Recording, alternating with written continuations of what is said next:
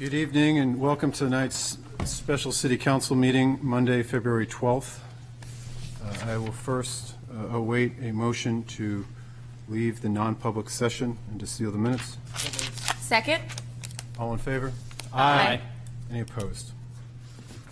Um, I'm going to uh, hand it over to uh, Attorney uh, Peter Loughlin in a moment uh, for a reading of the rules of the proceeding.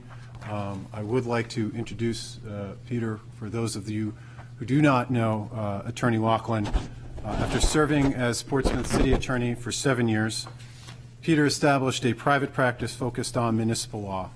He has served as town council or special town council to over city, 60 cities and towns throughout New Hampshire. Attorney Loughlin is the author of four volumes of the New Hampshire Practice Series published by Lexis Publishing. These volumes contain over 120 chapters provi- providing in-depth treatment of the law on topics ranging from abatements to elections to roads to taxation to zoning. His body of work has been cited over 40 times in New Hampshire Supreme Court cases. He's a graduate of Merrimack College with a BA in history and the University of Notre Dame Law School. Uh, Thank you very much, Peter, for agreeing to be our counsel this evening.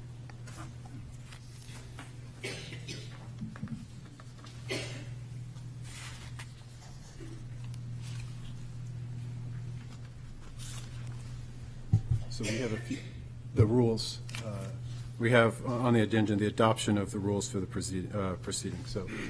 So we're going to, what the plan is to, to be, anybody that wishes to speak tonight, uh, under the rules, are going to be sworn in. And rather than everybody come up individually, um, when the uh, uh, city clerk will have everybody who's interested in speaking raise their hand, and that will save some time. And um, uh, Then, after that, um, that we have the presentations, the introduction of parties, uh, the- the, the- which will occur um, uh, before anything else starts. Uh, City council uh, will be asking questions. Uh, Oh, okay, these are, there'll be public comment. Under the rules, we're basically adopt, working under the rules of um, Chapter 43 of the statutes, and that allows for pub, public comment uh, by anybody who has something to say on this particular matter that's being heard tonight. Um, uh, When the, when it comes to public comment, there'll be uh, the timer that um, uh, is normally used for three minutes, but the, the um, attorneys uh, making the presentation will have uh, a longer period of time. I think that's been, uh, there'd be a 20-minute limit for the initial statement by counsel for the city and counsel for uh, Mr. Hewitt, and then we'll start a presentation by the city attorney, presentation by, for Mr. Hewitt. Um, Then there'll be public comment, and then uh, final comments uh, by counsel for Mr. Hewitt and counsel for the city. Um, And then the city council deliberations. Thank you, Attorney Loughlin. Um, We need a copy of the, uh, oh, first we need the uh, the swearing in of all witnesses, if we rise for Yes. uh, city clerk. Okay. Anybody who's going to speak in the public would need to stand to take this oath.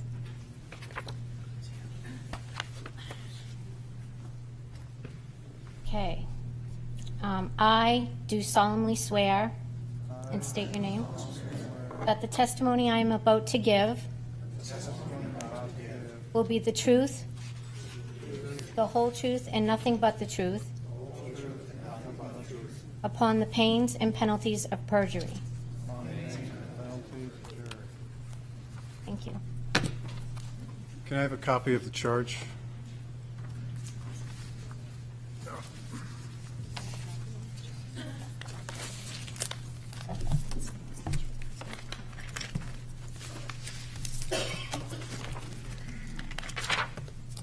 Got it?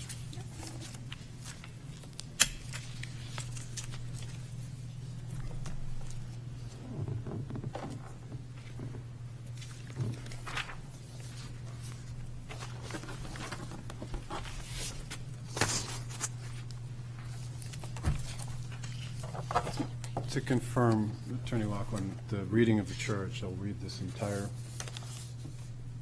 memorandum. I, I don't know that that's necessary. I- I- You I- I- stipulate that it's part of the record already? Yeah, I think you can, we can agree to waive the reading at this time. Okay, we will, uh, we will enter into the record uh, the, the charge brought uh, forth uh, that is in the council packet, uh, which we've had a chance to review. All right, uh, next is the introduction of the parties uh, for the record. So I'll start. Mr. Mayor, Susan Morrell, City Attorney for Portsmouth, and I have here with me Trevor McCourt, who's our Deputy City Attorney, and um, Cynthia Ravel, our Administrative Assistant. Mr. Mayor, Jeremy Eggleton with the law firm of Orr and Reno. On behalf of Mr. Hewitt, I'm joined by Mr. Hewitt here at the table. Thank you. We will now move on to initial statements. Oh, we got, a- oh, with right. Uh, Councilor Denton.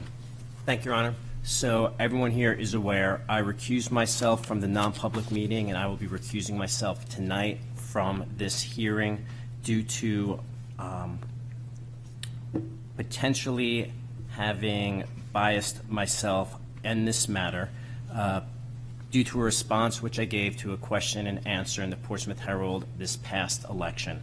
I'm going to go ahead and read the question and then read the answer in its entirety. But just so everyone knows what to listen for, is I specifically talk about the Raynes Avenue project, which is one of the charges here, and the recusal goes to the crux of the issue at hand when it comes to quasi judicial bodies. So again, I'm just going to read the question and the response from the Herald, and I spoke with Attorney Loughlin about this earlier this afternoon, and um, we agree this is the best path for me to take. Should the council address the pace and type of development in the city? If yes, how? My response, the current and prior city councils' different approaches to address the development in the starkest example is the starkest example of why Portsmouth cannot afford to go backwards. Policy is set by passing ordinances, like how four years ago my climate change focus pushed enacting the floodplain district zoning ordinance before any North Mill Pond development was submitted. By contrast, instead of passing zoning ordinances, the prior city council harassed our talented staff that simply enforces existing ordinances, resulting in the deputy city manager, planning director, and traffic engineer all quitting in an unprecedented loss of institutional knowledge. Additionally, the prior city council risked even more lawsuits than the ones they created by replacing our quasi-judicial board volunteers with ones that implied they would not abide by existing zoning regardless of how you feel about the large mixed North Mill Pond development on Raynes Avenue, city taxpayers are on the hook for a lawsuit over three planning board members that former Mayor Becksted appointed in his final weeks, potentially granting in bad faith the rehearing of the project's approvals after deadline passed. To save taxpayers money, development must be addressed through policy, as the current city council has done by rezoning the remaining large underdeveloped properties downtown, like the recently purchased Citizens Bank, so any redevelopment meet the new affordable housing, open space, and density requirements. Again, I just read that in its entirety. It goes to specifically one of the charges here and to the crux of the issue. So with that said, I will excuse myself. Councilor Denton. I, uh, Den- I just want to point out, Councilor Denton called me today and asked my opinion, and I, what it was based on is, first of all, we know that, and it'll come up tonight, that the, the, the standard by what any of these hearings are held uh, is, comes out of the Constitution, uh, New Hampshire Constitution. It is the right of every citizen to be tried by judges as impartial as a lot of humanity will admit. And a couple cases. There was a case in 1982 in case of appeal of Lathrop. And the court stated, it is a well-established legal principle that a distinction must be made between preconceived point of view about certain principles of law or prejudgment concerning issues of fact in a particular case. There is no doubt that the latter, meaning prejudgment concerning facts, would constitute grounds for disqualification. And another case is um, Lorenz versus New Hampshire Administrative Courts, uh, 19, a 2004 case. And the court said, whether an appearance of impropriety exists is determined under an objective standard. That is, would a reasonable person, not the judge himself, in question, not the judge himself, question the impartiality of the court. The test for the appearance of partiality is an objective one. That is, whether an objective, disinterested observer, fully informed of the facts, would entertain significant doubt that justice would be done in this case. And I discussed with uh, Counselor that I think it was fair, be fair to say that based on that comment, um, that um, Mr. Hewitt would have a basis for um, questioning whether he would, um, whether there would be doubt that justice would be done in this case and that the appropriate thing was for him to, to um, re- um, recuse himself. Uh, Let the record reflect that we're talking about Councilor Denton and not Mr. Hewitt. That's correct. I'm Thank saying Mr. Mr. Hewitt would have a basis to, to question whether he would be getting a fair hearing if I see. Councilor Denton said. Thank you very much. Thank you, Attorney Loughlin. Uh, Now for the introduction of the parties for the record. Done. I think we did Oh, that. sorry. Um, Statements by counsel now. Okay.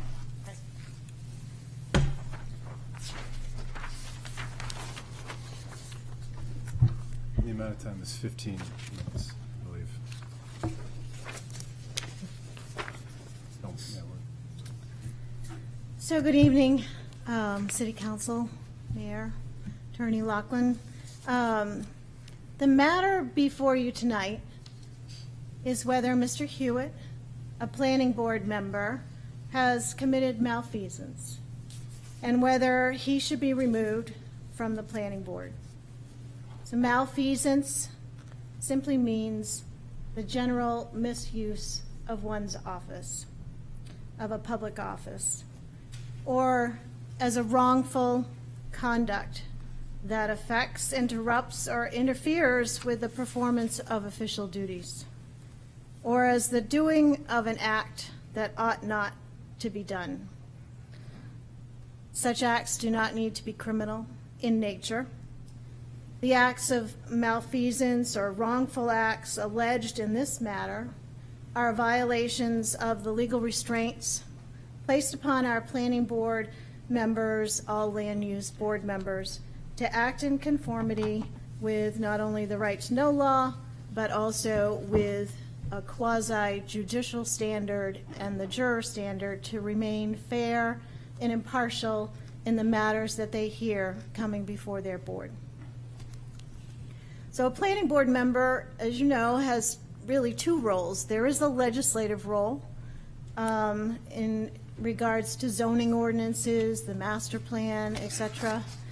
But when applications come before the board, they sit in a unique role, considered a quasi judicial role, or basically a citizen judge or juror. Um, they're obviously not actual judges, but under the law, their conduct is given the same restrictions and guidelines. So similar to a judge or a jury, a planning board um, should, member should be acting fair and impartial. In putting this in another context that perhaps more people are familiar with, if you were a party to a lawsuit or accused of a crime, you would want your case to be heard by a fair and impartial judge and a fair and impartial jury. It's the same for all of your citizens, property owners who come before the planning board with applications seeking permission to change the use of their property or develop their property. They have rights enshrined in our Constitution, uh, property rights, and um, they have the right to appear before board and board members who are fair and impartial, who will hear the facts and apply the law fairly, like any judge. That's what New Hampshire law requires of our land use board members. So the guidelines for that fairness and impartiality are called the juror standard. It's not complicated. Um, When you sit and think about it, it's the same standard that's used in every courtroom, every day, across this country. Jurors are everyday citizens. They come from every walk of life, every educational background, age, socioeconomic status, and they sit on civil jury trials every day, grand juries and criminal trials. The court, the judges in those cases, give them instructions on how to conduct themselves and what's expected of them. If you've ever been selected for a jury, uh, you know that the initial screening uh, of jurors involves the court asking a, a number of questions, all designed to determine if you qualify, if you can be fair and impartial. Many of those relate to whether you know the parties um, in the case. Could you treat them fairly, or do you have a conflict? Or whether you know anything about the case. Have you heard anything about the case? Have you read anything about the case? Or um, have you done any research about the case? Essentially, are you biased? If you answer yes to any of those questions, you would be disqualified from sitting as a juror. Um, Because juror must decide a case based upon the facts presented in the courtroom using the law provided by the judge. And this is the same standard that applies to all land use board members. There are some statutory exceptions to this where jurors are not allowed to go to crime scenes. Planning board members can go out and view property by statute. But there are very minor um, differences between the two. So many times in a jury selection, a juror might say they've heard something about the case in the media, but they think they can still sit and hear the evidence as before them and be impartial. And in such a case, if the juror says that they can be impartial, the judge would allow them to sit. However, in other cases, jurors say, I have such strong opinions about this. I've experienced this type of event in my own life, or a family member has experienced this type of event, and I cannot set that aside. I, I don't think I can be fair and impartial, in which case, those strong opinions would preclude that person from sitting as a juror. So that's just a different context in which to think about these words we're throwing around tonight, using a lot in the memos of law, using in the charging document, and through the testimony, you're going to hear juror standard, quasi judicial role, and um, there's a different context for you to help um, put that in. And we're here tonight not because of one instance of conduct that perhaps could be construed as a mistake or an error. The matter that you're going to hear about tonight, it's about a long course of conduct of numerous actions that demonstrate some bias and prejudgment of projects coming before the planning board. Those that violated the juror standard, and many of these prior actions were brought to Mr. Hewitt's attention. Corrective action was attempted by various people. He was counseled by my predecessor. He was um, counseled by the chairperson of the planning board. He was trained by the New Hampshire Municipal Association. Um, all throughout this first two years of his tenure on the planning board. However, his conduct continued to stray outside of the bounds of that legal restriction and the guidelines on his behavior as a planning board. And the risk of that conduct, so if, if a, a juror needed to be disqualified, there perhaps would be a mistrial. Maybe there would be an alternate juror who could be put on, in their place. But the risk of this conduct for a planning board member or a land use board member is if a decision is made and afterwards it is discovered that that person was in fact biased, it could lead to a lawsuit against the city that will take time, resources, and money to defend. And that is why the matter here tonight is important. We've all heard a chorus of supporters for Mr. Hewitt, emphasizing his expertise and willingness to do research and do his homework. And there's a place for that in our community. We're not suggesting otherwise.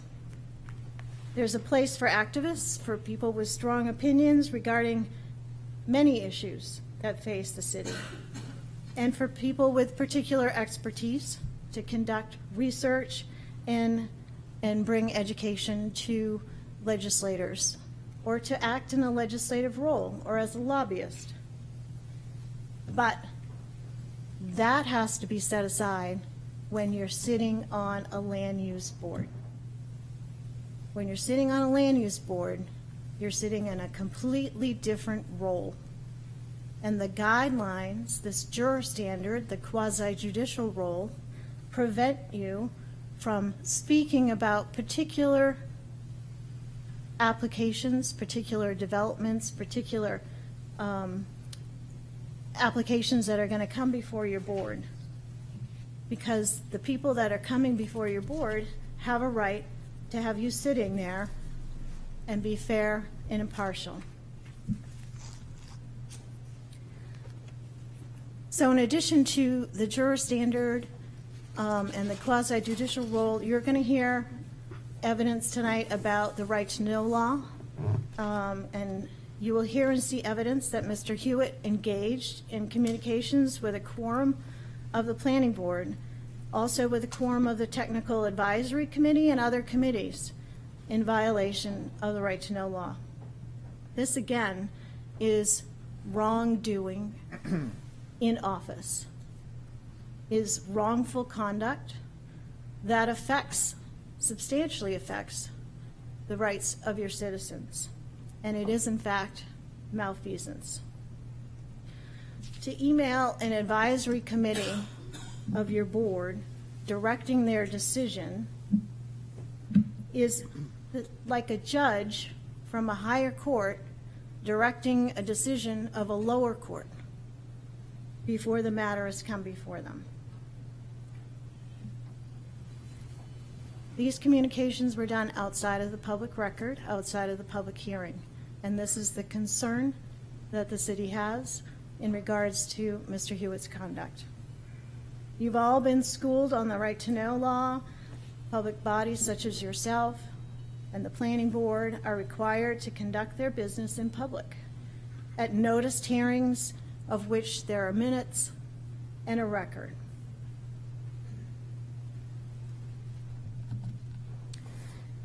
When there is a communication of a majority of board members, whether it's in person or via email, electronic communication, um, about a matter, discussing a matter that may be before their board, that is a violation of the right to know law.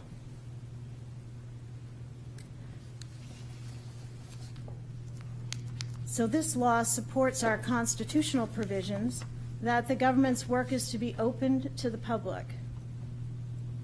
There are many ways, as you know, to make mistakes or errors in judgment.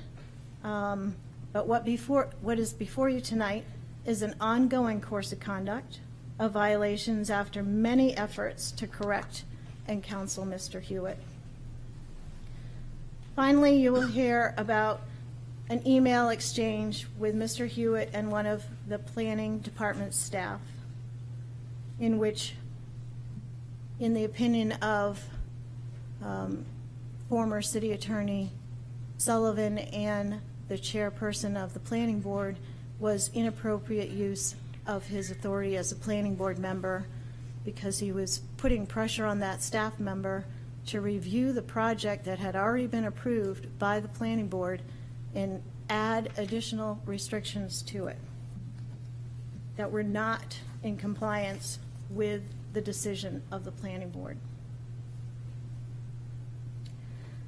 This ongoing course of conduct during his tenure as a planning board member, the violations of the right to know law, this attempt to influence staff in the performance of their official duties, and violations of the juror standard by conducting himself outside of the public meetings in line with his strong opinions about matters before the board, all equate to a finding of malfeasance in office. And we'll ask you at the end of this hearing tonight to find that all the evidence that you've heard, which will include all the exhibits that have been entered, the witnesses' testimonies, and our arguments and memos of law, find that it supports that conclusion.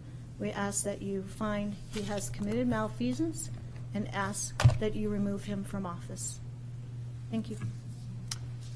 Thank you, Attorney Morrell. Attorney Eggleton, Mr. Hewitt.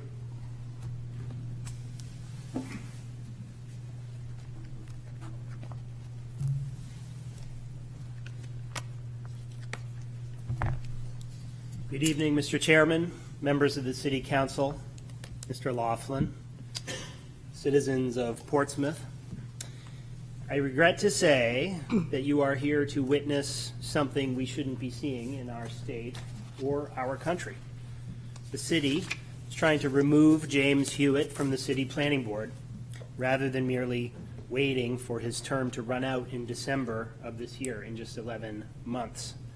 They accuse him of malfeasance. What awful thing must he have done, you ask yourselves? Did James Hewitt steal money from the city? Did he take kickbacks from developers for preferred treatment?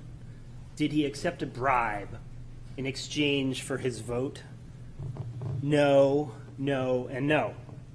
And no to all the other things you might think of that would fall under any reasonable person's definition of malfeasance, as you and I, or any other normal people might define it.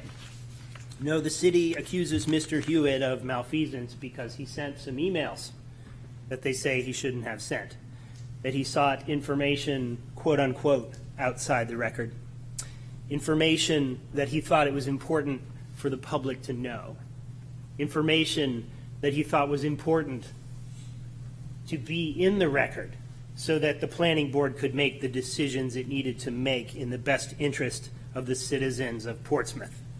He wanted to make sure that applicants with project proposals were asking for enough parking, for example. His bugaboo, conceitedly so. He spoke on issues that concerned him outside his duties as a planning board member. And guess what? He's allowed to do that in America. He wanted city planners, professional staff, to remember the advice and consultation that the planning board had given applicants at preliminary consulting meetings when they asked for input about how to make their applications better and more acceptable to the planning board. He did his job. And for that, City Hall wants him gone. You are witnessing a campaign to destroy Mr. Hewitt's reputation. A payback campaign, because Jim Hewitt campaigned for the wrong candidates, had the wrong opinions, and demanded more scrutiny of projects from the city's planning board than the city wanted to give. Make no mistake, this is a punitive effort to inflict harm on a citizen who stepped up to volunteer for a land use board when the city asked him to. You might have noticed that when the city posted the papers for tonight's meeting on Friday for the public to review, they put this document online, and out of this whole 107 page document, which was the council packet for tonight's meeting, do you know how many lines Mr. Hewitt got? One line. In the very end, highlighted in yellow on this sheet. One line. One sentence. I kid you not. So, someone who wanted to see what Mr. Hewitt thought about these issues would have to read all the way to the end and then click on a link to to get his point of view. The city's thoughts were right there on the announcement on a link that read council packet, not Mr. Hewitt's. Now, I don't mind telling you that this whole process is an absurdity. I do this every day. I stand in court and I argue on behalf of clients against certain issues. This shouldn't be happening, folks. This is not the way this is supposed to work. It is decidedly inconsistent with the law of our Supreme Court on what constitutes the juror standard, on what constitutes a disqualifying set of facts for a particular planning board member. It is inconsistent with how our court has treated facts outside the record, quote unquote, or bias that violates the juror standard. There's law on this, and I have supplied it to you. And if you read it carefully, actually, not even very carefully, you will see that Mr. Hewitt has not done anything that violates that law. And I'm so confident of that, that if we get an adverse decision tonight, I know the courts are going to agree with me on that. It's going to have grave repercussions for this city because it will send the message. In fact, it's already sent the message that your volunteer service for the city of Portsmouth may come with a heavy dose of libel, slander, and defamation, which is quite the incentive you want to instill in your population. I do want to briefly talk about some of the facts that Attorney Morrell briefly mentioned in her opening from the 107-page memorandum that everyone was able to read on Friday. Incident number one concerning Raynes Avenue. Now, Mr. Hewitt, he will testify, joined the planning board on January 1st, 2022. In December of 21, before he was on the planning board, he sent an email to some friends talking about the Raynes Avenue project. He called it a monster project in that email, and he urged people to vote against it. That was before he was a planning board member. They're trying to hold him accountable for conduct for acts that occurred before he was a planning board member. If you're not on the planning board yet, your communications are off the table. You're not communicating in your official capacity. You can throw that one in the dustbin. Incident number two. There's actually nothing in the communications that were given to us by the city concerning incident number two that pertains to Mr. Hewitt's vote to rehear that Raynes Avenue project. That was not given to us as a reason for this malfeasance hearing. On the contrary, what Mr. Hewitt asked for in context number two was for certain environmental studies, which he knew to exist because of his knowledge, his experience, his familiarity with these issues, that they be part of the record. He wanted those to be considered at the public hearing. He wasn't trying to surreptitiously make decisions with the board. He wanted information in public. That's what he wanted, and that's what he was looking for. The law on this issue is whether he showed active and affirmative prejudgment of a specific set of facts. It's very strict. Our Supreme Court has held that lively discussions off the record about the issue at hand do not constitute prejudgment of the facts. Ex parte emails between and amongst board members do not constitute bias about a particular set of facts. That is the law in New Hampshire. And Mr. Hewitt, his emails do not even rise to that level. So keep your ear out for exactly what he asked for when it comes to incident number two in February of 2022. Incident number three, a couple weeks later, a new applicant was coming before the planning board to ask for more parking for a project that had been approved a couple years before. What did Mr. Hewitt want in that set of emails? He said, geez, this uh, project was heard by the planning board in 2019. Can we make that video clip part of the record for this matter? Can we take the worksheets that emerged from that approval process and make those part of the record of this matter? So that the planning board sitting on this question today understands what the planning board was thinking three years ago? Does that seem like malfeasance to you? To me, that feels like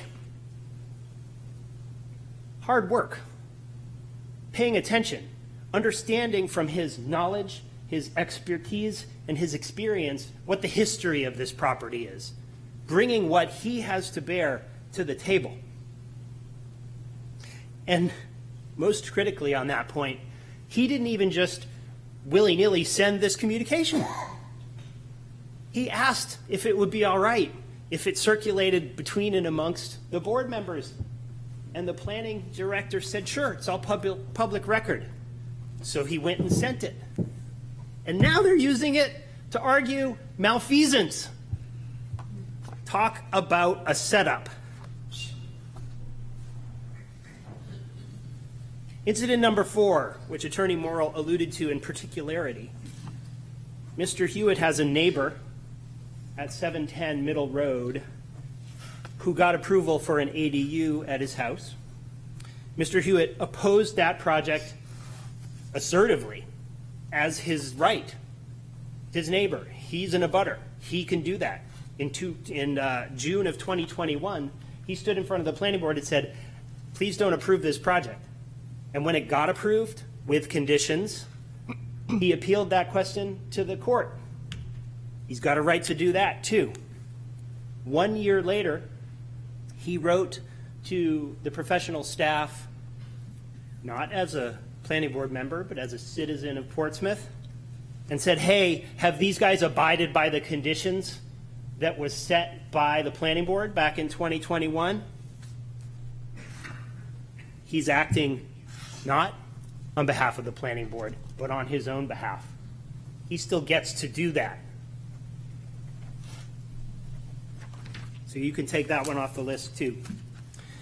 With respect to incident number five, last October, the planning board had a hearing on the 19th. At that hearing, Mr. Hewitt was pretty frustrated. The applicant wanted to subdivide property at 375 Banfield Road. From his personal knowledge and experience, Mr. Hewitt knew that the property in question, some people know of it as the Copeland lot, was heavily affected by environmental contamination from its former use. And in fact, that came up at the hearing. It was extensively discussed. The water coming off that property is dangerous to human health. That's all part of the record. Mr. Hewitt wanted to understand how it is that the parties involved in that case were litigating a question of who was responsible when the city was a party to that case. And the person, the developer, wanted to tag the city. The developer wanted the city to pay for it. Mr. Hewitt said, I don't want to make this decision without understanding what's going on with that. And in fact, the TAC, the professional board that Attorney Morrell likened to a lower court, recommended to the planning board that the approval of that application, if it gets approved, be conditioned upon resolution of that specific issue. Who was going to pay for the cleanup? So the planning board was doing their job when they wanted to know what the status of the litigation was. And Mr. Hewitt wanted to know that, but they were told at the planning board meeting, uh-uh, we're not going to talk about that. You're not allowed to talk about that. Well, they were told by city attorney's office that they're not allowed to hear about that stuff. And I submit to you, that's not the job of the city attorney. It is the board's decision as to what is relevant or not relevant in a planning board session. City council, the city attorney can make recommendations, of course, but to be told, no, no, you can't touch that, you can't hear about that, that's wrong. That's wrong as a matter of law. And so Mr. Hewitt voted against the approval of that project. He said, we don't have enough information to make that decision. He was concerned about that. And there's, I will show you, reams of minutes about that. So all that's in the record. And he voted against it. And then afterwards, 12 days later, he sent an email to the folks on the planning board and said, hey, I want you to know why I was so upset about that. Please read these articles from the newspaper. Please read this opinion from the New Hampshire Federal Court. The decision was made. No more bias there. For that, he gets hauled into the principal's office. Last one. July 20th, 2023, an applicant at 581 Lafayette Road comes to the board for what's called a preliminary consultation. It's an awesome feature in New Hampshire law. It allows an applicant to come to the planning board and say, hey, I've got this idea. I'd like to do this. Uh, you have any feedback for me so that I don't gin up a whole application and then find out I missed something early on in the process? So they get the feedback from the board, and Mr. Hewitt says, you know, uh, on this application, your survey plan that you did for your parking lot that you have, you've got features here, lighting, curbing, uh, parking areas, parking spaces that are actually on someone else's land. So please fix that before you submit your application. That was his advice. Pretty sound from my perspective. So then in December of 2023, when he learns that that applicant is now before the TAC, the Technical Advisory Committee, he sees that in fact they hadn't changed the plan yet. And so he reaches out to the TAC to say, hey, let these guys know that they still should do this, because otherwise we can't approve it. It's on someone else's land. That's crazy. That's all he was doing. That's not malfeasance. That's trying to help the applicant put together an application that is complete and prepared for planning board review. So that's it. That's your malfeasance.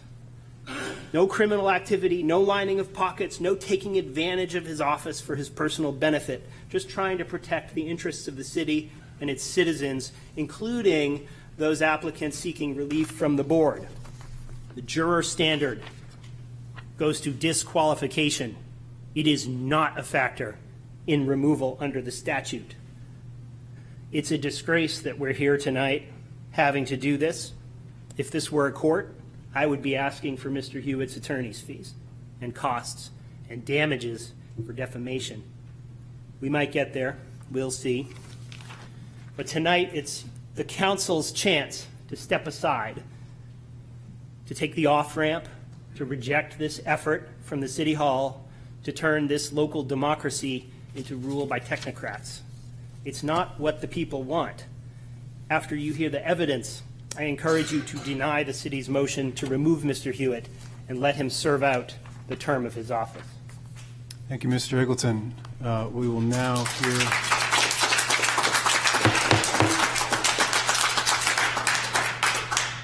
We will now hear uh, from, we we have the presentation of documents or witnesses, or do we do, doesn't list that under the agenda, but we have public comment I think before or the doc- after. I think the documents are witnesses are next. Documents and witnesses next? Okay, we'll That's go. what I expected. All right, we'll do that. Documents and witnesses. So, um, the city first asked uh, Attorney Bob Sullivan to come up.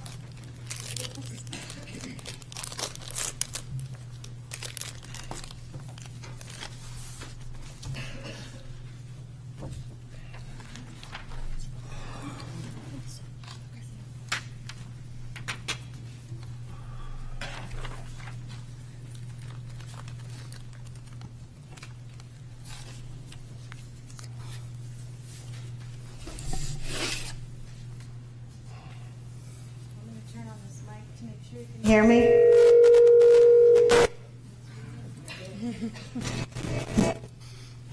I'm not sure if that's gonna keep happening or not. There we go. So, um, Mr. Sullivan, for the purposes of the record that we have here tonight. And um, for the people watching, can you just introduce yourself briefly? I could. Uh, My name is Robert Sullivan. Uh, I um, was formerly, prior to you, the city attorney for the city of Portsmouth. I had held that position um, since 1982 until October of uh, the year before last. So for a total of 40 years? I think the uh, actual total is 39 years of 40 anniversaries. And uh, the uh, in that role, which I began by myself for a number of years, and ultimately the staff grew. But in that role, I did everything. Um, advised all the city boards and agencies, uh, um, commissions. Represented the city when it required representation. uh, um, Brought suits on behalf of the city when it was necessary to do that. Um, I uh,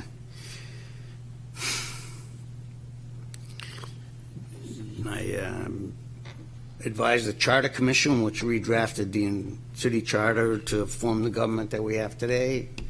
Um, I was a uh, really jack of all trades, whatever needed to be done for the city, I did it for all those years. So as part of your, as part of your job as city attorney, did you advise your city departments on legal matters? Every city department, uh, including the charter departments of police, fire, and schools, um, and all the city boards, commissions, and agencies, including the planning board. And during those discussions, how often do you think you talked about the right to know law? Probably one of the main differences uh, in New Hampshire between running any kind of a private business or any kind of a private enterprise and operating a governmental, uh, municipal governmental operation is the right to know law. It, uh, it affects every aspect of the, operation of the city government all day, every day. So I would say that on a daily basis, they will right to know law issues for the entire period. And how about um, when you're talking to boards and commissions, in particular the planning board, the land use boards? Did you talk about their quasi judicial role and the juror standard? For those boards and commissions which uh, had quasi judicial roles, which uh, uh, would be the land use regulatory boards, primarily um, zoning board, planning board, historic district commission.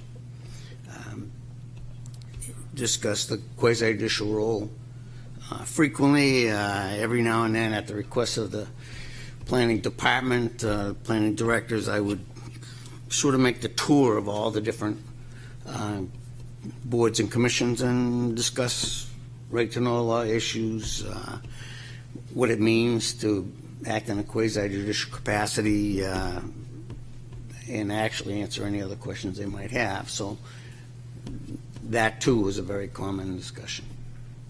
And did you also represent the city in some um, land use litigation? Yes, yes. Is that a lot of, a lot of cases? Um, the uh, I had uh, before I came here, I actually spent five years in uh, Nashua, and uh, in Nashua, I uh, had primary responsibility for representing, particularly the zoning board, and at the time, city manager Cal McCanny hired me to come here. He said it was because of exactly that. He said he had been looking at uh, experience representing the land use regulatory boards, and that's that's what he wanted. So I came here. So as part of your job as city attorney, did you uh, become acquainted with Mr. Hewitt, Mr. James Hewitt? Yes. Okay. And in what capacity was that? Um, when Mr. Hewitt uh, became, a mem- when the city council put Mr. Hewitt on the planning board, it became my responsibility to assist him in any way that I could in um, becoming a good planning board member. I would not have been expected that he would have a great understanding, for example, of the right to know law, or uh, even of the quasi judicial concept. And so there are two issues in which it would be my job to help him uh, function. And uh, did you um, have some concerns initially about Mr. Hewitt's ability to abide by those standards? Yes, um, even after his appointment, but uh, uh, before he began to serve, uh, there were discussions in among the staff in the planning department that he was perhaps not understanding the role of a planning board member in the overall land use regulatory scheme, and that he might be taking actions that properly belong to others. And uh, this implicated the, uh, the quasi judicial role. And uh, so I did have some communication with him about that.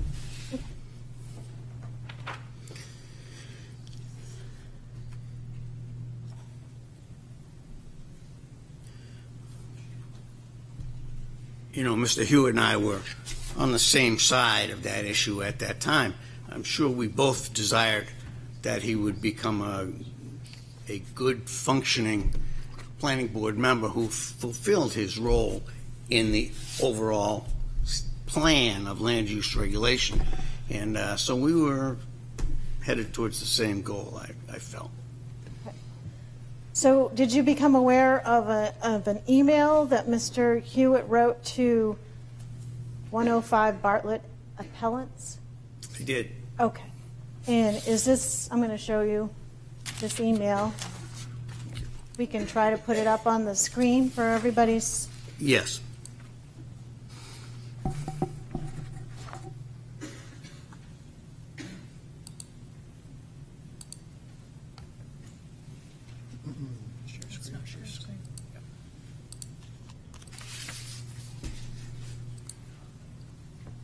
does it want to share? There we go. Oh, there we go. Any chance of making that bigger? No. Um, So this would be in your packets um, as Exhibit 1, um, the email initially by Mr. Hewitt. And can you, um, can you tell the council what it was about that email that gave you some concerns? Sure. Uh, As a preliminary to answering that, uh, and as a preliminary really to everything that we're going to talk about, I have to say this. Um, The state of New Hampshire gives municipalities power to regulate land use in, within a particular municipality. This is, this is really an awesome power. Um, A person buys land, a person pays the taxes on that land, but before that person can do anything on that land, they need to get permission from the municipality, in Portsmouth from the city. Now,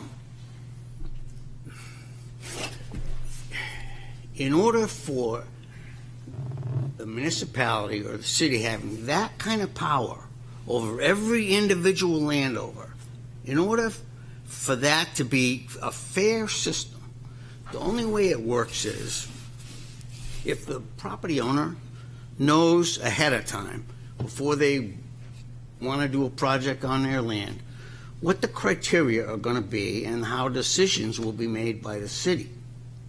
And the criteria need to be adopted in advance so that the property owner knows these are the rules. And they have to be, the criteria have to be administered by people who will do so fairly, without a bias, without having made any determination on a particular project before that project gets presented publicly. Um, Other than that, the property owners is not being treated fairly. Their financial future with regard to their property is being decided by secret rules in a way that is not done in public.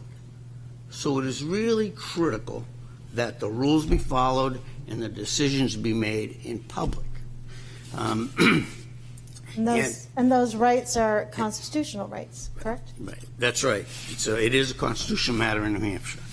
So the issue that gets raised by this particular email is it demonstrates that uh, Mr. Hewitt, in writing this, has some pretty strong opinions about particular development in the North Mill Pond, 100-foot buffers, um, large developments. I mean, it, it mentions a lot of things. And a planning board member voting in a quasi judicial capacity should be looking at the plans that are brought to him uh, in a, a neutral manner, unbiased. And uh, someone reading this email, let's say the property owner of the property he's talking about here, reading this email, could reasonably conclude that maybe he was not unbiased. He wasn't performing his quasi judicial role. Were So, there certain tone or words in that email that gave you some concern? absolutely. What were those? The, there are several. Um, just the fact that uh, two projects, a prior one and the one in question here, is called a monster in the North Mill Pond. Those really aren't the words of a neutral, detached observer. Uh, that suggests, even before he's looked at it, that he has a viewpoint. Um, the reference to uh, the deja vu all over again, he talks about, in reference to an earlier project that he disapproves of. Um, a suggestion, a clear suggestion that he would disapprove of this one again. Um, the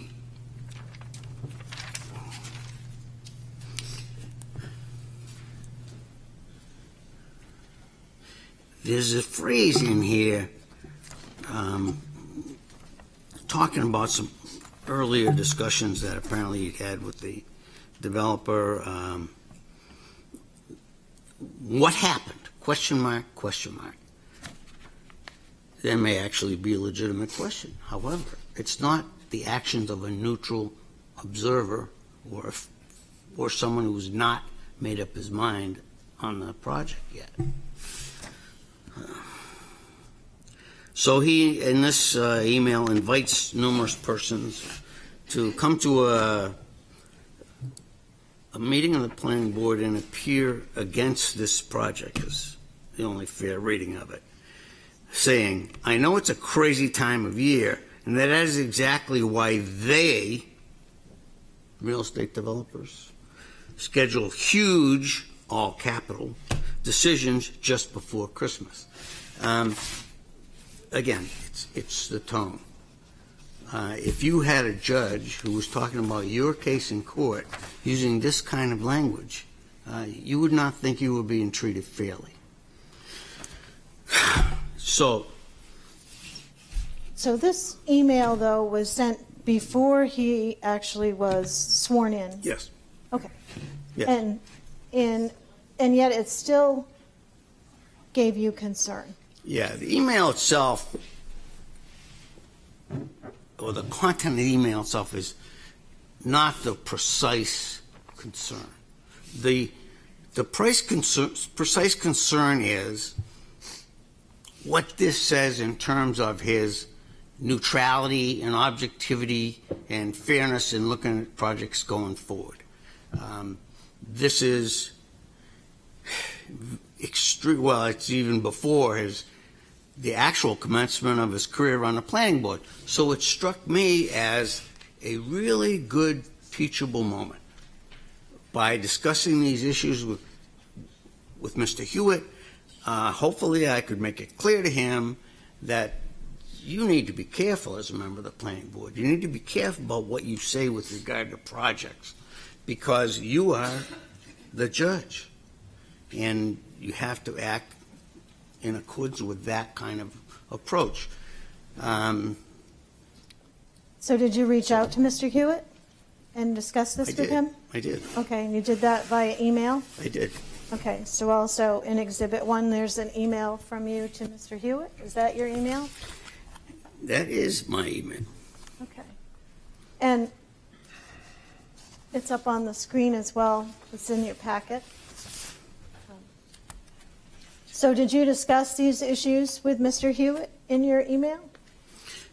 I did. I basically went over what I had just said here in this room, um, adding a little more detail. And this is not a project that you were concerned Mr. Hewitt was going to vote on, correct? Right. The, the, the point that I was trying to make here was trying to be helpful and cooperative to Mr. Hewitt to help guide him into a planning board career free of these kind of controversies.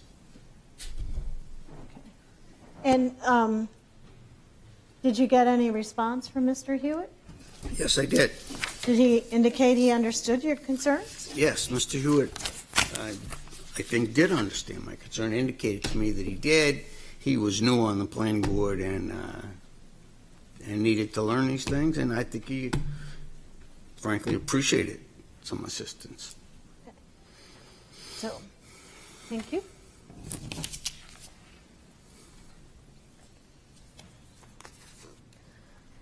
So now I want to talk about our Exhibit 2.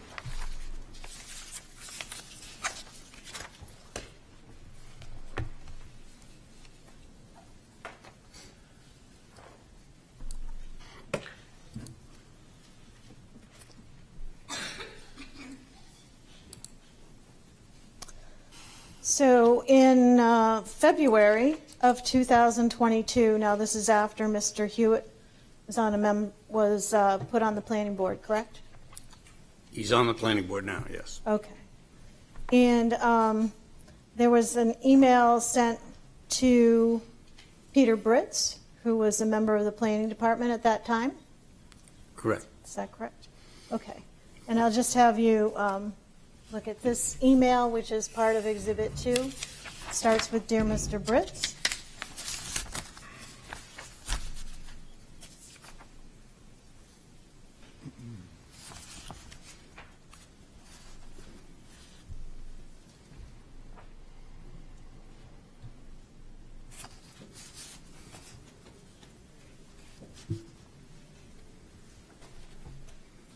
Yes.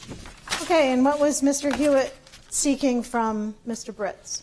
Uh, What's happening here is that uh, in preparation for a, a plan that is coming for the planning board, uh, Mr. Britz, uh, Mr. Hewitt, contacting Mr. Britz alone, has asked for him to secure for Mr. Hewitt a, a number of different documents, uh, four, which amount to environmental studies of various projects, which Mr. Hewitt apparently believed had some relevance or similarity to the Okay, and Raynes what, Avenue project at hand. why did that concern you, that he was reaching out to a member of the planning department for that information? Well, here's why. Because going back now to the the plan of how land use is regulated by a municipality and how it is kept fair. It is kept fair by having objective criteria that have been adopted before a project comes in, available in black and white for anybody in the world to read, and it is kept fair by decisions regarding that criteria and the project being made by uh, a, fair person sitting in a judge-like capacity. Now, the reason why this concerned me, and Mr. Britz, I might add, is that it, it appears that here, um, uh, Mr. Hewitt is not sitting back like a judge and making that comparison of those criteria to the facts of the project. It appears that what he's doing is stepping outside that judge role and beginning to do personal investigation um, that uh, would then be applied apparently to the case coming before him. Well, if you if you just think about it for two seconds, that is not what judges do. Prosecutors bring forward evidence. Defense lawyers bring forward evidence. Judges sit back and hear that evidence. And in this case, um, Mr. Hewitt would be acting more like the prosecutor or the defense lawyer and going out and finding evidence rather than like the judge sitting back hearing the evidence. That was that was my concern. And is that what you conveyed to him in this email I did. of February 17th? I did. Again, that's 2022. Yes. And did Mr. Hewitt respond to you in, in that email chain and indicate he had uh, understood your concerns? I know he did, but I don't see it here. Let me show you Thank you. that portion of Yeah. the email. Uh, yes, he did. Uh, Mr. Hewitt responded to me in a, what I thought was a very reasonable and uh, respectful way, indicating that he understood my concern. So, um, in addition to asking for this information from Mr. Britz, um, was there also communication with Mr. Hewitt um, in regards to the um, Conservation Commission and these projects? Yes, there were. Just trying to find it. Okay. So, in an email um, by Mr. Hewitt,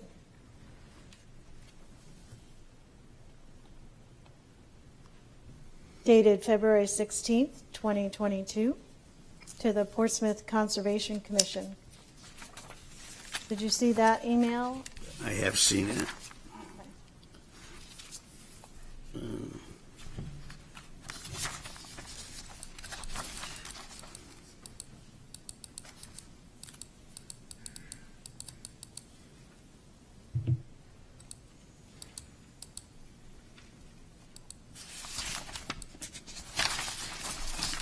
Okay, so this is an email from uh, Mr. Hewitt to the Conservation Commission.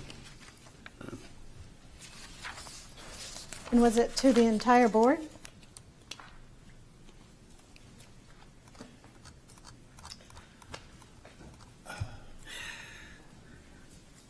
It was to, one, two, three, five members. And was it in regards to the same permitting issue he had emailed to Mr. Britz? It looks like it was, yes. Okay. And did you also have a conversation with Mr. Hewitt about emailing the Conservation Commission? Well, this is a totally different issue, Okay, but yeah. yes. Uh, As, we- as we discussed earlier on, you and I, the two main sort of legal concerns that come up with new members of boards who are used to life in the private world and not life in the government world is that everything needs to be done in accordance with the right to know law. And uh, the right to know law uh, requires that the public business be conducted in public. And what that means is that decision-making by public bodies such as the planning board, the conservation commission, uh, need to be take, need to be taken in meetings which are advertised, properly advertised under the right to know law, and for which a number of formalities attended, uh, such as uh, keeping of minutes, et cetera, and uh, allowing members of the public to listen, uh, participate, and uh, so an email to a quorum of a public body gets this close to a per se violation of the right to know law, and if even one member of that public body should respond, it is a violation of the right to know law. Why is that? Because it is in effect a meeting taking place electronically over the internet rather than at a public place where there's been notice given to the public to attend. That's why. And you conveyed that concern to Mr. Hewitt as well. Yes, it's-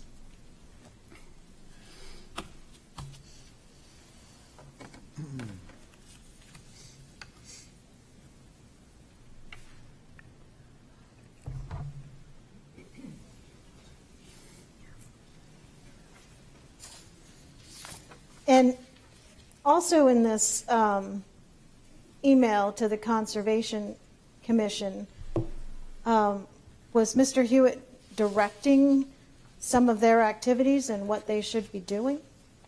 he was seeking to, yes. Okay. And why would that be a concern for you? Um, really for the same reason. It's, it's, uh, as, well, for all of the reasons we've discussed. Um, it is the involvement of a planning board member in a conservation commission activity, uh, which suggests that he is in- trying to control, um, the review of the, that different body of, uh, of a project which is ultimately coming to the planning board. And the uh, Conservation Commission, their role in this is to offer a recommendation to the planning board. And the Conservation Commission really needs to make its own recommendation. It doesn't get its recommendation from the planning board to give to the planning board.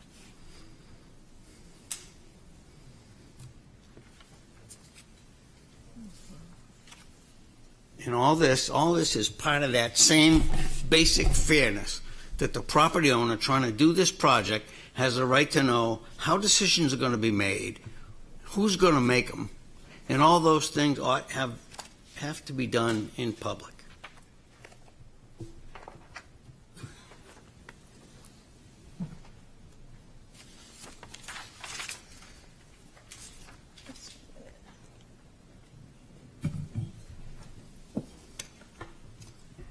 So, did I skip? I skip one?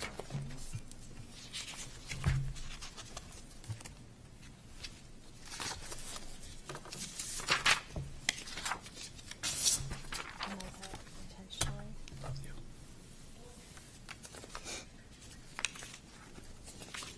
Intentionally skip that. No, I wasn't gonna ask him about number three. I'm gonna go right to number four.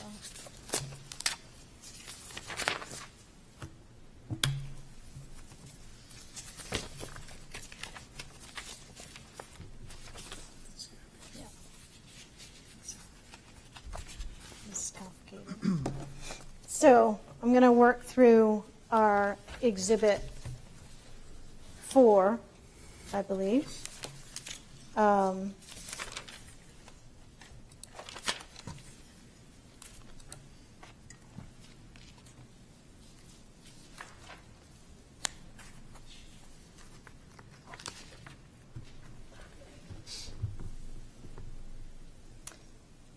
First, we might have.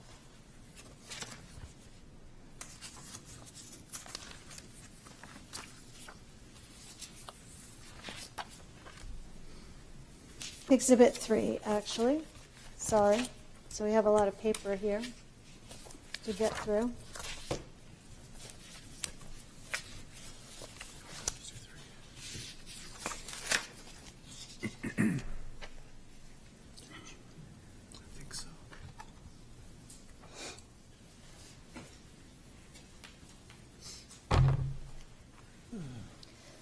So in March of 2022, there is an email um, provided to you by um, the former planning director, um, Beverly Zendt, um, that was sent by Mr. Hewitt to the planning board members. And um, this email is March 15th, 2022. And Can you just convey what the gist of that email is about?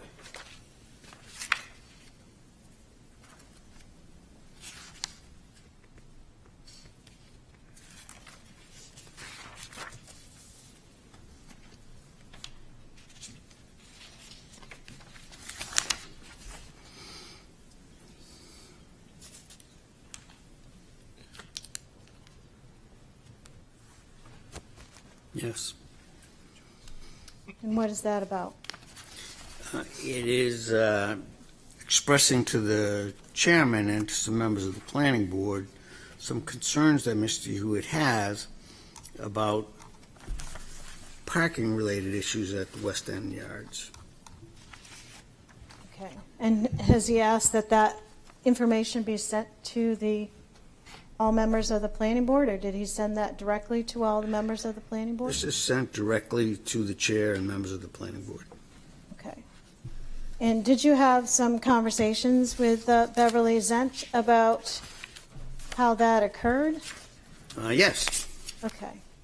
And in fact, she actually um, sent an email to Mr. Hewitt indicating that um, she had intended to send that information to the planning board instead of him? yes. The, uh, of course, these are really variations of the same issues we've been discussing, but yes. Right, so why would it be an issue for Mr. Hewitt to send this information? Well, here's why. Go back to the original plan that we discussed about how land use is regulated and how it is supposed to be done in public using known criteria to be decided by fair uh, judicial type planning board members here. And the problem with this is that it's, it steps outside that public forum. It is uh, a, a, one planning board member communicating with other planning board members that A, uh, in, a- in a way which does not fit that system which is designed to create fairness. Um, The, the information involved here is actually legitimate information uh, that a planning board might want to see. But the way it gets to the planning board is not by one individual planning board member finding this stuff and sending it by email to the others. The legitimate way for this kind of information to become part of the record and become public is for it to be done in the context of the planning board meeting. Um, One way, an obvious way, in a common way, would be that uh, the planning staff would provide the entire planning board with any information they felt was relevant, and it would become part of the, the record of the meeting immediately. Among other things, this means that the property owner whose, whose property and income uh, are, are affected by all this will know what's going on, what's being said, uh, and, uh, and be able to respond to it however that person deems appropriate.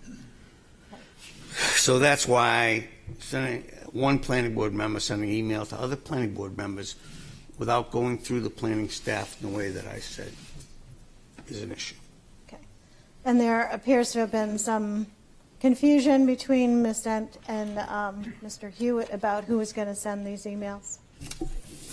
Uh, yes, I wasn't, uh, part of this email string, but yes, that does appear to be the case if you read it. Okay. But still, you talked to Mr. Hewitt about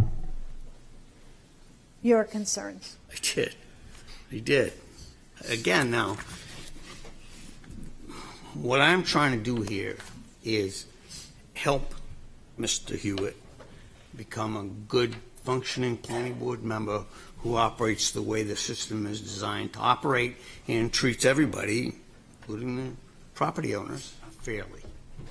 And so with that in mind, I did send him a brief email, um, not a legal memo on the topic, uh, but some, some guidance points. So when you say not a legal memo Hmm. on the topic, what do you mean? I'm not writing here for a court. Uh, I'm, I'm writing here for an individual I'm trying to help. I'm trying to, to give him some very straightforward, easy to remember um, guidelines that if he follows them, uh, he will be headed in the right direction with regard to these issues we've been talking, talking about. And uh, so that's what I sent to him. I sent a memo on, I can't see where the date is, March 16th, 2022. Okay. And in that conversation, you talk about the quasi judicial capacity and where evidence should come from? Yes. And what do you say in there? The evidence should come from three sources? Yes. What sources are those? Sure, these are guardrails or guideposts. These are things, if he keeps in mind, it will really help him keep out of trouble. And they all flow back to that picture I've been trying to create of a judge sitting there receiving information rather than a judge leaving the courthouse and going out and finding information. And, and what I tell them is, uh, the the issues which are raised by uh, this uh, sending out of information on his own without going through the planning staff are when sitting in a quasi judicial capacity, the planning board should only be receiving evidence from three sources the applicant, which is the application for the planning board, opponents of the application, anybody who wishes to oppose it, or the planning staff. What this is meant to do is exclude the planning board member as an individual from going out into the world and just finding facts. They are brought to them in a public fashion by those people. Uh, the planning board member should not be conducting independent investigation because the judge doesn't leave the courthouse facts are brought to the judge. And did you also have a right to know law concern here? I did, I did. Um, quote, evidence coming into the planning board in that capacity should only come through or at public proceedings. This is basic right to know law stuff. Um, the, all government in New Hampshire is supposed to be conducted in public. And, uh, and so an email just between board members that is not distributed to the public or put on the agenda is, a, is, creates an immediate right to know law concern. So I'm suggesting stay away from that. And the way to avoid those right to know concerns is to let the staff convey that information to the Because anything board. that the staff brings to the planning board is automatically part of the record in the case. And the property owner gets to see it, the opponents of the project get to see it, everybody gets to see it. Oh, there was one more. Uh, No, this is an important one. Uh, We discussed it already, but I I reminded uh, Mr. Hewitt of it on March 16th. The right to know law prohibits the sequential communications which would occur if even one planning board member responded to an email from anyone addressed to the full board, because that is the functional equivalent of a meeting. Once they start communicating over the internet, they are now doing the very same thing that happened at a meeting, which is properly noticed for the public, except it wasn't properly noticed for the public. That's the problem. And there are consequences for action. There- can be. Uh, A few of them are that whatever action the public body takes in that manner uh, can be overturned. Uh, It is, uh, if that should occur, the party that overturns it will be entitled to their attorney's fees for having done so. And there are even circumstances under which individual uh, members of public bodies can be subject to penalties. So, so there are a lot of consequences. So um, the next um, exhibit I want to talk to you about is Exhibit 4 um, in regards to a project, a detached ADU project at 710 Middle Road. Um, And emails between Mr. Hewitt and a member of the planning staff. Are you familiar with those? I am. Okay. And um, in regards to these mem- uh, emails, those took place in July of 2022. And I'm just going to show you what we have in the binder here.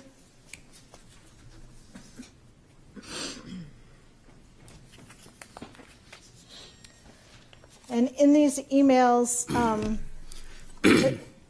what- is um, Mr. Hewitt asking um, one of our planning staff, Vincent, to do? Uh, The member of the planning staff is Vincent Hayes, uh, an individual who, uh, as I said, is a member of the planning staff, who I know very well, work with every day. Uh, And uh, in this, in this top document, uh, Mr. Hewitt is asking Vincent Hayes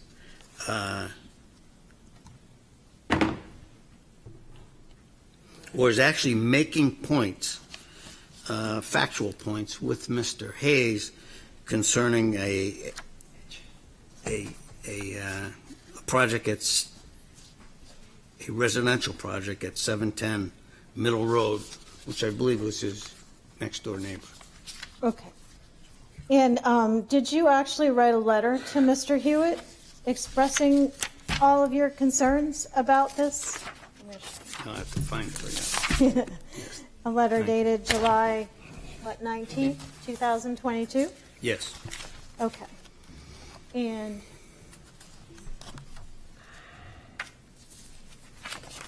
we'll bring it up on the screen.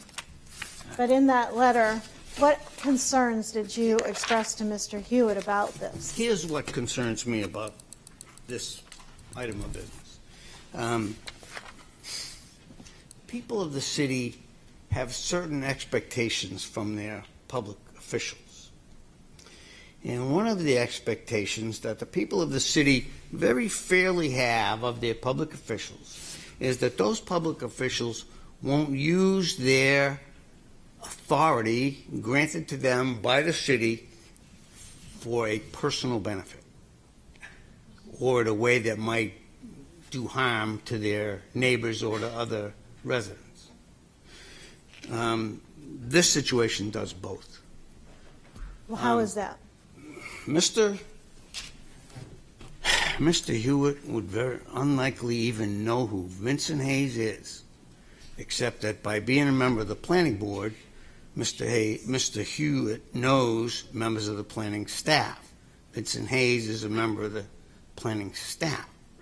So, by Mr. Hewitt, a planning board member, bringing these factual items, which are objections to his neighbor's project, by him bringing these to Mr. Hayes's attention, Mr. Hughes is both using his position as a planning board member to his own personal advantage to help him stop a project he wants to stop, and in Have order, please.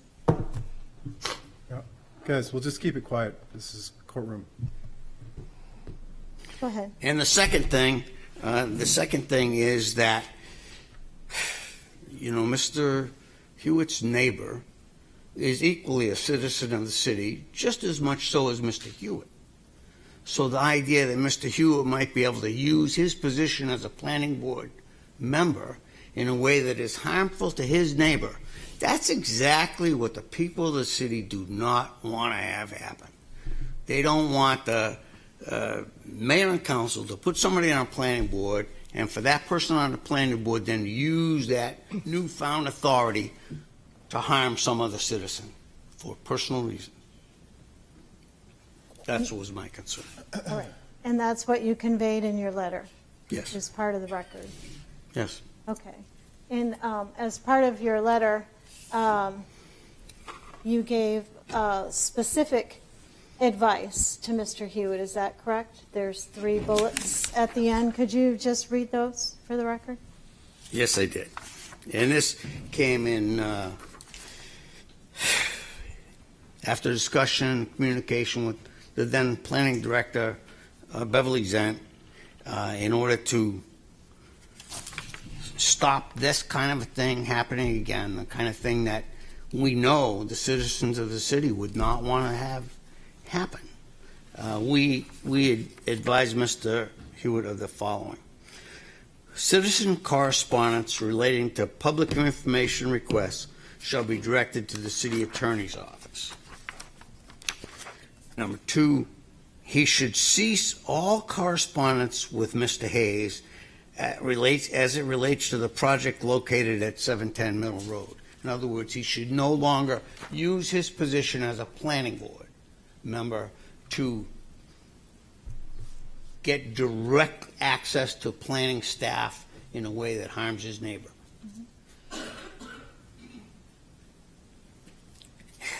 And last, uh, lastly, we, we advised that the city would take the matter under advisement and determine if any further action is, any further proceedings will be necessary. And that letter was signed by you and who else? Beverly Mesa Zendt, uh, planning director at that time.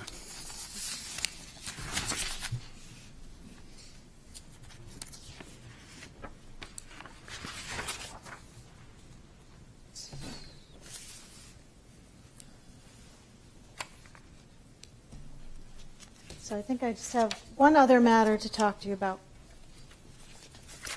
And um, more recently, in um, January of this year, are you familiar with some emails Mr. Hewitt sent to the Technical Advisory Committee? Well, let me say this. Once you start talking about more recently, you are talking about a period of time when I've been retired. Okay. Uh, However, in my retirement, I, uh, I work uh, as a part-time staff member for the city legal department, sort of a utility infielder. if you will. I do duties as assigned. Uh, That is not as encompassed, that does not lead me to have as encompassing of a knowledge of what's going on generally in the city as m- in my former days. But I still do know some things, and uh, so Okay, were you, did you become familiar with some emails written in January this year by Mr. Hewitt to the Technical Advisory Committee? Yes, not in a great depth. Okay. You recognize, um, you've looked at those emails before?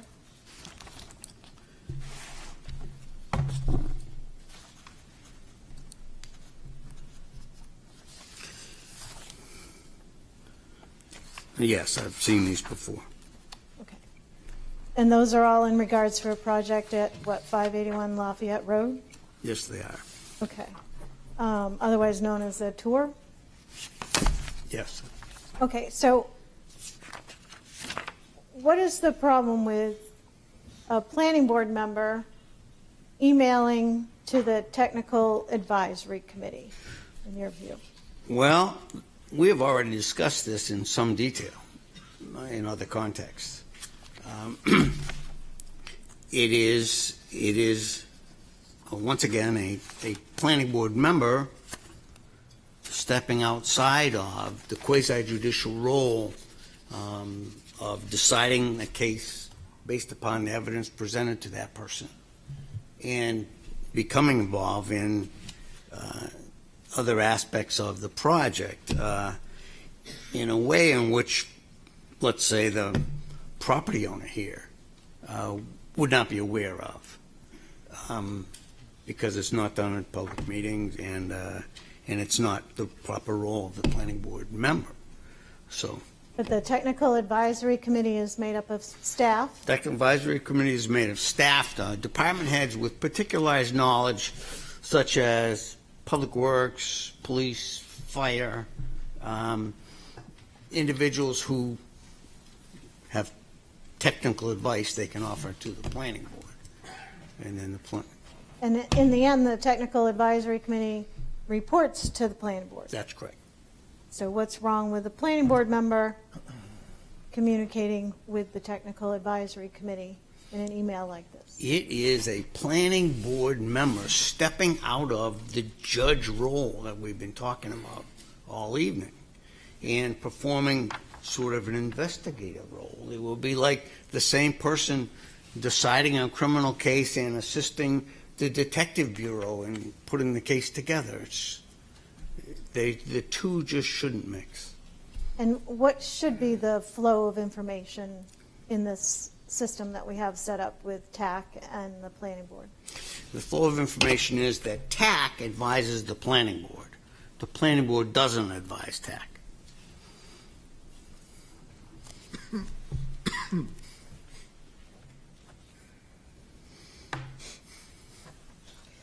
And when you say it's stepping out of that judicial role, are you concerned about bias again? I- I'm sorry, am Are you concerned about whether there's bias injected into, um, That would always, always be a concern, because if a planning board member who's supposed to be the neutral judge is poking around in the world looking for facts and information, obviously, if that planning board member finds facts and information, it's going to affect their thinking, so that they will no longer be the neutral, detached judge, they'll have a bias.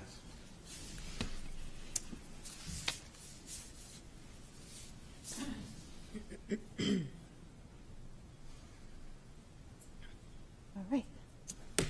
Thank you. So, I'm going to put this back. It's not entirely in the right order now. Fix that later. But there are the exhibits and, um, Attorney Eggleton? Passing of the mic.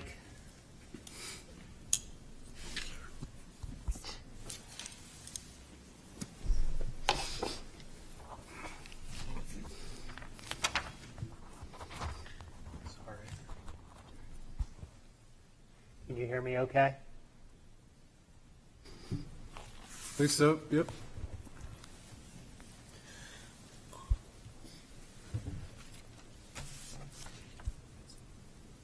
Good evening, Mr. Sullivan. Thank you for joining us.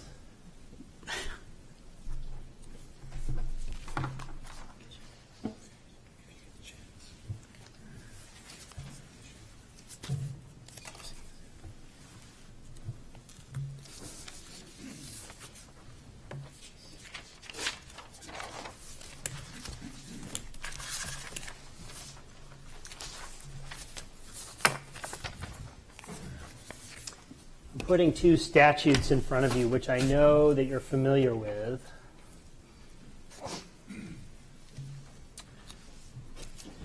You've seen them before, correct? Uh, let me look at them. I'm sure I have. Uh, yes, I've seen both of these before. So looking first at RSA 67313. Got it. What's the title of that statute? Removal of members. Okay. So it's the statute that authorizes the city council to remove a board member from office. Is that correct? Yes, it is. Can you, I left a highlighter there uh, on the table. Can you um, do me a favor and highlight the words juror and juror standard in that statute?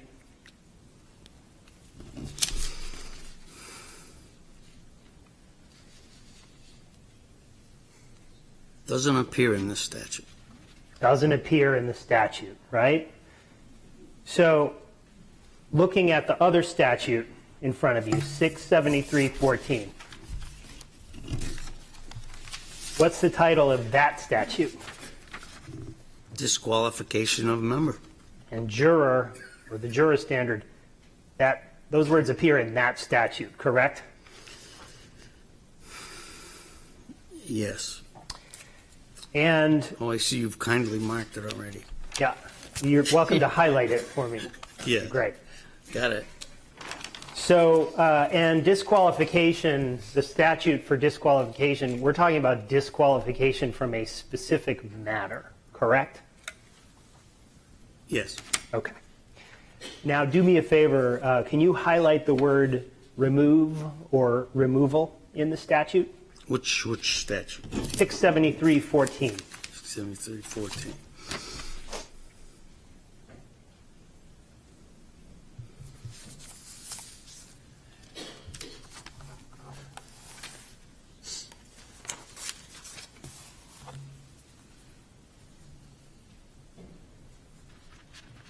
The word removal does not appear in that statute. Correct. So we have a disqualification statute, we have a removal statute, right? Sure, They have different language, wouldn't Yeah. you agree? I do agree. And they have different standards, wouldn't you agree? They're different things, yes.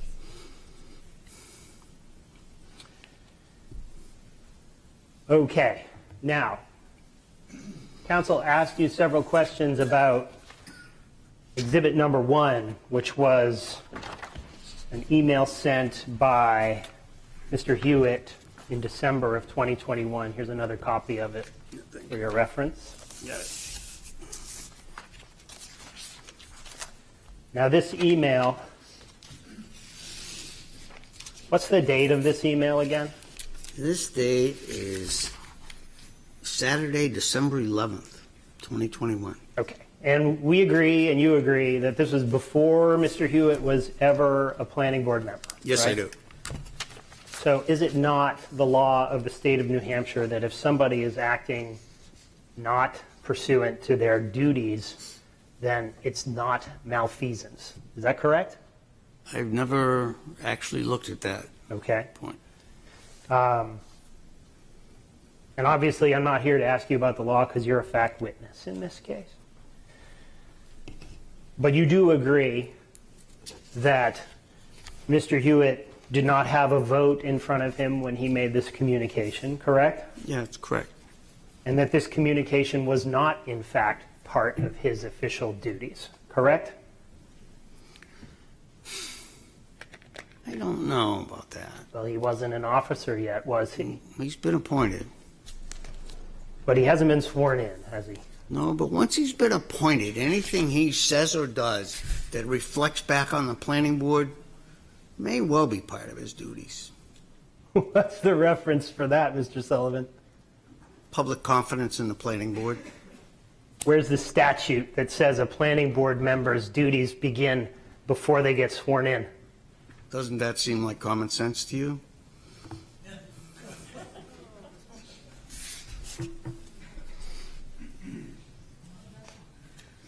And uh, actually, I think you did testify, though, pardon me, that uh, in response to a question from Attorney Morrell, that the project he was talking about was not a project that you were concerned Mr. Hewitt would vote on, correct? right. The whole point of all this correspondence was to try and assist Mr. Hewitt in coming to understand quasi judicial. So going back to my question, though, uh, you confirmed that this was not a project you were concerned that Mr. Hewitt would vote on, right?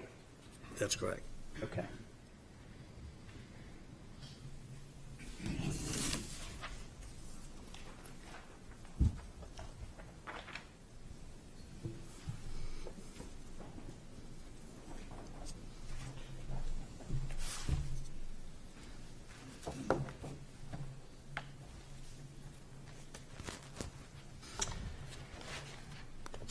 Now we're going to look at Exhibit 2, which you spoke about with Attorney Morrell.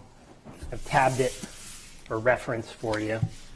Exhibit 2 is the February communications that they allege constitute malfeasance, in which, as you pointed out, Mr. Hewitt wanted to obtain some environmental studies about pieces of land, correct?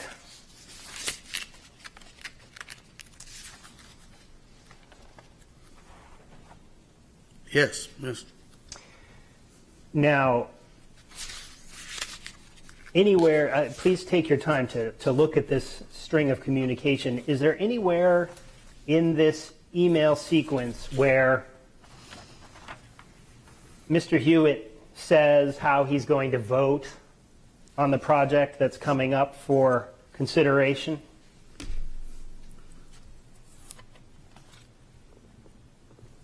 I have read in the past, and I don't think that Please. is in there. Take your time.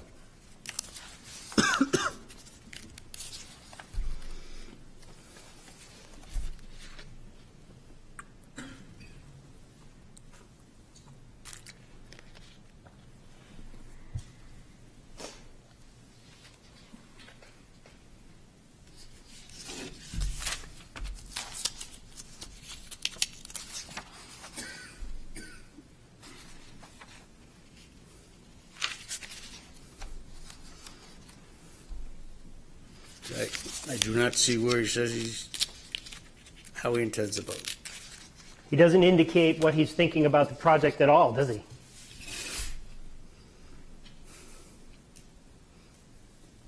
No, but of course, that's not the point of this email.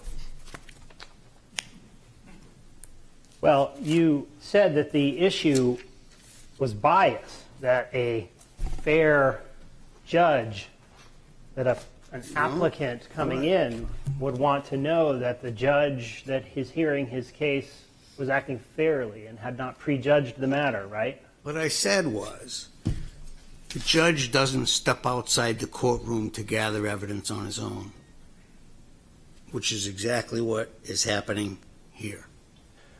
Well, is that really the law, though, Mr. Sullivan?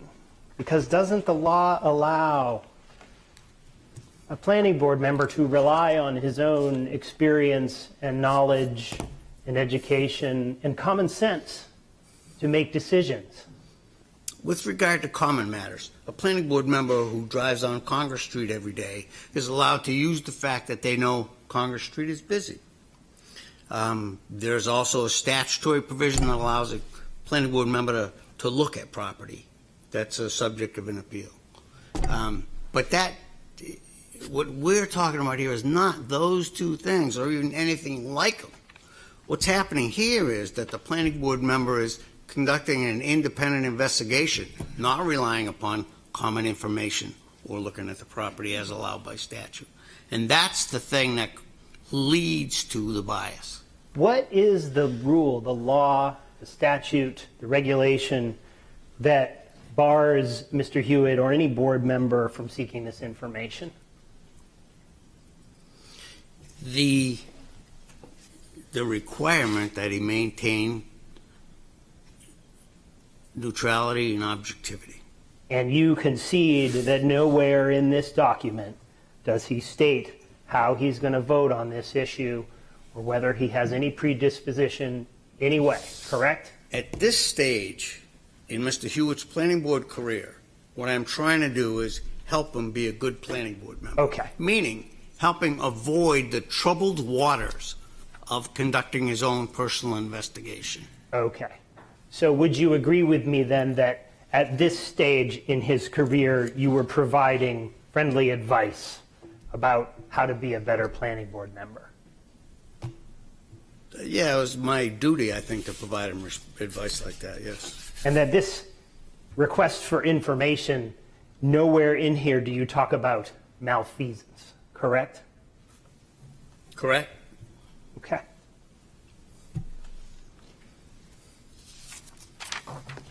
Now, if you flip towards the back, I've tabbed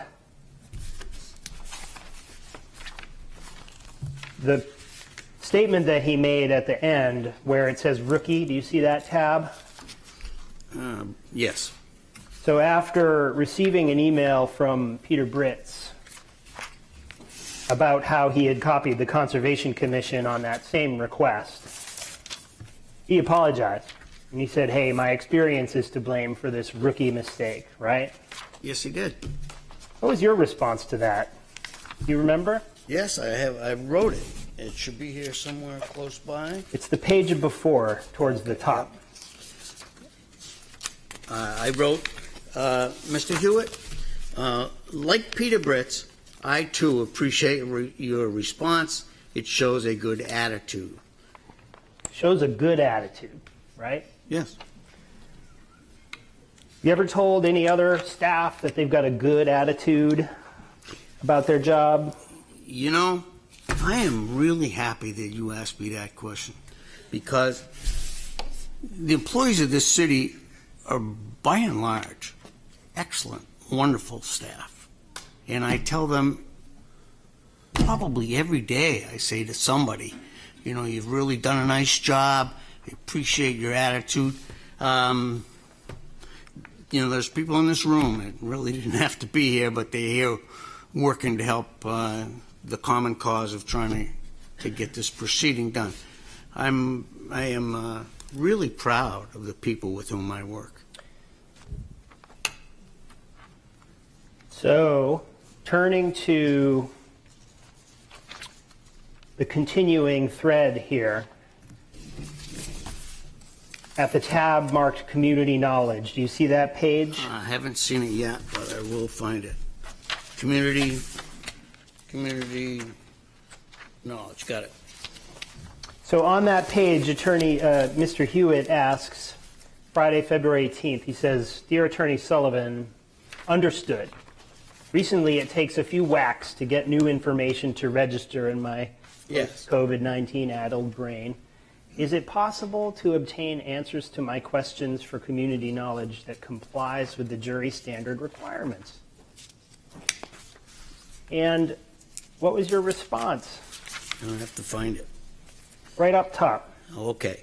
You've asked a complex question, and I do not immediately know the answer. I will discuss it with the planning staff and see what we can come up with for a response. Have you ever given him an answer to that question? I think there is an answer in here somewhere. Oh, please.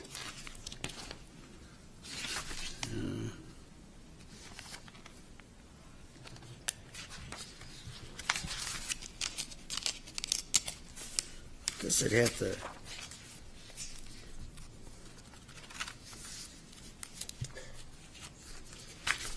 It's a pretty extensive record, and I'd have to go looking through the whole thing before I could uh, answer you definitively. But uh,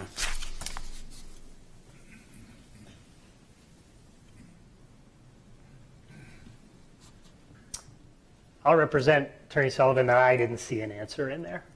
So you're welcome to continue looking.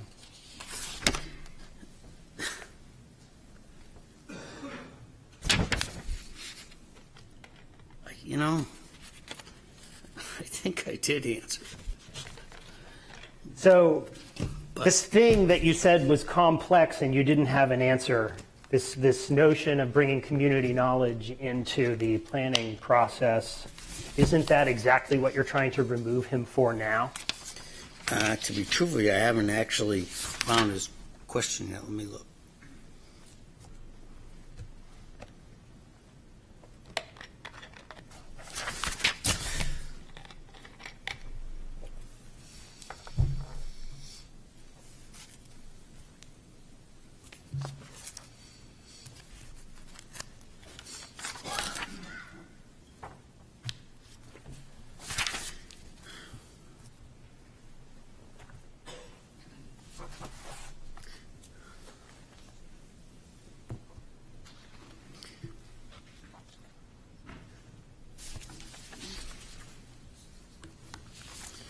Well, what I tell him um, by email dated February 17th is that although planning board members are allowed to rely upon their knowledge of the community in making decisions, those members are still required to avoid bias prior to a hearing and to make decisions based upon the evidence presented to them at the hearing. Period. Like a judge in a court. Period. Uh, therefore, a planning board member should not conduct any independent research into an application. To do so is an invitation to create a bias. Whatever the planning board member finds is likely to influence that member to favor or disfavor the application before the hearing. That would be the development of a bias, and therefore it would be a violation of the jury standard. At its most basic level, a planning board member's duty when acting in a quasi judicial role is to apply the facts presented to the board in the application and at the hearing to the objective criteria contained in the ordinance and regulation. When this is done, the approval or denial of the application should, should suggest itself. Sure, that's what you told him before he asked you the question about how he could get community knowledge into the process. And you said, in response, it's a complex question, and I don't immediately know the answer. And my only question for you, Mr. Sullivan, is did you provide him one in this sequence or ever? Yeah, there is somewhere in this record a reference to that. Uh, and incidentally, did you try to remove uh, Mr. Hewitt from his position after his rookie mistake? I did not. Okay.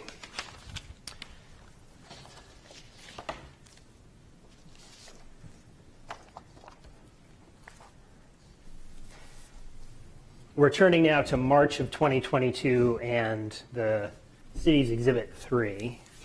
Talked a little bit about this, and for your, to remind you, this is the one where Mr. Hewitt reached out to the planning director and said, hey, I'd like you to include these links to the prior planning board video of a meeting and then to two action sheets that emerged from a prior planning board meeting. Do you recall that?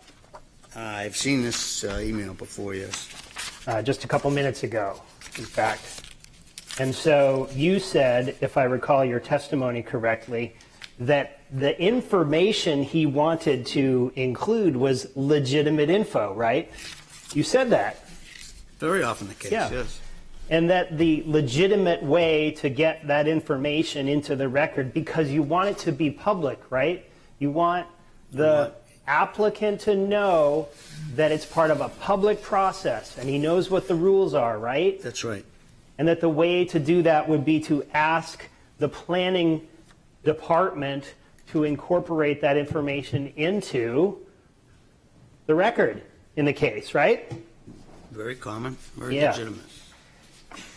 Can you flip to uh, the third page of the packet in front of you, which is says two of two in the bottom right? Do you see that down Not here? yet, but I'll find it.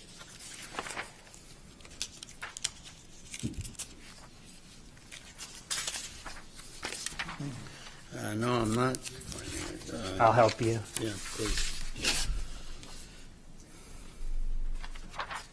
One of two. Two of two. Do you see that? Right down here. Oh, got it. Yep. Okay. So uh, I'll represent that this is an email. If you look at one of two, it's an email from Mr. Hewitt to Beverly Zendt, who was planning board director? Planning director. Planning director. Thank you. Now do me a favor and look at the top of that page two of two and read for me what he requested that she do. Would you, this is, You, you're exactly Yeah. right. Go ahead. yeah, this is Mr. Hughes, Hewitt, I'm sorry, writing to Ms. Zendt on March 14th and saying, would you please add an addendum to the March 17th planning board packet with the following West End Yard information? Right. So he wanted you to add this information to the packet that would be considered by the board at the public hearing, right? Not me. Not you. Miss Zendt, Miss, the planning director. Appears to be the case, Yeah. yeah? Isn't that exactly what you said he should have done? I think you're missing the point. No, no. I'm talking about your testimony. You said if he wanted to get that information into the record, he should go through the planning department. I department. did not. I said he should ask the planning department to get the information. And didn't he do that? No, he's given it to the planning department. And he's asking them to circulate it out as part of the packet for the public proceeding so everybody knows what the information is that the board's going to consider, right? Where did it come from? It came from the planning board, right? Aren't those video clips from the planning board's decision about this applicant's prior project? I don't know what these things are. I'll represent that they are, Mr. Sullivan. And in fact, what was the planning director's response? The planning director's response was, "Good morning, since these are published documents, we can just forward these to the planning board. They do not provide any information that is not already available to the public."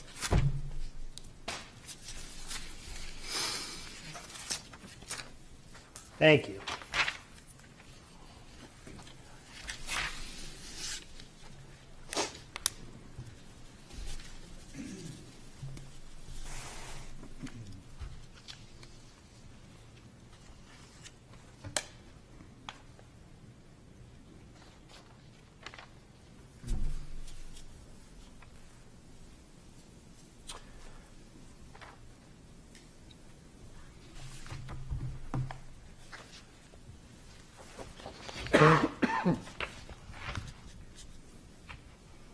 Show you Exhibit 4 here, which is the packet of materials offered by the city to suggest that his communications about 710 Middle Road were malfeasance.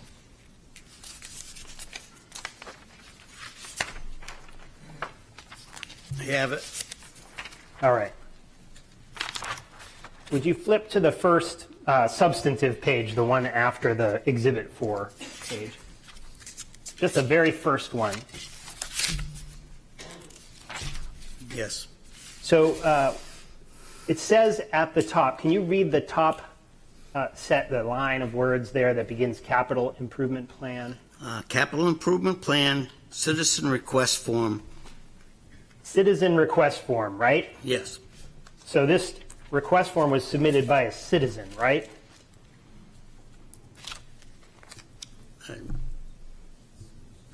Designed to be, yes. Yes, and it was in fact. It was submitted by citizen Jim Hewitt, right?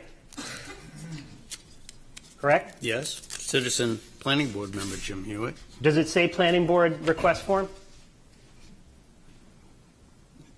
No, it doesn't, but he's on the planning board. That's not what the document says though, right? It says Citizen Request Form. And where in this sequence of emails does Mr. Hewitt say, I'm on the planning board? You Well, gotta you know- listen to me. This is a city, but it's not New York City. I think that uh, everyone involved in the planning department knows that Mr. Hewitt is a member of the planning board. I'm just asking, where in this sequence of emails does it say, I'm on the planning board?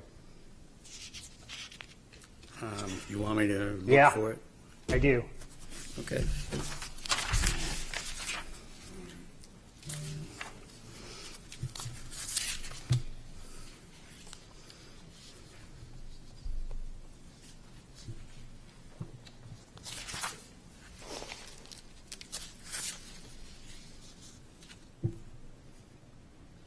Oh, He says, "Hi, Vincent," addresses him by first name.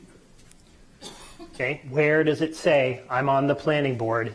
Well, the reason he knows Vincent's first name is he's on the planning board. Mr. Sullivan, I'm asking you a simple question. Where does it say, I'm on the planning board?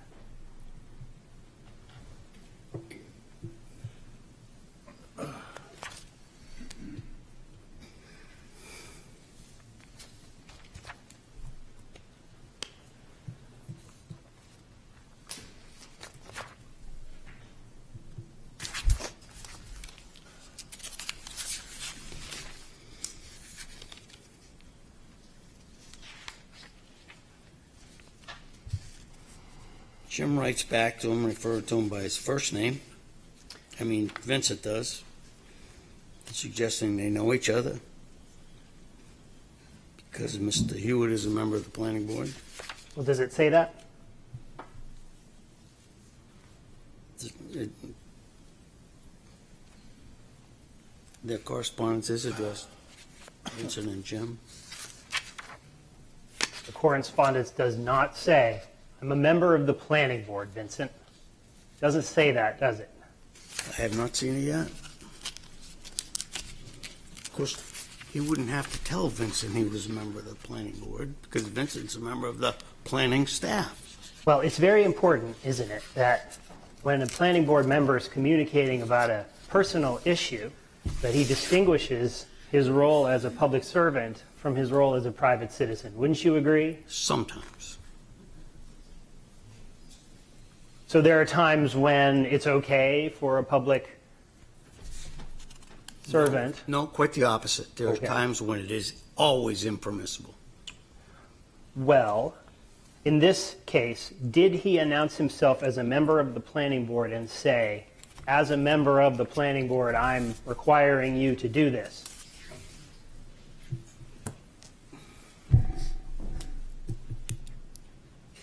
You know, this document is replete with acknowledgement of Mr. Hewitt's position on the planning board.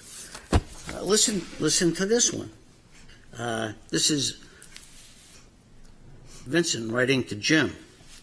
Jim, also, staff reminded me that if you have an account in Viewpoint, that you can track projects, or let me, let me word that, uh, accentuate a little different. Jim, staff reminded me that if you have an account in Viewpoint, you can track projects. Vincent can help with that. And that's Beverly Mesa Zendt, planning director, telling Jim.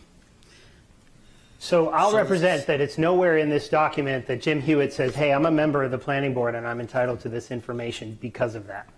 I will make that representation. If you can find something in there that contradicts what I just said, you're welcome to bring it to my attention. I did not see it. No, I'm willing to accept your word for that. Okay. Because I know that everybody in the planning department knows Jim Hewitt is a member of the planning board. He doesn't need to say it. Okay? Now, could a private citizen who had an adverse decision about his neighbor's lot approach the planning department and say, hey, back in 2021, the planning board granted approval for this ADU with conditions? Have they fulfilled those conditions? Could a private citizen do that? A private citizen could say that, whether the planning board would respond or not. Sure, absolutely. But that's the entitlement of a private citizen in the city of Hanover to, uh, excuse me, Portsmouth, to ask if the neighboring property whose project they opposed was actually fulfilling the conditions that the planning board imposed. That's okay for someone to do, right? A private citizen. Yes. Yes. So, But there are things that a private citizen can do that a member of the planning board cannot do. That's kind of why we're here tonight. Well, but when the private citizen is a planning board member, does he give up his right to free speech? If a private citizen is a planning board member, does he give up his right to free speech? Yes, in some circumstances. Pla- Does he give up his right? Private, a private citizen serving as a, a private citizen serving as a planning board member is not free to say certain things and continue on as a planning board member. A private citizen could not say, there is no way I am ever going to approve any project ever on the North Mill Pond, and then sit on a project on the North Mill Pond. Can't do it. When did Mr. Hewitt say that? I'm giving you an example. Okay. So that example has nothing to do with our case. Wouldn't you It agree? But it answers your question. So, but does a private citizen who also happens to be a planning board member, who didn't sit on the approval of his neighbor's case, have the right to follow up with the city and say, hey, did they comply with the conditions that the board laid down when they approved this project? Can make that request, yes. Thank you. And in fact, when Mr. Hewitt makes that request, he specifically asks for whether the applicant complied with a specific requirement that the planning board laid down for a new survey plan. Wouldn't you agree? I'd have to find the. If you look at the email at page, Three? Fourth page in the document, dated July 15, 2022.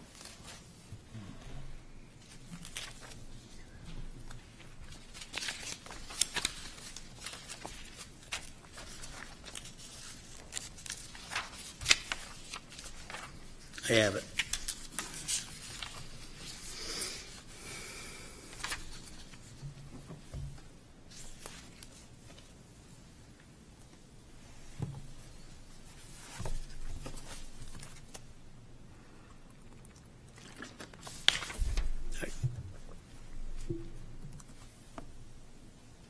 So in this uh, communication, uh, Mr. Hewitt conducts a colloquy with uh, Mr. Hayes, the planning staff member, um, about his neighbor's project.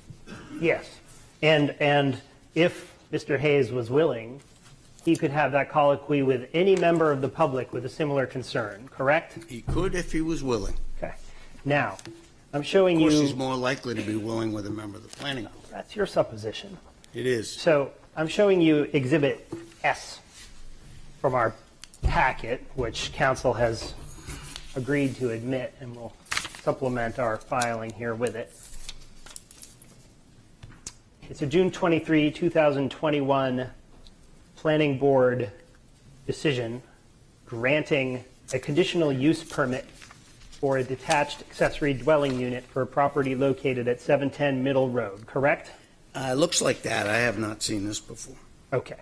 Now, condition number two. Can you read it for me? Uh, The applicant shall provide a surveyed stamped plan in order to confirm the existing and proposed building coverage calculations prior to building permit issuance. And isn't that exactly what Mr. Hewitt was asking Mr. Hay- Hayes, thank you, whether they had completed that condition? Uh, I don't know.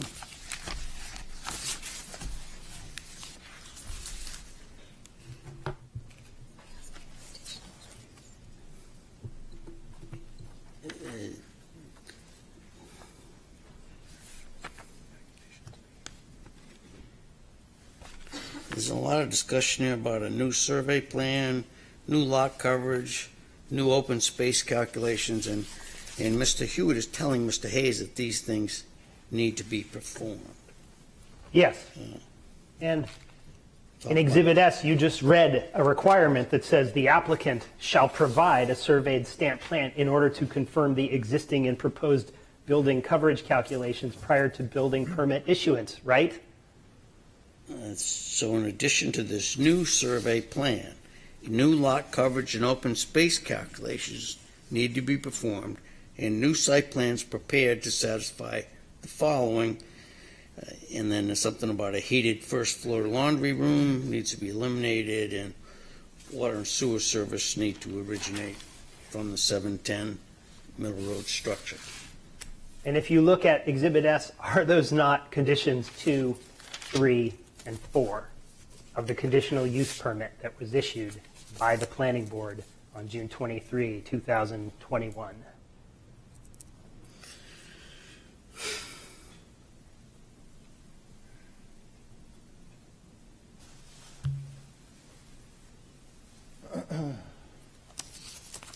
Well, they're not mirror images, but they're similar. Substantively similar, right?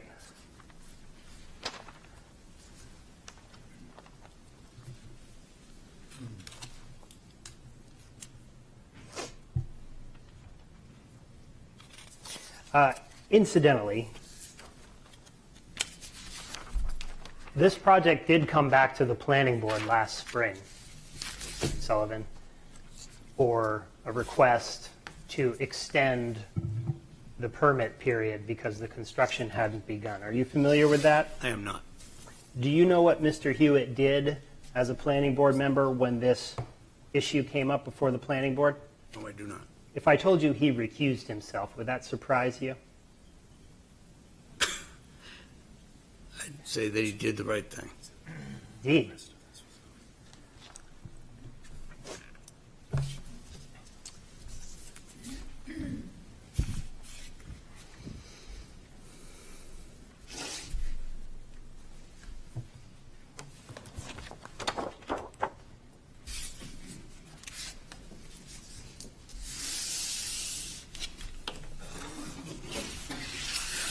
Showing you Exhibit L from our packet. And I'll sort of clean things up Sure. here for you. Okay.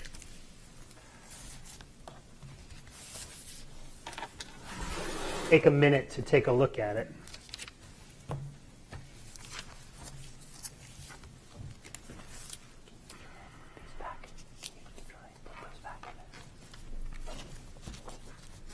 So there's an email on the front from him to you. You see that?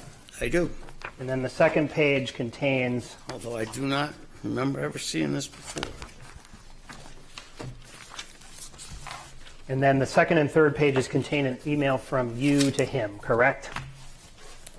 Um, Second page, Second into the third page. Your email begins on the second page, flows into the third. Do you see that? uh, yes, dear Mr. Hewitt, please recall. So I'm going to read this email so that we can talk about it. You can read along with me. It says, Dear Mr. Hewitt, please recall the May 2 City Council meeting which you attended in person. During that meeting, there was a contentious discussion of an issue pending before the City Council regarding an appropriation of funds to implement a previously approved conditional settlement agreement in the case of Sobo Square versus City of Portsmouth, McIntyre. During the public hearing on the appropriation, the audience had begun to applaud those speakers with whom it agreed. In order to maintain appropriate decorum in the council chambers, Mayor McEachern politely requested that there be no applause. In response to his request, you took two actions, which now call for some concern. Have I read accurately up to this Yes, you have. Yeah.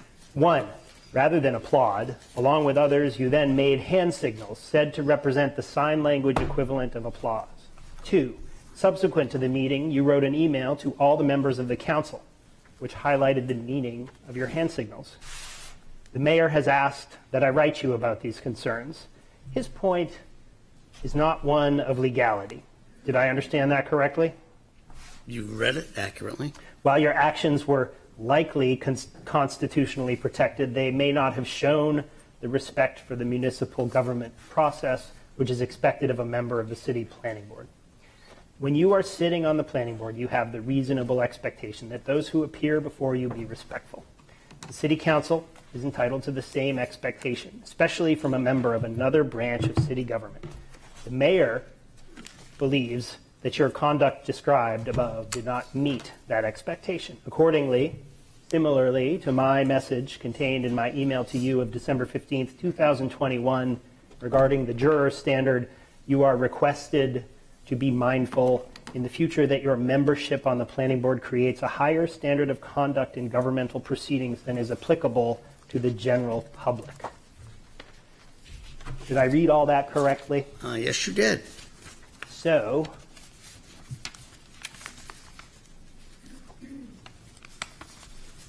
where the standard that you're talking about, where does it say, what law tells Mr. Hewitt that because he's on the planning board, he cannot make his opinion known at a city council meeting? About an issue having nothing to do with the planning board. What law says that? Unless the issues concerned uh, a case which appeared or was going to appear in front of the planning board, um, then I don't think there's any law that says that. Yeah, there is no law, right? It's not one question of legality, as you correctly put it. Um, tell me, how did you learn about this incident that you were reprimanding Mr. Hewitt for? Uh, I heard about this from the mayor. Tell me about that conversation. How did it occur? Gee, that's, that's really all I remember about it. It wasn't, uh, I don't think there was anything written or anything of that nature. Did you tell the mayor that Mr. Hewitt has a First Amendment right to speak on issues of public concern? I don't, I don't remember whether I said that or not. Did the mayor ask that you issue this cease and desist letter to Mr. Hewitt about his conduct at the public meeting? This uh, letter, of course, isn't really a cease and desist letter. It's more of a friendly reminder, but, uh, but yes, the friendly reminder was written at the suggestion of the mayor. And when the mayor asked you to write it, was he upset about Mr. Hewitt's behavior at the city council meeting? I, I don't, I don't really remember a lot about that conversation. I think it was something that just happened in the, you know, our offices are close. I think it just happened in the hallway. So, on the basis of a kind of casual, offices are close kind of interaction, you decided to reach out to Mr. Hewitt and tell him how to speak in public? Yeah, I think it was suggested by the mayor, actually. Okay. And what did the mayor say exactly in order to get you to write this letter? Um, suggested, I think, that I should do what I could do to try, try to help maintain decorum in city government. By telling Mr. Hewitt alone. Show a little respect to the council, yeah. Now, uh, I'm going to show you another exhibit that we've marked here as Exhibit R in our case.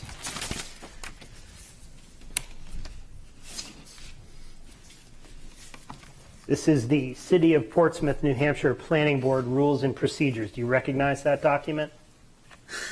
Is this the current version? No, this is last amended by the planning board January 28, 2024.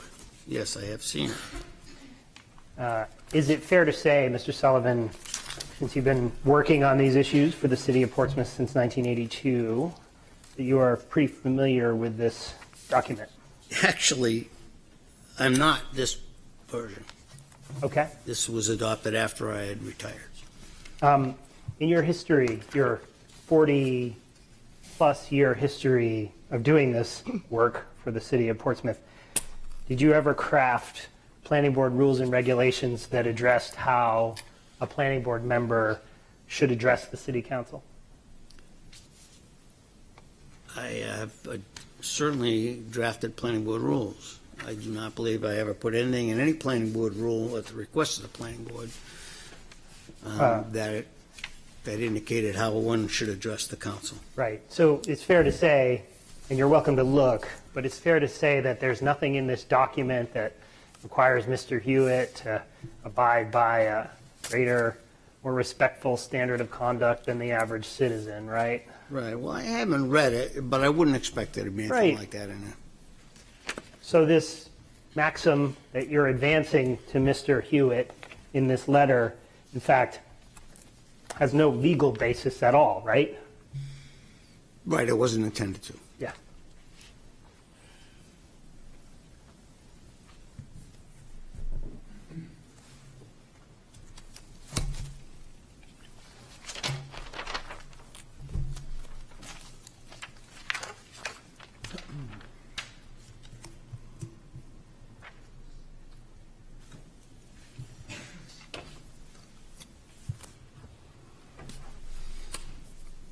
Now, the last incident that council mentioned to you in their Exhibit 6.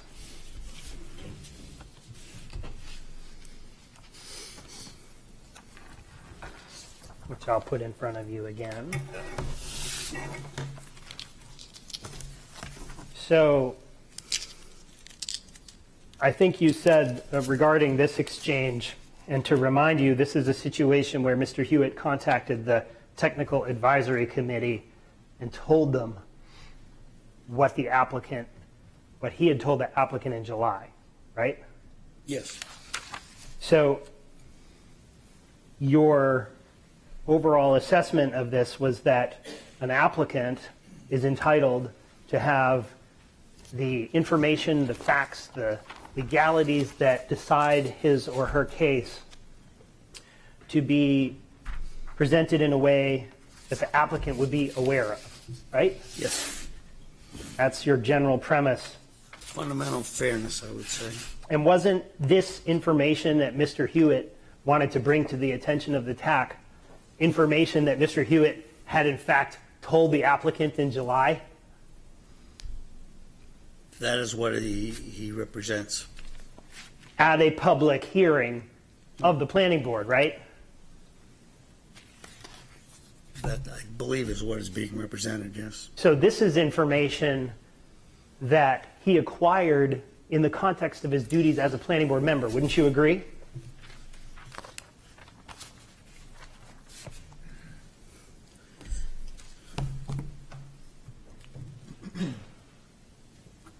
Applicant and the abutting landowner agree to formalize these encroachments. I actually do not know. Okay, I'll make the representation that that is going to be my client's testimony about this issue. But you actually have no knowledge, is that fair to say, about how he acquired this information? That's correct. So I'm going to ask you to give you a hypothetical here. If he acquired this information that he's now reminding the TAC about at the July 20th, 2023 meeting of the planning board from the applicant, is he not telling the TAC information that he learned in the context of his duties? If, as you say, that's how he found it out, then that is how he found it out. Okay. And under RSA 617, 673.14, I'm going to read you the last sentence of subsection 1.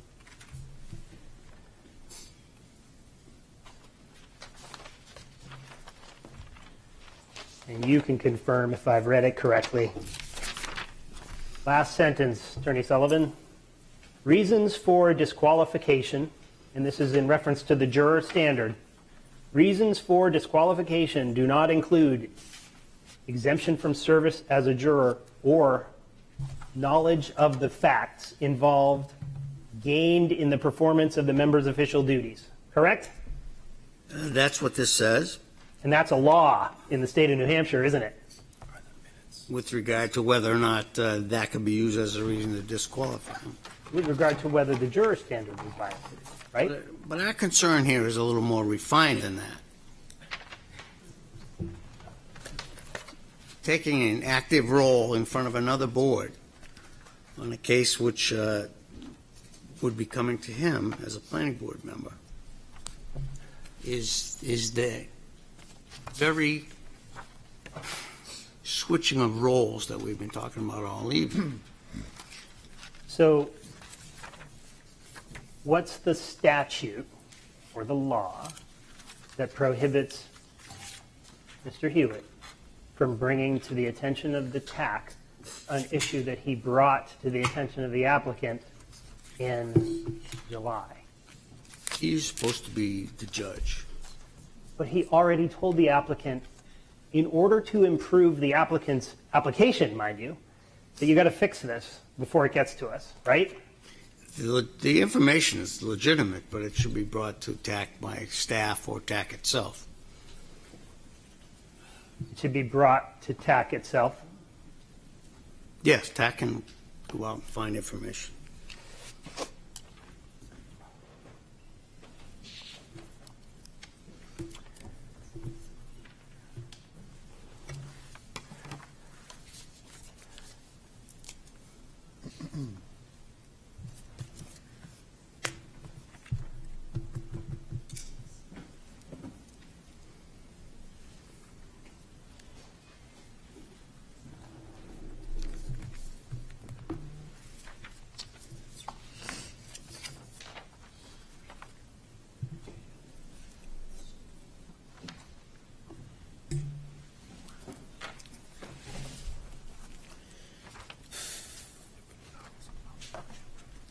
All the questions I have for Mr. Sullivan. Sure. Thank you. This is, is your stuff here. Yeah, I'll grab it.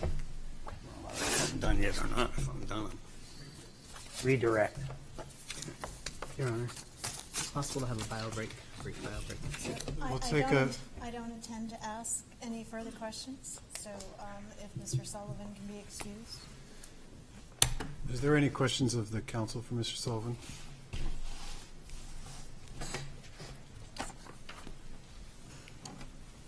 I had, I guess, two. Um, One, the, uh, I guess I noticed on the email correspondence uh, from Mr. Hewitt to Vincent, uh, copying the planning board chair and the, uh, the planning director. Is that common for uh, questions of uh, a citizen? uh, no, it would not be. Okay. And then uh, the second one uh, regarding the, uh, the email that you sent uh, claiming to be on my behalf. Do you remember uh, the email that I sent you in follow uh, to that email? I do not. If it's okay, I'd like to read that uh, email. Um, Bob, this is already sent, but I had asked you to send a note to I'm going Greg. to object. What- Where is this in the record? In the, you, where was the, where was my email? I didn't see the, the email. My point exactly. So you're happy to, um, you're asking the, you mentioned an email where I, I sent a, an email to, or I, uh, I was copied on an email to Bob. I'm sending the, the response that that was a mistake to send to Mr. Hewitt. I, I did not mention that email. Mr. Sullivan mentioned an email. Didn't you provide him with an email? It provided an email between Mr. Hewitt and him. I believe, okay, I was on that email, though. You didn't mention that I was on the email. I guess, and I- I was just trying to clarify that that was a mistake from Mr. Bob Sullivan to send that email. That's fine. We'll take a 10-minute recess, go to the bathroom. Oh, sorry, Councilor Cook. Uh, Thank you, Your Honor. Um, I actually have a question also about um, the uh, Exhibit 4. Um, And this is a question, it maybe it's related to staff, so I am not sure that um, Attorney Sullivan can answer this. But um, why would uh, Mr. Hewitt be given access to Viewpoint to investigate the process on 710 Middle Road if he wasn't a planning board member? Well, my thought was because he's a member of the planning board.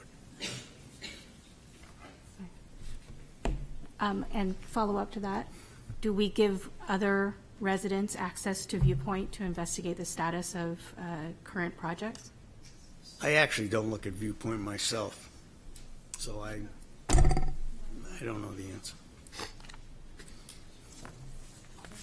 I- I'm going to make a representation that Viewpoint is the publicly available database for the city of Portsmouth for all of its residents to register and look at planning and zoning permitting issues.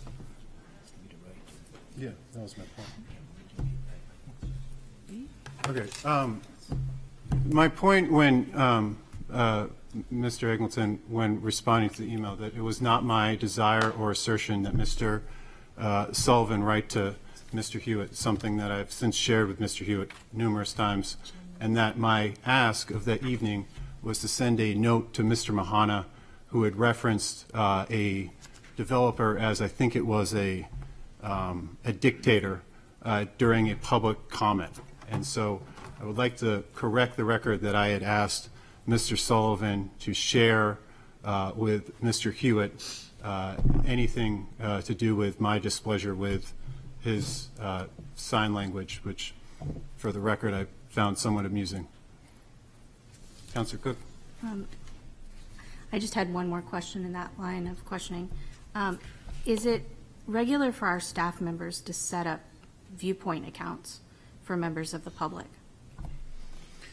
Again, I, uh, I do know this about Viewpoint. There are different levels of access in that the public might have some level of access. Some staff members have some access, other staff members have other access. It's not broad across the board. If I, if I could respectfully, just to clear this point up, because we're getting kind of lost in the weeds here. Um, there's one set of access for staff, to Viewpoint, and there's a different set of access for members of the public. And planning board members are under that umbrella of members of the public. They don't have any special access. Thank you. That's what I wanted to know. Thank you. Clarification. Any other questions? You're excused. Mr. Sullivan We'll take a 10-minute recess.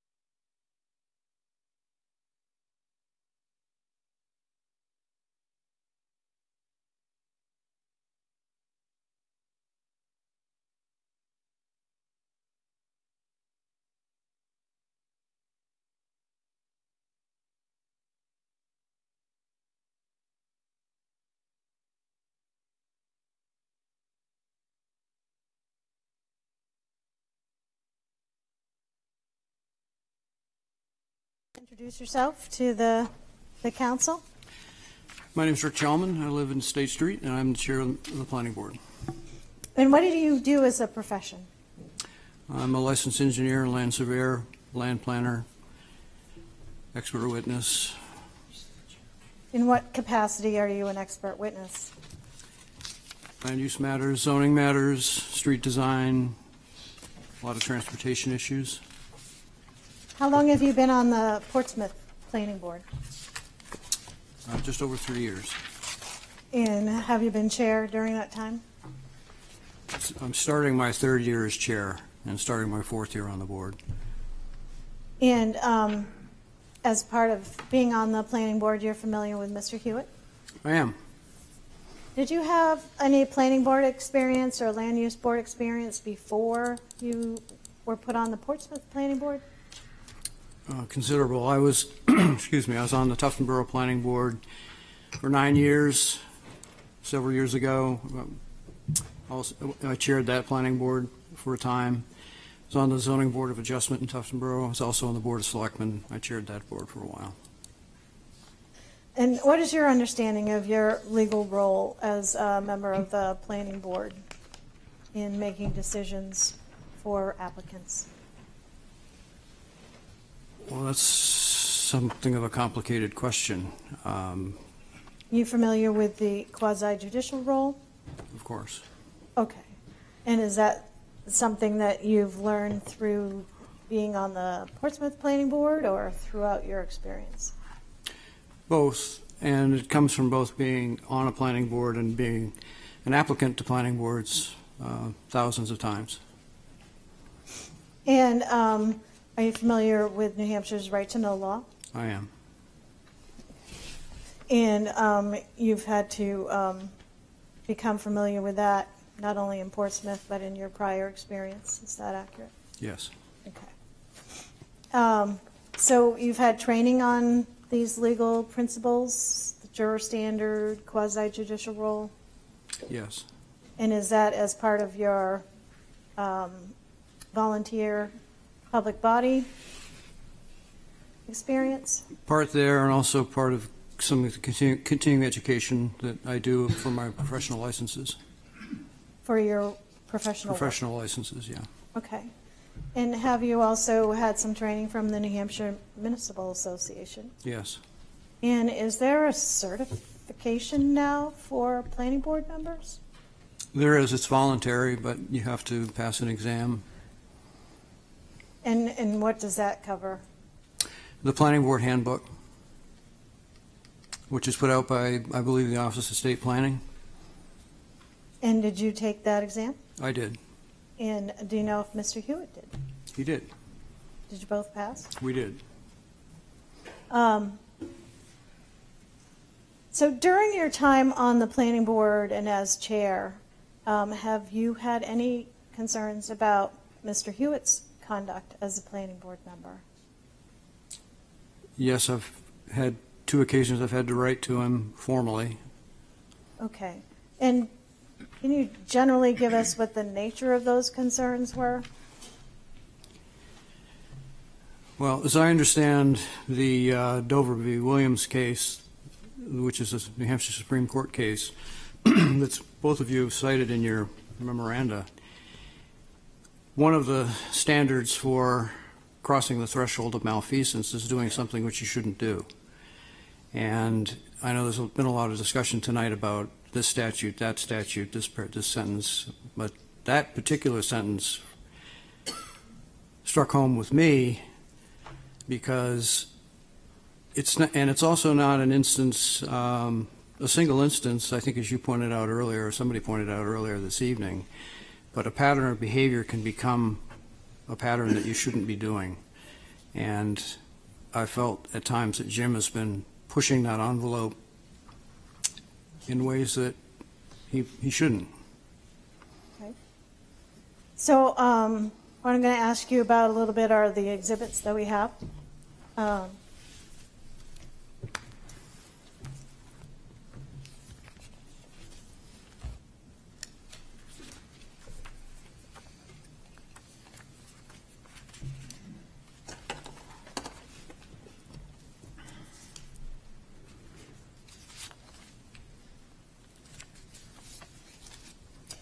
So in Exhibit 3 that we have, there's a, um, an email.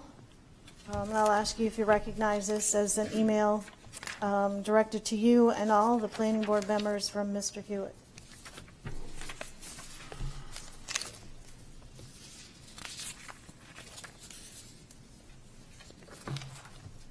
Yes, I, I have seen this. Okay. And that was an email in which Mr. Hewitt brought some references, some links to um, other documents to the attention of the planning board? Yes. Okay. And did that cause you any concerns?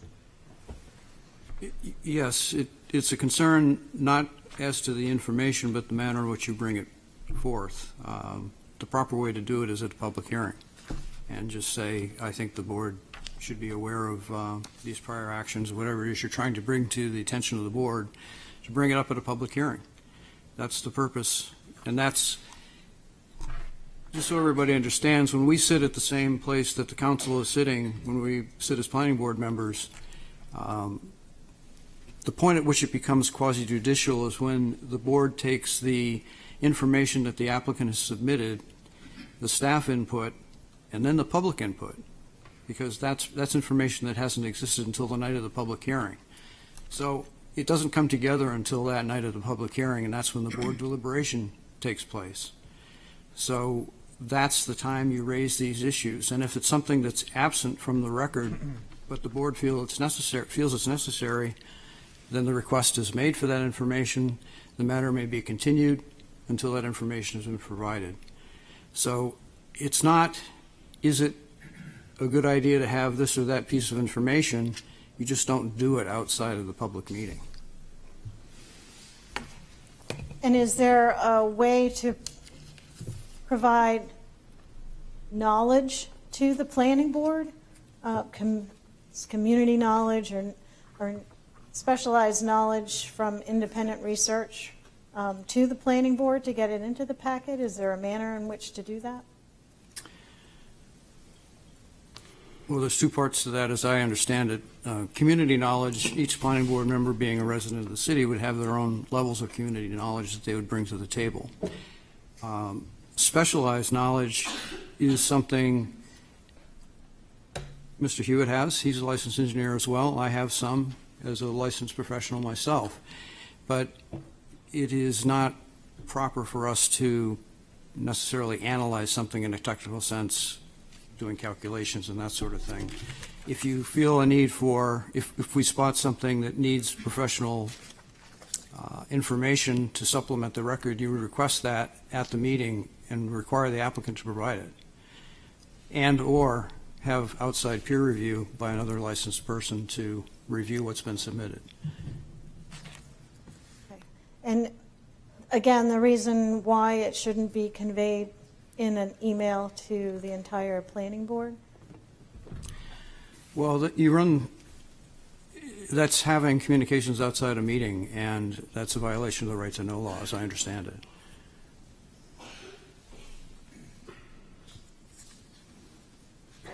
So I want to ask you about Exhibit 4. I'm not going to pretend to remember them by number. No, no, no, I'm going to show you. I'm going to show you. It has to do with the um, 710 Middle Road. And there were some questions about access to the viewpoint system by planning board members. Um, Can you answer that question? Do planning board members have special access to the viewpoint system? Not special, we have access. Uh, I believe we can see everything except staff comments that are restricted to staff, staff level access. Okay. And um, is that set up especially for planning board members, or is that set up as, at as a citizen request? You can set up a viewpoint account yourself if you have some, the technical expertise. It's not the simplest software to use, but it's, it's out there if you want to dig in. And um, as, uh, in this Exhibit 4, there's um, a copy of Capital Improvement Plan Citizen Request Form. Have you seen that? Yes. Okay. And um, that's in regards to the Middle Road project, is that correct? Yes. So it's not really in regards to a capital improvement project?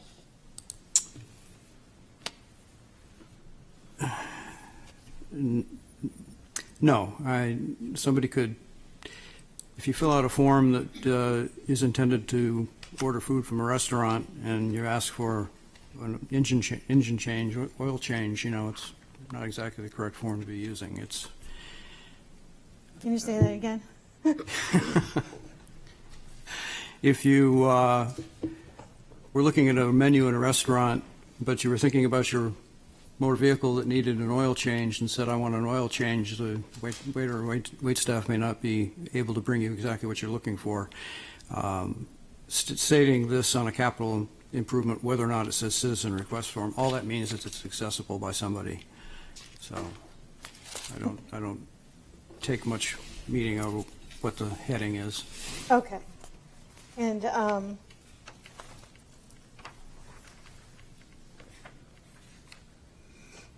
the project location on this form is indicated as 710 Middle Road, correct? A monster d- d- detached ADU warehouse? Yes. Now, you had some concerns about this email and a chain, or this request and a chain of emails between Mr. Hewitt and a staff member, Vincent Hayes? Yes. And- And we've talked about some of that. Um, I'm going to show you your letter, uh, written July 20th of 2022, um, to look at while we discuss what your concerns were about this exchange between Mr. Hayes and Mr. Hewitt. Okay. So you were, um, there was an exchange in which Mr. Hewitt was suggesting um, particular conditions that were attached to this project that Mr. Hayes should be conscious of as he was approving or not approving it going forward with a building permit, correct? Yes. Okay. And were some of those um, concerns that he expressed to Mr. Hayes outside of the planning board decision? And the conditions that the planning board had on this project? That's what I raised on page two, the one, two, three, fourth full paragraph, starting with concerningly. Um, I felt Mr. Hewitt was raising a new matter that wasn't in those conditions. And What was that? What was the new matter? how the open space re- requirement may have been misapplied. Meaning the general rules and regulations of open space were not applied correctly to this project in, in approving the project?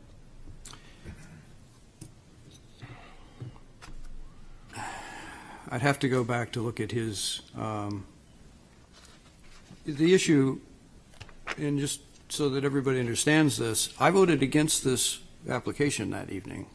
And my, one of my concerns was that um, the open space calculation was so razor thin close to the requirement, but there hadn't been a survey submitted, that there should be a survey plan, and that the planning board agreed and made that a condition.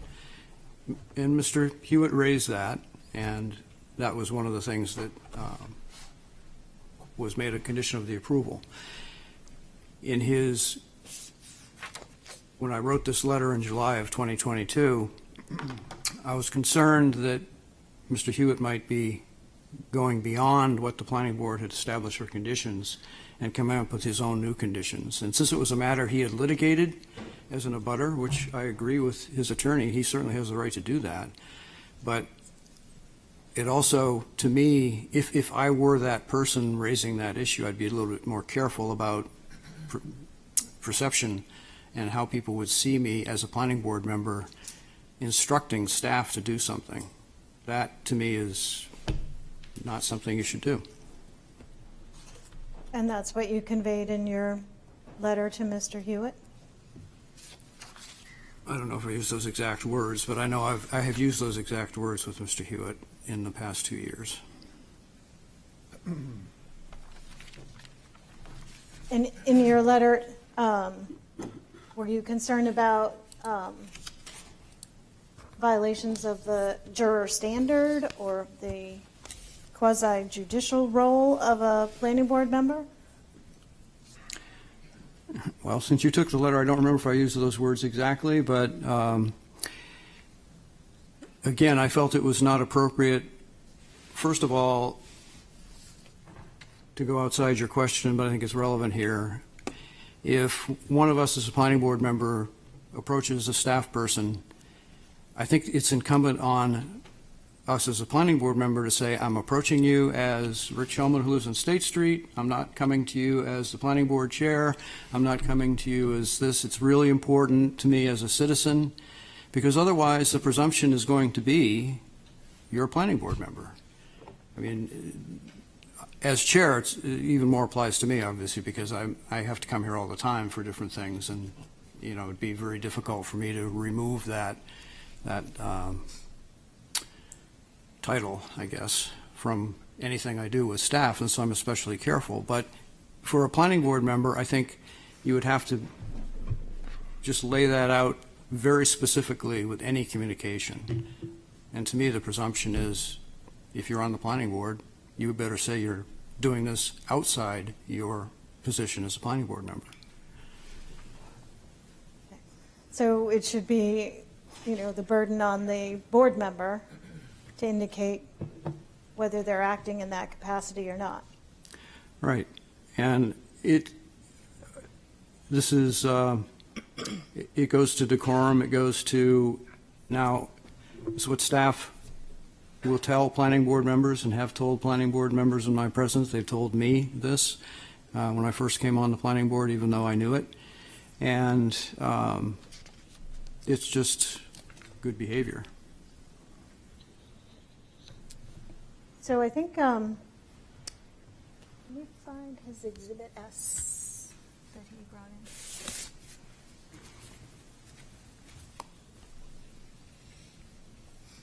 So I think this is, uh, Mr. Hewitt's exhibit S, which is actually the conditions, um, that the planning board put on this project at seven ten Middle Road.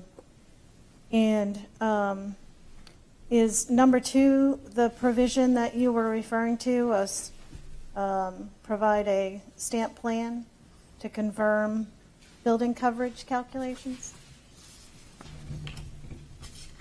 Yes. Okay. And then in this email between, from Mr. Hewitt to Vincent Hayes, is he going beyond that requirement from the planning board?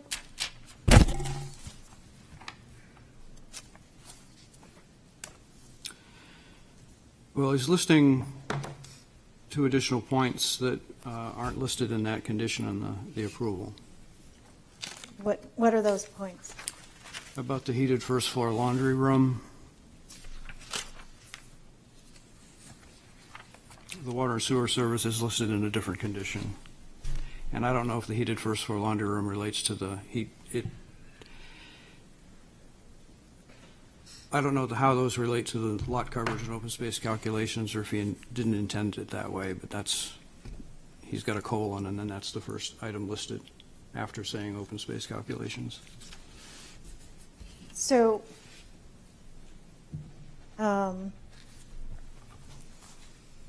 the new lot coverage and open space calculations need to be performed and new site plans prepared to satisfy the conditions that the planning board put on its decision. Is that accurate? Or does that go beyond the requirements of the planning board?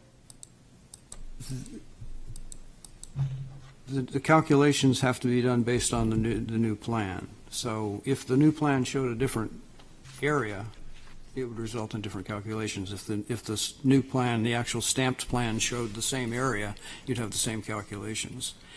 Um, I don't remember how close, but it was very, very close. The, uh, you know, very small number of square feet would tip it as not compliant with the open space requirements. So in your letter to Mr. Hewitt, you're concerned, for the most part, with his tone of direction to a staff member as a planning board member. Is that correct? Yes, and we have been, we, planning board members have been told um, not to direct staff to do things repeatedly. Um, It's, it's not in the planning board rules. Actually, it is in the planning board rules as well. It is in the new The planning current- board The current rules. planning board rules, yes. And and that is that planning board members are not to direct staff specifically or, Correct. or um, directly. Correct. And how are they supposed to convey any concerns that they might have to staff? Through the chair. So, um, in your letter, um, you talk about Mr. Hayes, instructing Mr. Hayes on how to satisfy some of the conditions of this approval, and even including the suggestion of a need for outside peer review. And you bring up a new matter regarding your opinions with respect to open space requirements. So that was bringing up new matters that were outside the scope of the approval that the planning board had already given this, this project. Is that correct? Yes. Okay. Um, He also, you said concerning, concerningly raising a new matter such as how the open space requirement may, in your opinion, have been misapplied is also inappropriate because the appeal period for such a, such a suggestion has long lapsed. Can you Yes. explain that? Well, he, Jim, Mr. Hewitt raised the question of whether the open space calculation was misapplied. And again, that's not in the condition, letter of decision, which was signed by the planning board and is signed by the planning board chair after each decision.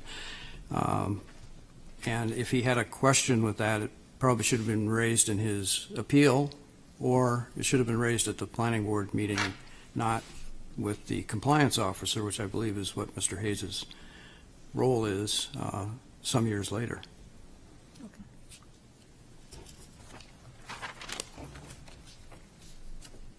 One moment while I shift to another set of documents. Take your time.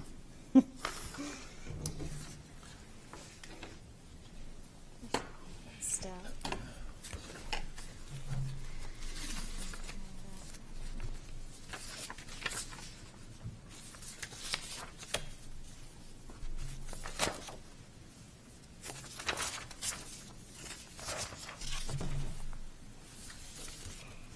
So now I want to talk to you about um,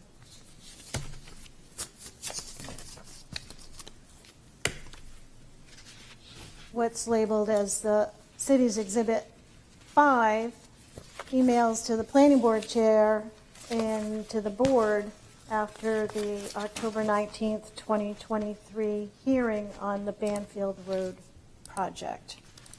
Are you familiar with these? I am. with this email? Okay.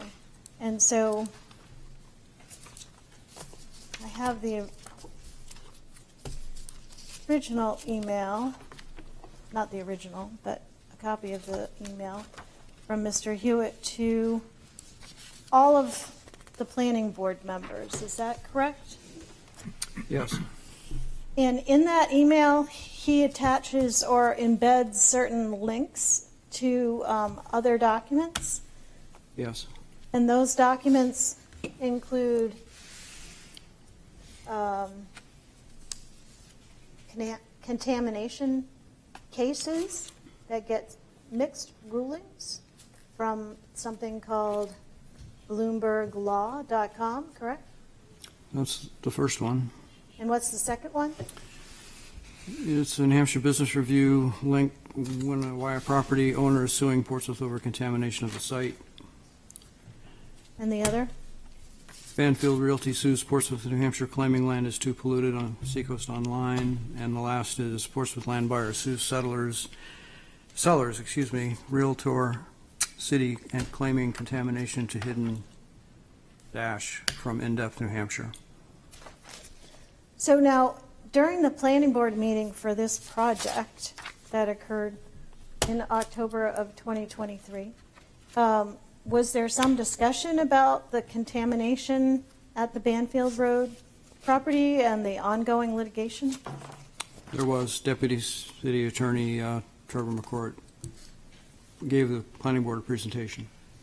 And in regards to the litigation, how was the planning board advised? That all those matters were preempted by the ongoing litigation and state and federal agencies that were looking into those matters. And were they, was the litigation considered to be relevant to your decision on the application? No, it, we were told it was not. And so that um, proposal was approved in October. Yes, it was. Okay. And then this email went out on what date? It was within the appeal period, which was concerning to me. I remember that. So it's dated Monday, October 30th, after uh, Yes. a hearing on October 19th. And why is it concerning to you that it went out during the appeal period? Well, that's, to- to address that, when a planning board makes a decision, there's a 30-day appeal period within which an aggrieved party can appeal the decision. And during that time period, you know, the record is set, the planning board's made a decision, and this is raising, or attempting to raise new information to the full board, so it's, I believe, likely a violation of the right to know law, and also providing information that had an issue arisen or made a part of the lit- ongoing litigation, it could have complicated matters for the city considerably. In what way?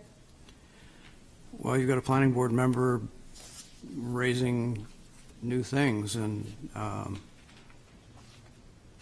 I tried to, I I did address it in the letter I wrote to Mr. Hewitt after that. So November 2nd, 2023, you wrote a letter to Mr. Hewitt, a different letter. Yes, I did. Okay, and is that the letter that you wrote to him? It is. And um, can you go through that letter and summarize what your concerns were and how you expressed them to Mr. Hewitt? Well, I think I've, in the interest of, uh, you know, everybody's late evening, I won't read the entire thing, but it's basically what I just said. It's the, um, first of all, there was a concern at the beginning of the meeting as to whether or not the application should be accepted as complete. That's a specific term of art under New Hampshire statutes with an application, and it means that there's sufficient information for the board to invoke jurisdiction. Doesn't mean you have all the information you need. It doesn't mean you can't ask for additional studies. It doesn't mean any of those things. It just means you can start the process. You can invoke jurisdiction. So that was the first thing I tried to explain because there was considerable discussion and not just Mr. Hewitt, one other planning board member also didn't understand that topic that evening, I believe. Um, I also addressed what I felt was kind of a cheap shot against the fellow planning board members that by raising these points, he was raising himself to a higher standard than his fellow planning board members, and I don't think that's true. Um, And then I just talked about the, the appeal period that I just mentioned and the fact that this is inappropriate. I believe I said highly inappropriate for a board member to do something like this, especially while the appeal period is open. And during that appeal period, I mean, literally, an appeal could be taken, Correct? Um, and could it come back to the board? Yes. Okay. Um, And, and how does that happen? How could it come back to the board? Well, there can be a motion for rehearing. It's not, that's not specifically spelled out in the statutes, but, um, as it is for the ZBA, but it is customary to, for boards, especially in the interest of what's called judicial economy, to prevent things from tying up the courts too much, to allow a board to reconsider a decision if, if an applicant or an aggrieved party wants the board to reconsider their decision. And if there had been a motion to reconsider within that 30-day appeal period, all of the board members would have this extraneous information. Right. And how might that have affected your ability to sit properly as a planning board? Well, you know, it depends on what the issue was. Um, You know, one of the reasons that these matters are so important, we're dealing with not just my civil rights as a person, or Mr. Hewitt's rights as, civil rights as a person, but with the property rights of the individuals bringing their applications to the city. And that's why it has to be a fair application of the regulations that we have. I assume we'll get into it. This is another issue, concern I've had with Mr. Hewitt, that he has sometimes felt that our regulations aren't enough, that they need to be, we need to impose different standards. That, in my mind, is not appropriate. We have to look at what the city has, and if we feel something is, doesn't work, let's work on changing it. And that when we have to work with the council to change zoning. And we're doing that. We've done it. We're- we've, I've got, I worked on more of that this morning, and there'll be more of it tomorrow morning with staff. Uh, we do it all the time. You know, you learn things as you go with applications as they come forward, and um, if the board feels, you know, it's not my decision, it's, it's a board decision to make a recommendation to council to change zoning, and then you folks consider it, obviously, and, and make the final determination. But it's just, um, it's the, it's a misapplication of um,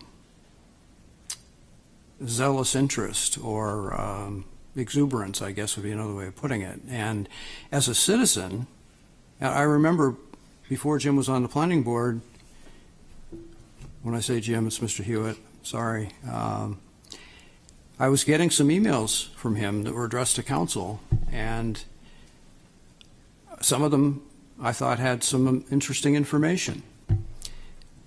Some of them I thought had maybe too much information, but it was obvious this person was somebody who was out there doing some research, and I thought it was unusual, but obviously this was a person, a citizen who was interested in bringing things to attention of public bodies, and I think he's good at that. Okay. And is that the proper role for a planning board member when you're sitting in a quasi judicial capacity? No, Is it a proper role if you're talking about zoning ordinances or the master plan? In those, in those circumstances? if you're talking about regulatory matters, um, you can have conversations and draft, you can share draft documents under the right to know law. That's permitted and actually required to be very constraining if we couldn't do that. So, um, yes, uh, if, if, for example, he thought section such and such of the parking requirements should be changed, he could propose an amendment of that sort, send it to me, we discuss it with staff, put it on the agenda for the planning board to discuss, see how the discussion goes, and it might make it to council as a recommendation. That's how the process works. So I think in the next exhibit, um, we're going to talk about, oops, those planning, uh, those parking requirements.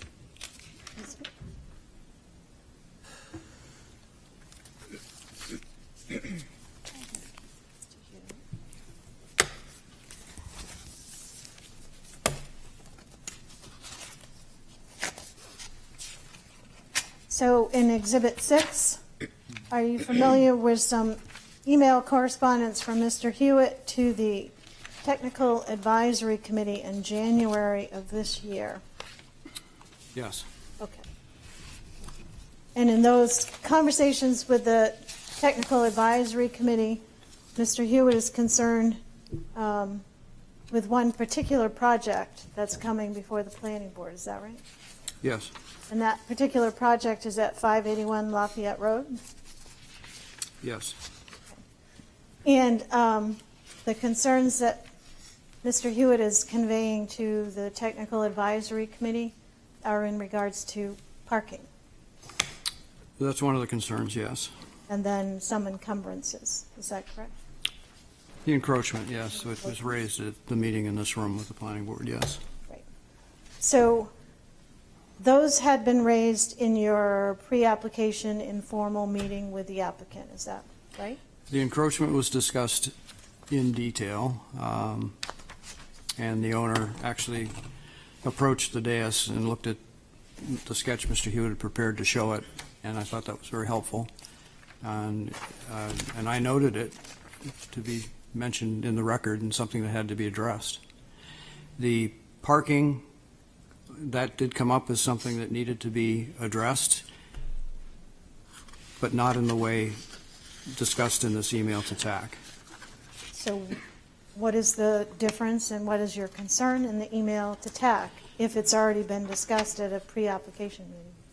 At the planning board, we requested the applicant provide additional support for the parking he was proposing at this project. Uh, I don't want to get into too much of the details about the specific project, but um, it does involve housing and it does involve uh, parking, and those two, there's an economic tension between the two. Parking is expensive, so if you don't, if you provide too much parking, it can cost you too much money. Uh, If you don't provide enough parking, where do you put the cars? So it's, it's a, it's a design tension. And the applicant was asked to provide information for similar projects of similar tenant mix that he has in other locations, to bring that back to the board, and to be prepared to discuss parking in more detail. That's a typical pre-application discussion with an applicant. This email to TAC is instructing them with the information that um, Portsmouth's current multifamily parking requirements are woefully, woefully underestimate actual parking demand, and suggest that the applicant produce a parking demand model different than what the regulations say. And this is an ongoing conversation you've had with Mr. Hewitt about the parking regulations, the appropriate regulations? We've talked about parking uh, generally and both in and outside of meetings because it's a, it's a legitimate concern of his and it's a concern of mine. It's something I've professionally consult on. So it's very site-specific, it's very use-specific. Uh, It's a technical, very technical topic. And, um, but it's also a regulatory matter. And back to my earlier point, I've actually been lobbying to get parking out of the zoning re- regulations and into site plan where the planning board would have more discretionary authority over them because it- they are evolving. Car use is changing rather rapidly in America and the number and types of cars we're parking is changing. And so many, many other municipalities that I'm working in have taken parking out of zoning, which is the historic way to address it, and put it into site plan. However, it's still in our zoning.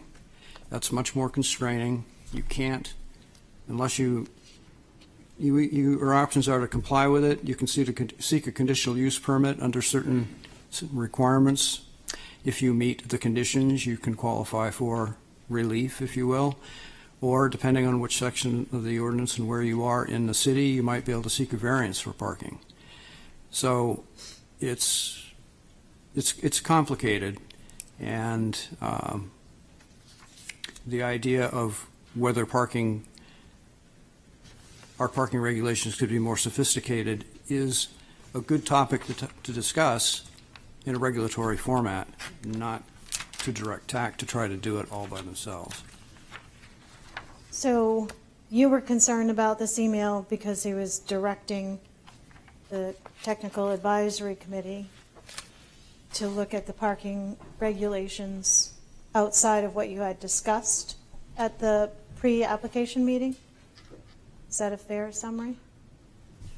Yes, it's, it's, you know, the, the encroachment issue, we, we mentioned, he didn't have to mention that to TAC. It, it wasn't going to be forgotten. I mean, I'm a licensed land surveyor, so, you know, if nobody else remembered it, and I know he would, I would certainly have, because I mentioned it on the record. But the parking issue has yet to be settled, you know, and it's, there are, the two issues are related to each other. So, um, I don't know how it's going to turn out. I'm not supposed to know how it's going to turn out yet. And why not? Why, do you participate in, in the TAC, in the No. Technical Advisory Committee? No. And what role do they have? They provide information to you? It's actually, their full title is Site Plan Review Technical Advisory Committee. So any matter that is subject to the site plan review regulations, the Technical Advisory Committee provides technical input for uh, the planning board to consider. It's advisory. The Conservation Commission is also advisory to the planning board. The Conservation Commission jurisdiction is different, and I won't get into that. But TAC, as Attorney Sullivan explained, you know, fire and police don't typically come to planning board meetings. Um, Eric Eby, who's the traffic, city traffic engineer, sometimes comes to planning board meetings, but he's always at TAC. Um, Public Works on utilities are always at TAC. They sometimes, but rarely, come to planning board meetings. So the fact that TAC assembles to look at technical aspects of the project that the planning board won't necessarily look at in detail is, is a benefit for both the applicant and for the city. That's their role. And they make, based on their review, they give an advisory recommendation to the planning board. And in these um, representations that uh, Mr. Hewitt made to TAC about parking, um, you said that that's not a settled issue? The parking requirements and what Well, is this No, this applicant, he, he brought in this room. You know, he stood at that, his proponent stood at that podium and presented to this, the planning board in this very room, and they wanted to know what are the issues, and parking was one of those issues. It was not settled. It has not been settled yet. Uh, So we'll, we'll see what happens. So, after this occurred, did you have some conversations with Mr. Hewitt about these emails and your concerns about these emails?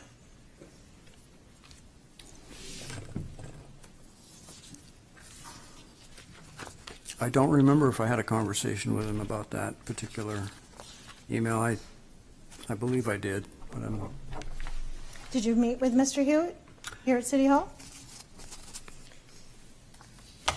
I have met with him more recently, yes. And did you meet with him here with the mayor? yes. Okay. And did you discuss your concerns about these emails to the Technical Advisory Committee? Yes, I met with him actually two days before. You're getting the sequence in my mind. Um, I met with him on a Saturday at a coffee shop downtown to discuss this. Okay. And did you convey the I same did. concerns that we've already talked about? I did. And um, did you also meet with him here at City Hall with the mayor? I, I,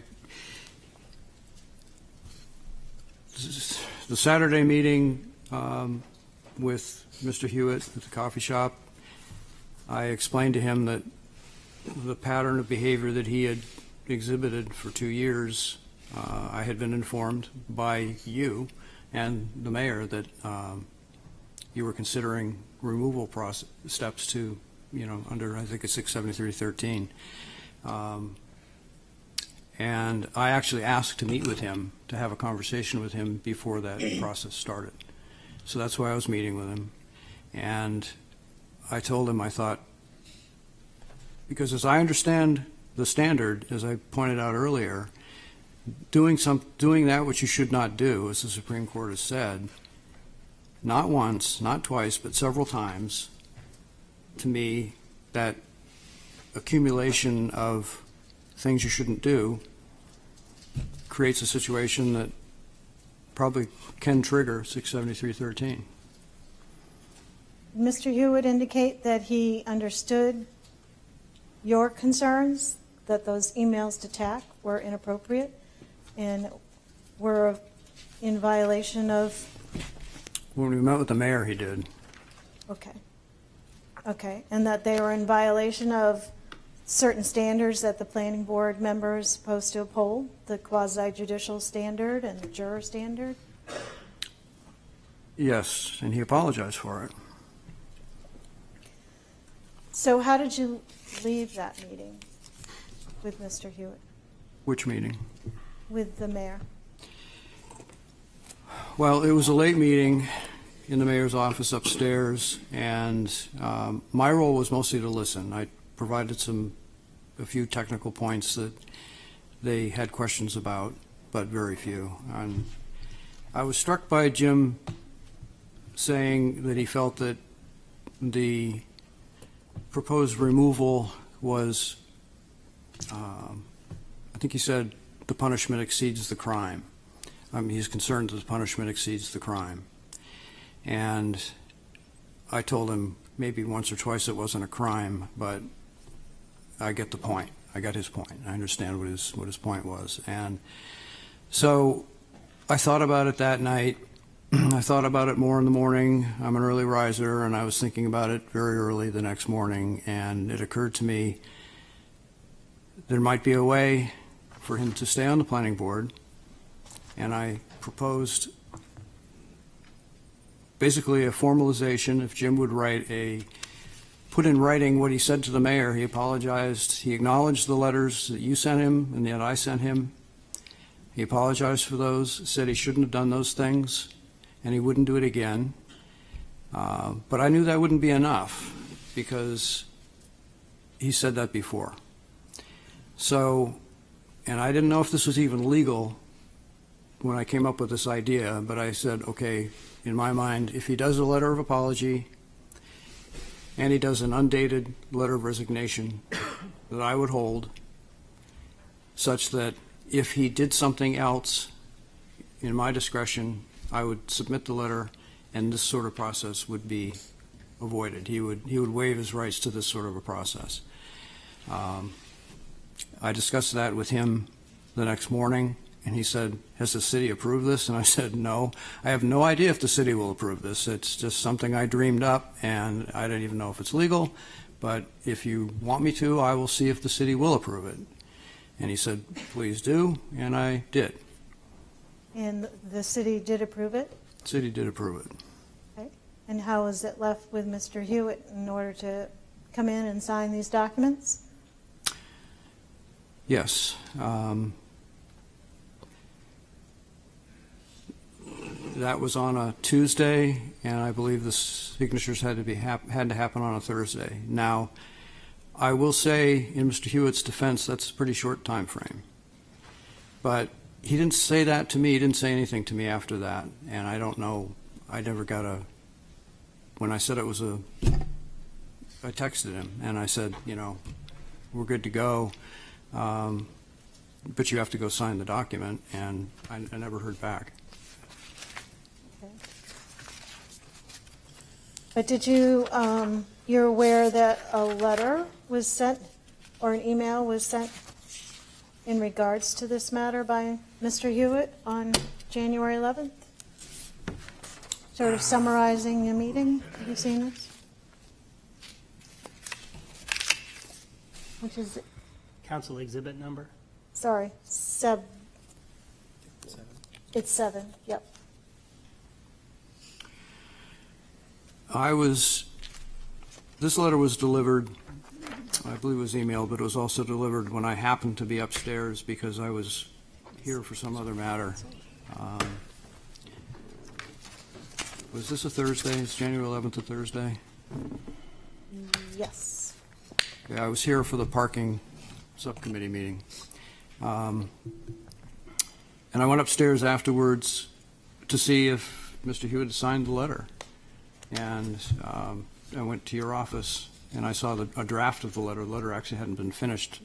I think it must have been around noon time or something like that. Um, And this, this was delivered at that time. Okay. And in the letter, um, Mr. Hewitt um, indicates to the mayor that you and the mayor requested that he resign from the planning board, and he respectfully asked the city to provide him with a document itemizing the reasons and evidence justifying that request.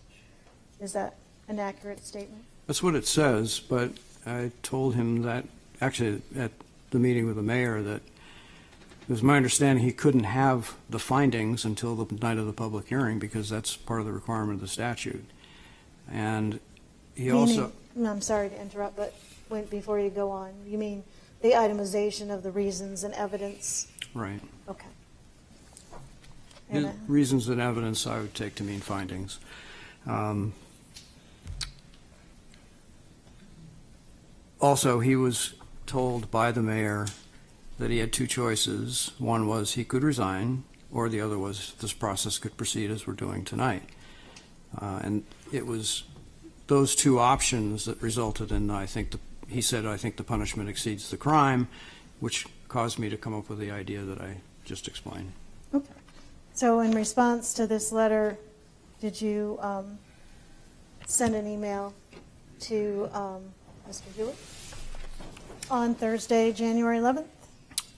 You know, when I got back to my computer, I did. Okay, and the substance of that email is what? It's what I had explained um, just now, but I also added in the email the third option, which I had also, I have also explained, and that, which you said the city approved. Excuse me. Um, And which I didn't know when I dreamed it up if it was legal, but I guess it is, or was. So at, th- at this point, at one o- 1:21 PM on that Thursday, there was still time, if he chose to do it, to either have this process proceed, uh, resign, or take the deal that I had gotten the city to agree to. Did you get a response from Mr. Hewitt I did that not. email? I did not. Have you talked to him since? I haven't.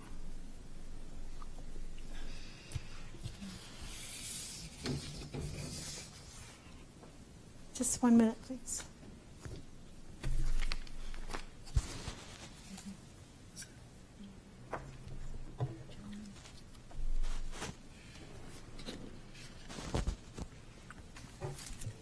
Mike, up here.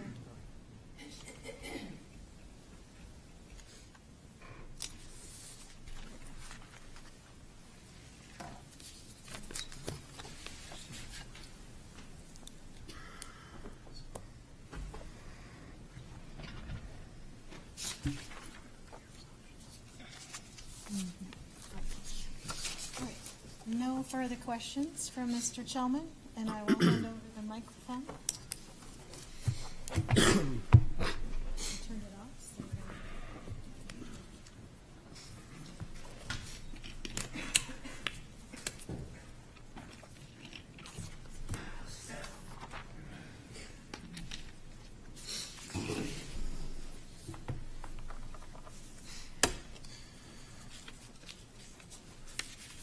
Sorry, I have a crick in my neck.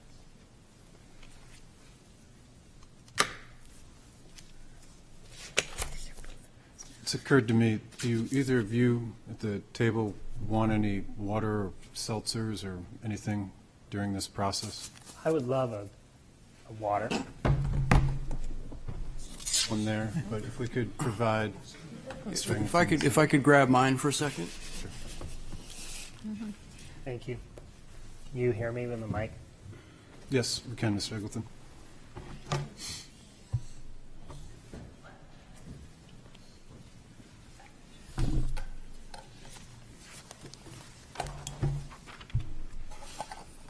Mr. Chellman, Jeremy Eggleton.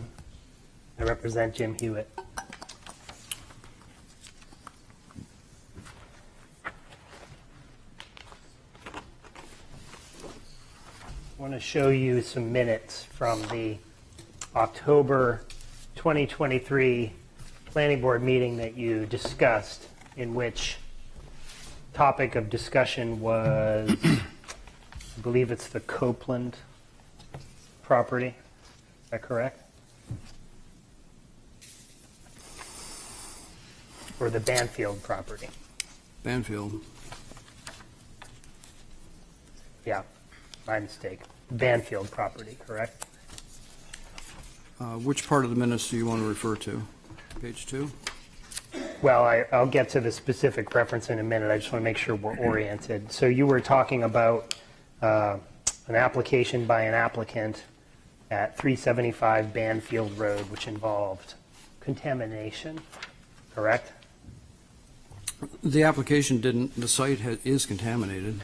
But the hearing, uh, the minutes of which are in front of you, if you flip to page four of the document,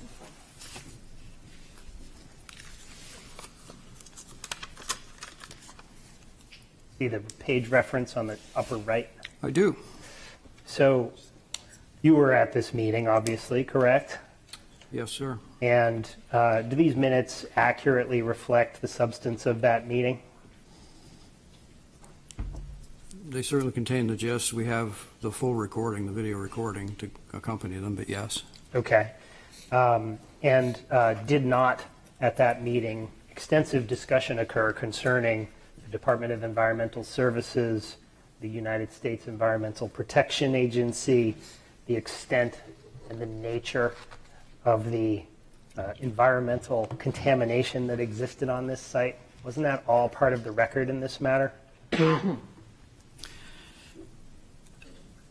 They submitted thousands of pages of materials, and I did ask them to explain and delineate for the board what was relevant, because I felt that it was unreasonable to expect the board to have to go through thousands of pages, but I was prepared to do it a page at a time if we had to. Um, And, and you conceded, actually, you explained to Attorney Hers at the bottom of page four that there was an interrelation between some of the elements of what the site is and what the board had to look for in site plan and subdivision regulations, correct? Yes. And the subsequent testimony by uh, Deputy City Attorney Trevor McCourt talked about a lawsuit in this matter, correct? You're on to page five, yes? Yes. Mhm. And, pardon me, sorry. Um, And then uh, the second full paragraph on page five, Mr. Hewitt asked about that lawsuit. And he specifically asked Attorney McCourt if the lawsuit was filed so that the judge could apportion liability between responsible parties.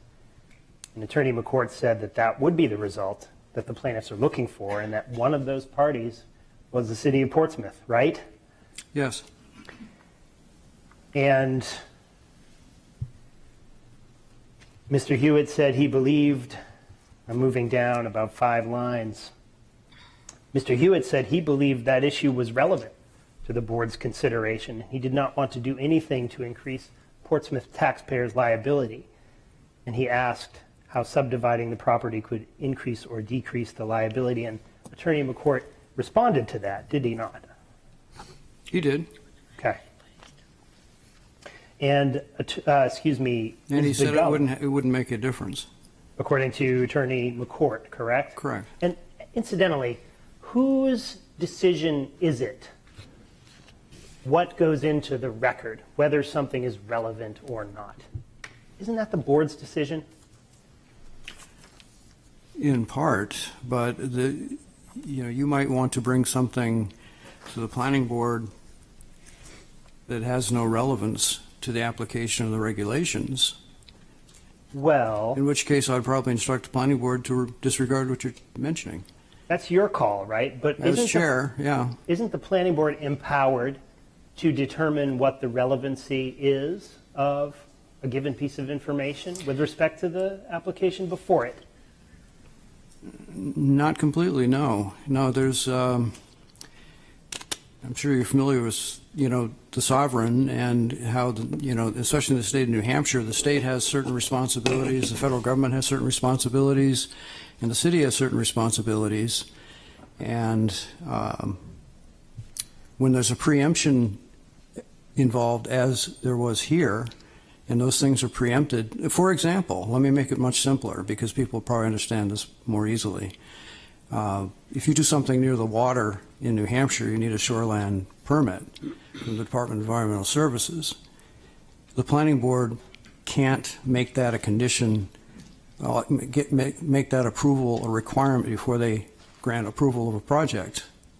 You know, they can only say you have to get it, but you, you can get your city approval without having it in hand yet. Sure. It's similar, similar to that. I understand. So uh, a planning board that says, I want this information in the record might prove to be wrong at the end of the day about the relevancy of that information, correct?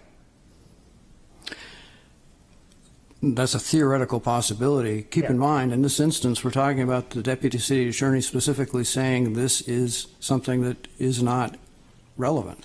Well, but again, I go back to my initial question. Deputy city attorneys made a determination about the relevancy of this information, but the board itself has to make a determination about the relevancy of the information, does it not? Well, we have to weigh what the deputy city attorney, and as I recall, it was also, he relayed the opinion of outside counsel who was work, actively working on the litigation. So it's not, not a minor opinion that we're talking about, not a, you know, a casual, oh, by the way, as I'm walking by, I don't think you guys should be thinking about that. This was a well-considered bit of advice we were getting. Conceded, conceded. And yet, at the end of the day, is it not the board's decision about what information should go into the record or not, right or wrong? May prove to be a mistake, but does the board not have the discretion to determine itself what belongs in an application record or not? With respect to your, what your client raised, no. And the reason that's a no is because his complaint was what constituted a completed application.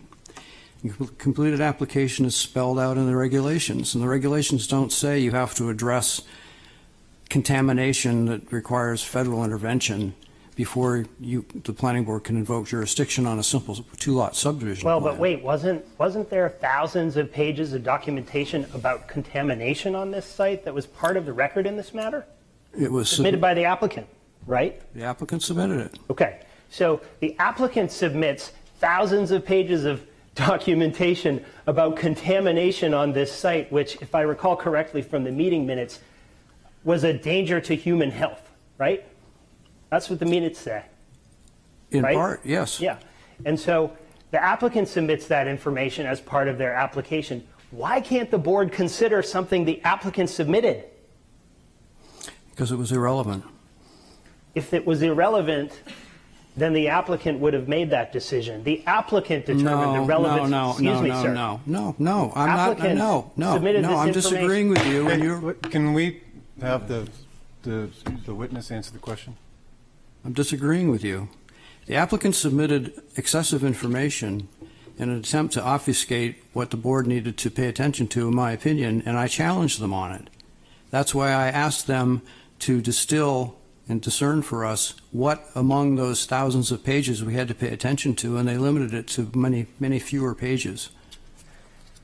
So what role does the board play with respect to capping contaminated site?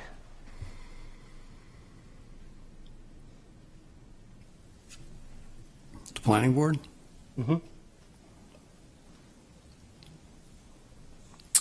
I don't think we have a role. Well, you say here uh, in the minutes, anyway, that the board has regulations that tie into capping material, correct?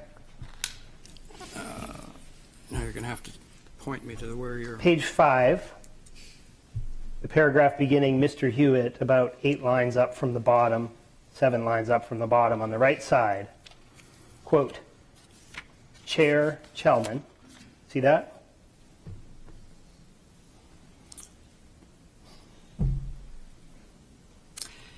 Yes, that deals with the grading through that capping area, not, it's, the minutes are a little bit misleading, but there's a question of whether the, there could be grading through the capping area. Grading, we do have control over. Um, And so it, it does tie into the board's regulations, as you say in the minutes, right? There is a partial tie-in, I don't think in the way you're trying to imply, Okay. certainly, but So uh, Ms. Bagala, um, I'm just reading from the minutes here, asked if EPA would correct an approval of the board for the site plan with a lesser cap than was needed for full remediation. Attorney McCourt said if the site plan was approved and there was a change between that approval and what was dictated by DES or EPA, the applicant would have to return to ask for an amended site plan approval. So DES or EPA would pass on whether the capping uh, instructions or conditions that were imposed by this board pass muster. Is that fair to say? Yeah, back to my point, when you place material on a site, you're going to change its grade, which will change its drainage and other features that the planning board does have jurisdiction over. So that the planning board does have jurisdiction over. All Attorney McCourt was saying that if the EPA or the, the other agencies that do have jurisdiction over the capping itself require a change that would re- result in a change to that capping material that would change the grade, which would change the drainage, they'd need a new site plan approval from the planning board. So we have jurisdiction over a, a- an element of the site, but not o- over the contamination. Okay, and you had mentioned in your, in the context of uh, Exhibit 6, the December issues, you had explained the role of the Technical Advisory Committee. And uh, you said that it provides technical input and recommendations, that it's advisory to the planning board, correct? Correct. Um, And uh, if you flip to page six, do you remember the TAC actually requesting that the planning board require as a condition of approval of this project, proof of cleanup responsibility for the site? Do you remember that? I remember that coming up. Okay. And, and that TAC had actually made that recommendation to the planning board. Mm-hmm. So, Mr. Hewitt's question then about how this lawsuit was going to affect the apportionment of that cleanup responsibility bore directly on what the TAC recommended you condition this application on, right? This is a discussion at the meeting where all discussions are good discussions. Um, I'm That's what, that's you. what the minutes are. Sure. I'm asking you one specific question. And I'm answering you what, what you're reading from. This is where these conversations are supposed to occur. Did your professional planning staff not recommend that the board ensure that the cleanup responsibility was made a condition of approval of the planning board for this project? Ms. Begala noticed that as a recommendation. We don't have that authority. It was a recommendation. It was, you know, perhaps heartfelt, but not based in the regulations. So uh, the technical advisory uh, committee makes the recommendation, and it's up to you whether or not you want to agree to it, correct? That's the way it works. You've got that discretion. So, in the context of that discretion, in evaluating whether or not that's an appropriate condition to place on this issue, is it not important to understand the nature of the lawsuit? Whatever your decision is at the end of the day. Well, the nature of the lawsuit, in terms in broad brush, I think we were that was explained to us. The details of the lawsuit is well beyond what the planning board would be looking at. So, the nature of the lawsuit was explained to you by whom? Deputy City McCourt In what context? at the planning board meeting. Okay, so if Mr. Hewitt learned about the lawsuit, it would have been at the planning board meeting, right? In the course of his duties, correct? As a part of the planning board meeting, yes, it came up. Yeah.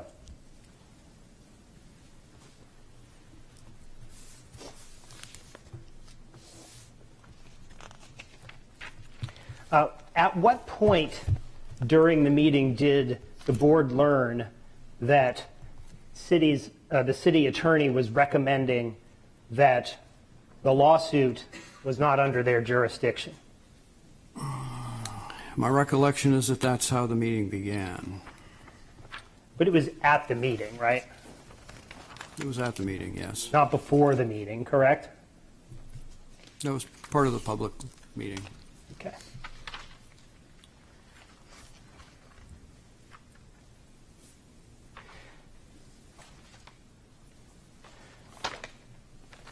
Now, you had mentioned um, that part of your issue with Mr. Hewitt's email to the rest of the board with the links to the various different newspaper articles about the lawsuit was that it was a violation of the right to know law. Is that true? Yes. Um, what aspect of the right to know law did it violate? Uh, it was communication to the full board outside of planning board meeting. Okay. And, and do you know what portion of the right to know law that violated? I don't pretend to remember that stuff. by- Okay. Well, Road. if you're making decisions about whether a given communication violates the right to know law, wouldn't it be important to understand what the right to know law says? I didn't say that, and I do understand it. I just don't remember a specific citation within the law. Okay. Well, I will read you from RSA 91A2, subsection 1, which defines what a meeting is. And it lists a whole series of things. And then it says chance, social, or other encounter not convened for the purpose of discussing or acting upon such matters shall not constitute a meeting if no decisions are made regarding such matters. Are you familiar with that provision? You know, I think we should ha- read out the entire statute because that's calling out a section and it's really Sure, mis- let's read the entire- misrepresentation. Read the entire section. Sure.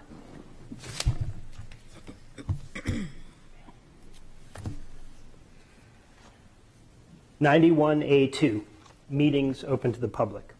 One, for the purpose of this chapter, a meeting, quote, means the convening of a quorum of the membership of a public body as defined in RSA 91A1A 6, or the majority of the members of such public body if the rules of the body define quorum as more than a majority of its members, whether in person, by means of telephone or electronic communication, or in any other manner, such that all participating members are able to communicate with each other contemporaneously, subject to the provisions set forth in RSA 91A23, for the purpose of discussing or acting upon a matter or matters over which the public body has supervision, control, jurisdiction, or advisory power.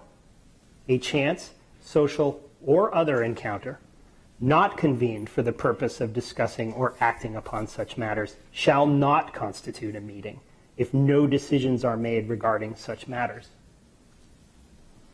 That is it in its entirety. There are some subsections that are not relevant to this issue. Now,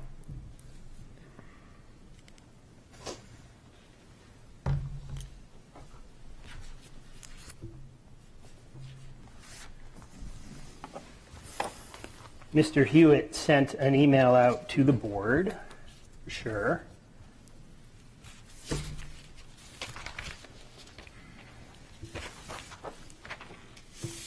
And if you look at the first page of this Exhibit 5 here, the email reads, Dear Chair Chellman and Planning Board members, I just wanted to follow up with some information that I hope will help explain my somewhat zealous response to this project on October 19th. As you recall, I felt the application was incomplete as the Planning Board was not provided all the information it needed to make an informed decision on behalf of the people of Portsmouth. See below and attached. And he includes the articles that council went over with you and their links to uh, the websites on which they're posted. Now, does anything in that email suggest that the board needs to make any decisions based upon that material in that electronic format? He states that he felt the application was incomplete and wasn't provided with information and provides new information. So what do you do with that? Well, that's my question. Does that email say we need to make a decision about this? I think the better question is, does this, e- is this email something he shouldn't have done? Well, what you shouldn't do is sort of defined by the Right to Know Act, right? In terms of public In- communications? In part, but there's also the trainings we mentioned. And, you know, it's been very explicit with the municipal association, and all their stuff is online as well. You can go there even without doing the formal classes. Sure. It's in the planning board handbook. You don't do this. Well, I'm talking about the law of the state of New Hampshire. I'm not talking mm-hmm. about the planning board handbook, okay? It's based, that's based on the law of the state of New Hampshire. And would you agree with me that according to this email, there's no decision being asked to be made by Mr. Hewitt in that email? It doesn't specifically ask for a decision, but it's providing information for what purpose while the appeal period is open. It just, it's so inappropriate, I don't even know what to do with it. But it's not a violation of the Right to Know Act, is it? I think it is. It, the violation of the Right to Know Act requires that a quorum be communicated. You just heard it. You heard me read it. Mm-hmm. And that the issue be one in which a decision is asked to be made, correct? This is more argumentative and questioning, and we can disagree on the law, but he's arguing the law with this witness. Conceded.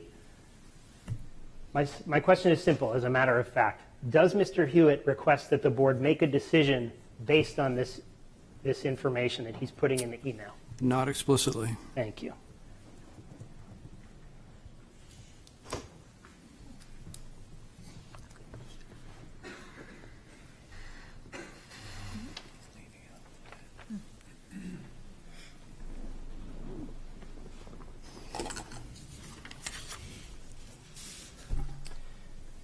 So going back to the content of that meeting on October 19th, um, having looked at the minutes, uh, is it fair to say that every board member who attended that meeting learned about contamination on the site, Yes. uh, extensive DES and EPA involvement with water monitoring, surface water runoff, and actual risks to human health? I'm quoting. They heard that information, right? So that was in the packet mostly, yes. Um, and, and there, and the board members also learned that there was an active dispute in court about how contamination was to be cleaned up and who would pay for it, correct? Yes. So these facts were all debated and discussed in the course of the board's hearing, right? The ones you mentioned, yes. And uh, Mr. Hewitt was at this hearing, correct? Yes, he was. Did anyone ask Mr. Hewitt to recuse himself from the vote on this matter? No. Did the board ask Mr. Hewitt to recuse himself from the vote? That would include anyone. Was there a vote held about recusal at all? So Not with mis- respect to Mr. Hewitt, and I don't remember anybody else. Okay. At the end of the day, uh, the board approved the subdivision application, correct? Yes, By what margin? I don't recall. If I suggested to you that eight to one was in favor of the subdivision application, do you recall now? I, I just don't recall. Okay. I, I won't dispute it, I just don't recall. And the uh, email that Mr. Hewitt sent around on the 30th of October, that was after he had already voted against the application, right? I think you're right. So everybody knew how he felt about that project at the time he voted not to approve it, right? Yes, he had a misunderstanding that I tried to correct with the letter that I sent to him. Several misunderstandings, actually. But Mr. Hewitt's opinion about the project was already firmly established in the public record as a planning board member. Wouldn't you agree? He voted no on the application, yes. Okay, the next issue that you spoke about was uh, this issue of 581 Lafayette Road.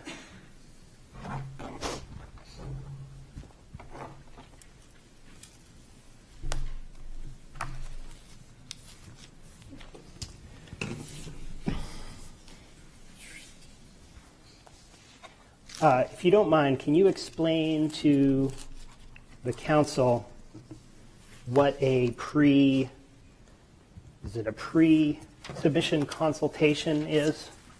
And I'm showing you Exhibit G, which are the minutes to the July 20th, 2023 Planning Board hearing.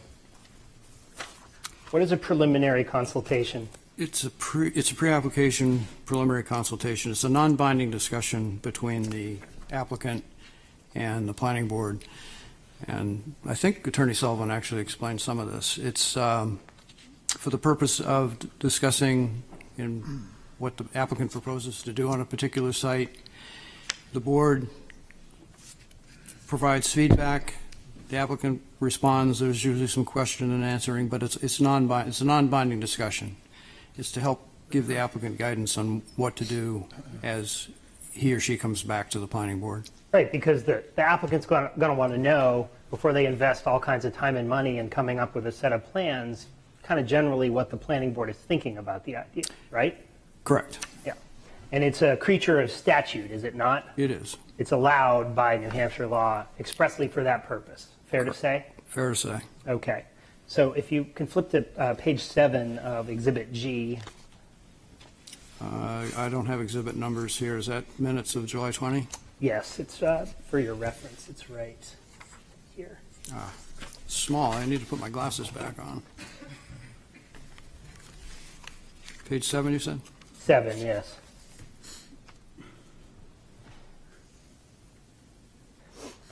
Uh, This is the minutes relating to that particular preliminary conceptual consultation, correct? Yes. Um, And this uh, conceptual consultation uh, is one of the ordinary duties of the planning board, right? Yes. It happens every time you have a meeting. You've got some kind of. Not every time, but it's regular. It's a regular Reg- occurrence. Thank you. Um, And so uh, this applicant, uh, Atlas Commons LLC, presented a project proposal for 581 Lafayette Road, correct? Yes. And um, did the plans that they submitted show the proposed improvements? Yes. And I think as you uh, testified in response to Attorney Morrell, um, Mr. Hewitt picked up on an issue relating to encroachment.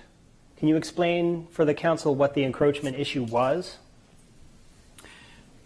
The boundary line between the applicant's property and the state right-of-way for Route 1 goes through some of the parking spaces and some of the other improvements on the site. So the parking spaces, the lighting, the curbs, some of the improvements were actually on somebody else's land according to their site plan, correct? Correct. Okay, so- There's, there's survey, actually, but yes. Yeah, according to their survey. And so that's an issue uh, that you identified, that the board identified and said to this applicant, hey, you got to fix that before you come back to the board, right? Correct. Yeah, because you can't give approval for a site plan to a guy who wants to build a house on somebody else's land, right? That wouldn't be very proper. Right. So uh, just as, uh, just as you could not, in this case, approve a site plan for all these parking improvements that were on state land, right? Correct. Okay. Unless there's some sort of easement or other agreement. It's got to be addressed. Sure, got to be addressed. And that's what Mr. Hewitt asked the applicant to do at the, at the consultation, right? Yes, he brought it up, and it was consensus that it had to be addressed. Okay. So uh, he acquired his knowledge about that particular issue at the July 20th meeting, right? Well, I did. I assume he did. I don't know. I mean, he's a state engineer, so it's a state road. I'm not sure if he has other information that I don't have, but um, I got it from the plan. Okay. Uh, So he might have known about it just by virtue of his knowledge and experience, right? It might be part of his work. I don't Okay. know. But it definitely came up at the hearing, and he learned about it again at the hearing, right? It was definitely discussed right here in this room. Okay. And the recommendation was made to the applicant that they had to take care of the issue, right? Yes. So when Mr. Hewitt brought that problem up, that uncorrected issue that the applicant was still bringing to the TAC, that was not news to them, right? That's just what he told them in this room, right? No, TAC's different than the planning board. Well, I understand. I understand. But the information he was bringing to TAC and telling them, hey, we told this client, this applicant, that they needed to correct this problem, that was something the applicant already knew about, right? Yes, that came up at the planning board Yeah. meeting. So it's not new information that Mr. Hewitt was importing out of his brain somewhere, right? It's something he told the applicant to do right in this room, right? And that's where he should be mentioning it, not to TAC. So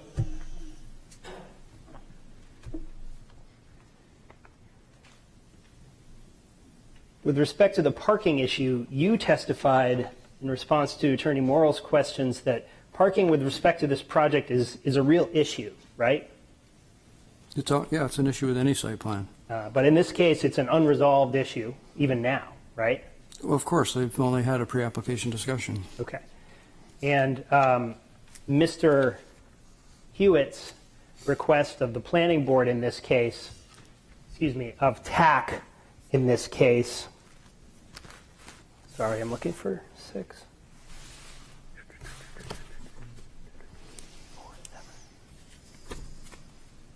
Ah.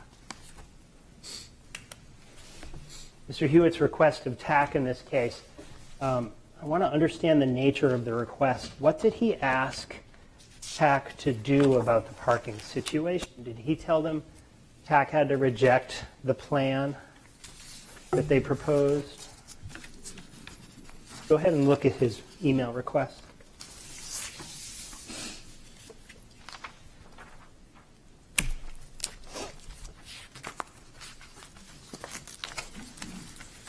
Well, as I said earlier, he says that Portsmouth's current multifamily parking requirements are woefully under, they woefully underestimate actual parking demand, and he suggests TAC require the applicant to produce a parking demand data for a similar-sized project.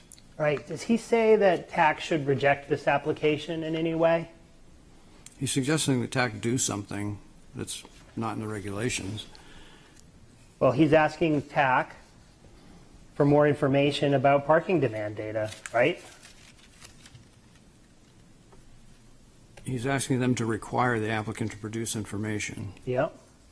And he's making the statement that Portsmouth's parking requirements are woefully inadequate, basically. Well, but setting aside what he thinks about the parking regulations, he's actually, he's not saying, hey, you got to decide this against these guys. He's saying, hey, make them submit some additional data for us to consider, right? But you can't, I think you have to read the two paragraphs one after the other. First of all, he's saying the regulations aren't adequate, and then he's saying do something else that's not in the regulations. Well, but what's wrong with asking for uh, parking demand data for the project?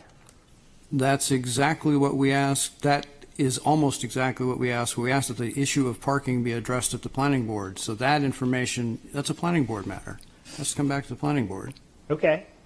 Um, So ultimately, it doesn't bother you that he asked this applicant to produce adequate uh, data concerning their parking request. It bothers you that he asked TAC to try and get this information The planning before it board- got to the planning board. Is that Correct. right? The planning board already asked the applicant to provide data.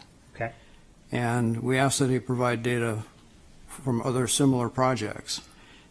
Parking demand data, after saying that the Portsmouth City regulations are woefully underestimating reality, is a different matter, and it's not, you know, it's a planning board issue, and it's, it has yet to come back. It has yet to be resolved.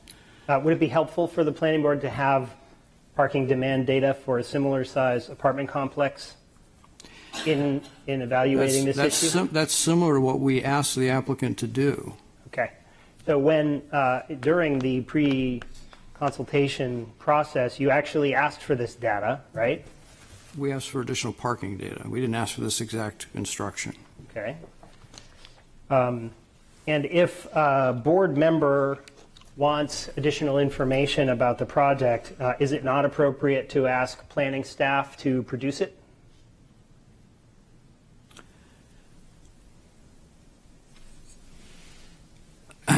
There's two different things that happen within staff.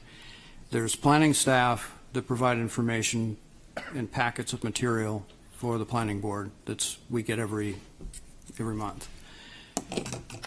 TAC is different.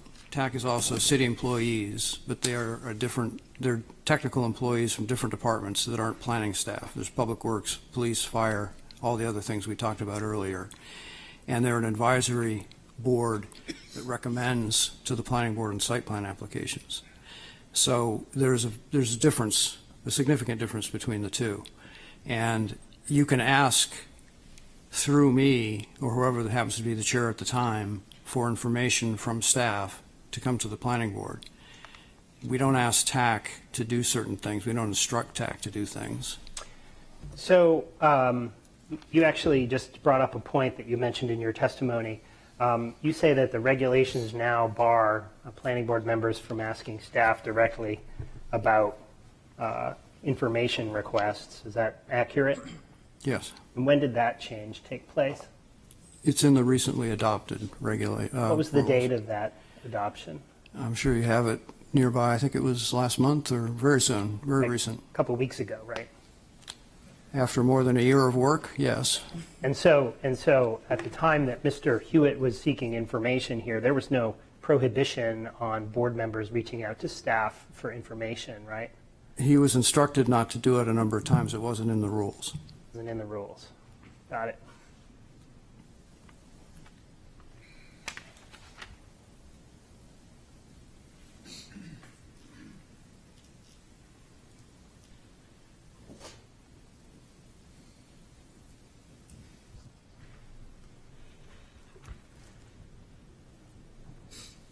Uh, With respect to the materials at Exhibit 3, which was the period of March 2022, you were answering some questions from the city's attorney regarding these emails.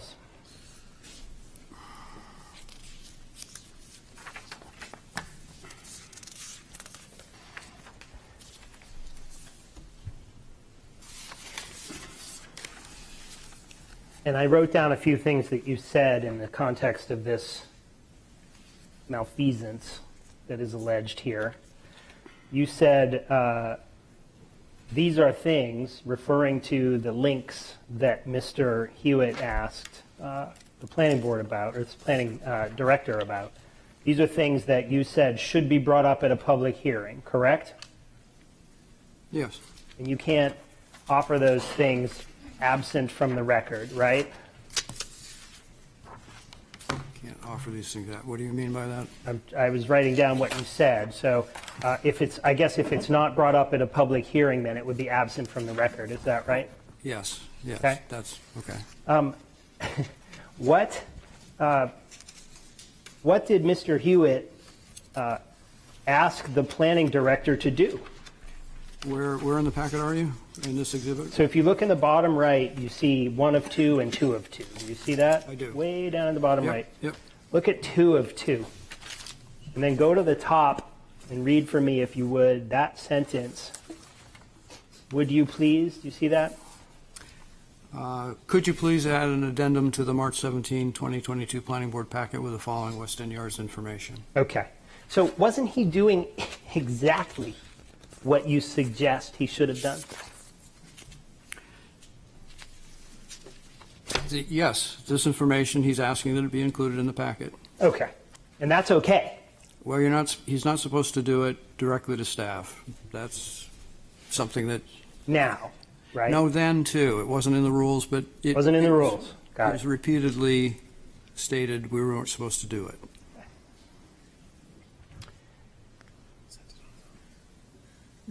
Uh, Viewpoint. We've heard from council that Viewpoint is accessible to planning board members in the same way that it's accessible to citizens who want information on Viewpoint. Yes, Would you agree? I do. Okay. So Mr. Hewitt didn't have any better access to Viewpoint than anybody else, right? Not as far as I know. Um, The issues surrounding 710 Middle Road, Exhibit 4 in the city's presentation. At the time that Mr. Hewitt had those communications with Mr. Hayes, was there a pending planning board decision about that matter?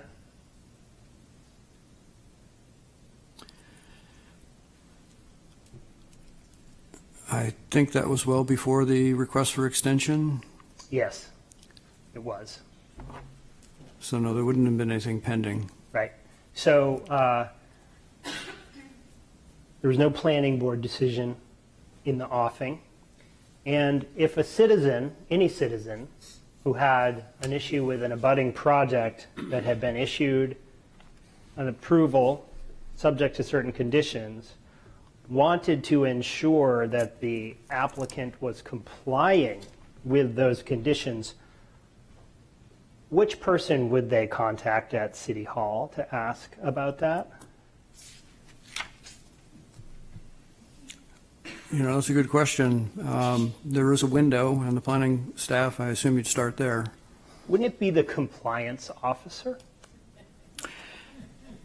That's where it would end up, but the person from the public probably wouldn't be Okay. ushered into Vincent's office to ask him. Uh, Vincent is the compliance officer, though, right? Yes, he is. Okay.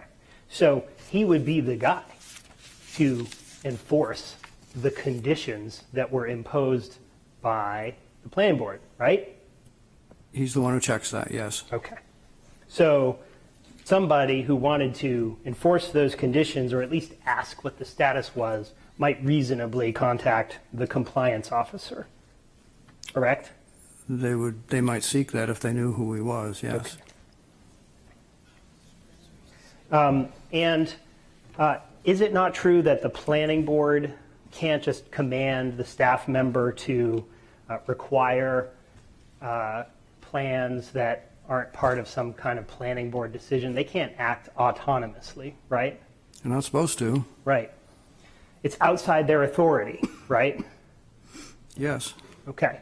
So a person who is doing that about a project that's his abutter would be uh, acting not as a planning board member, but as an individual, correct? Or irresponsibly. Okay. But he would not be acting in furtherance of his duties. Wouldn't you agree with that? No, I don't agree with that. As I said earlier, I think when a planning board member, look, the city council cannot instruct staff to do things, but I know from working with staff, if a councilor asks a question, it gets more attention than if somebody else asks a question. It's the same thing with the planning board on a lesser degree. You know, this is, uh, it's incumbent on the planning board member to make it crystal clear if they are trying to do something as a citizen, that they're acting as a citizen. So uh, in Williams versus City of Dover, that's a case you mentioned, right? Yes. You remember what the general facts of that case were? Generally. What were they? Uh, A gentleman who worked for a construction company was accused of not getting a driveway permit for his employer, and I forget what else, uh, a site plan for a small shed or something like that. Or a greenhouse, right? Okay. The individual acting on behalf of his employer, and the individual sat on the planning board, right? Yes. Reached out to the city's permitting department to argue that his employer wasn't entitled or wasn't required to do the site plan regulation, right? I don't remember that detail. Okay. Um, well, I will tell you, I will quote from the case here that the Supreme Court of our state found that that kind of contact was not malfeasance. Why? Because absent a direct relationship with the employee, excuse me, with the planning board member's duties, it was an error to order his removal from office for malfeasance. So the allegation that you're making or that the city's making here is really very similar to that. Mm, I Supreme Court has found. No, there are a number of distinctions. Factually, how is this distinct? Well, we're talking here about a, a pattern of behavior. Now, keep in mind, when this, the first letter I wrote to Mr. Hewitt, I wasn't seeking to remove him. I was cautioning him that he was doing things he shouldn't be doing, and that if he kept doing it, he would probably cross that threshold in the very case you just cited. Very different than what that gentleman did with the driveway and a greenhouse. Well, I guess the council will make that decision. We both view that very differently.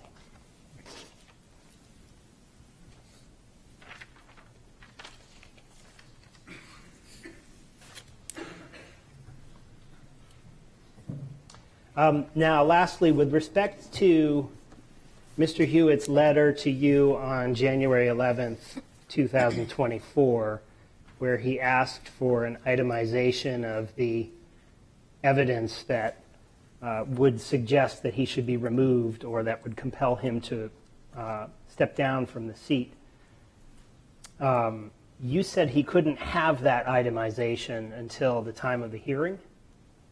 That was my understanding of the statute, yes. I see. So you sat down with Mr. Hewitt in a room with the mayor, and you wouldn't tell him what it was he had done wrong. And you No. told him he could, I, hold on. No. You could No. either retire, step down, or we would remove you. And when he said, well, why would you be removing me? What's the evidence? You said, we're not going to show you? No, no, that's not what happened. Okay, what happened? I said the list of charges, I think was how he characterized it that evening, are something that won't be produced until after the hearing, because that's when the findings are supposed to be prepared by the council. I said, what the concerns are, are enumerated in my letters to you and the letters that the city attorneys have sent to you. If you read those, that's what you need to rely on. Okay, and so your alternative was to have him execute a resignation letter that you would hold on to to sort of keep him on a leash. Is that right? To prevent him from going outside the bounds that you've set? Is that right?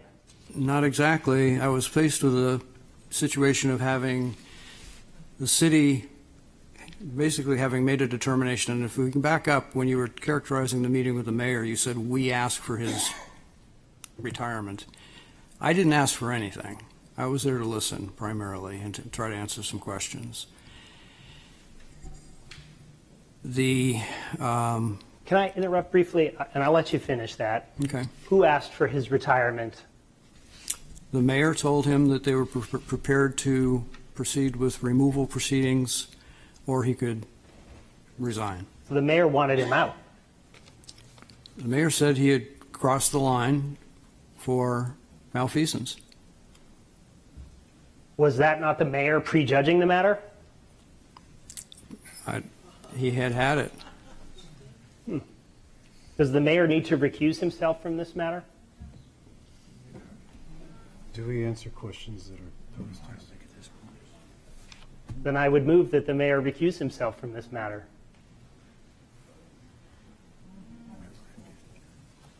So, um, may I ask a question of Mr. Hewitt? Or Mr. uh, Chellman? Feel free. In the meeting, uh, did I uh, state anything other than we were prepared to move forward uh, with this proceeding and that we would decide as nine, uh, nine city councilors based on this hearing, or he could remove himself? That's, that's exactly what you said, actually. Uh, Yes. So, and that's fine, but this is a question, I miss, I misspoke, I misspoke. Uh, That's, that's my. I understand, I understand. Having heard what I've heard, though, I still put the question to the city council as to whether the mayor should be sitting on this case. And that is a question for the mayor, as we know from the statute, for the mayor himself to determine. I'd say the, the mayor did not prejudge it. He said, based on the facts that I hear, um, if you don't resign, the next step is it should go to the council for a full hearing. So I understand that, but I'm asking the mayor to make that statement on the record that he has not prejudged this case. I have not prejudged this case. I welcome any opportunity uh, to listen. Any involvement that I've had uh, with this has been an effort to find alternative resolution to this case, uh, as well as, um, yeah, to find alternative resolution to the case. Thank you. That's all the questions I have for Mr. Chellman. I don't have any further questions. The council have any questions? Councilor Tabor? Thanks, Your Honor. Um, Thanks for serving on the planning board, Rick, and chairing it, and, and your good work. In the case of the instructions to the TAC, um, you said that the planning board had agreed with the applicant to get comparable projects the applicant had done. Yes. And then Mr. Hewitt's instructing the TAC to go a step further and do a traffic study similar to what was done by Torrington at West End. Um, And, and said the city parking regs are totally inadequate. uh, And asked for a whole new set of data. Um, If the applicant, if, if a majority of the planning board then took that up, wouldn't that be kind of a sudden surprise to the applicant? Uh, Particularly coming from something circulated um, that was not part of the public record? Well, just so, because this is an important record, you said traffic study at the beginning of your question, Councilor Tabor. It- It Parking. would be a parking, it would be a parking study. Parking, yes. Um, My mistake. No, I, I just, just for clarification, that's all. Um,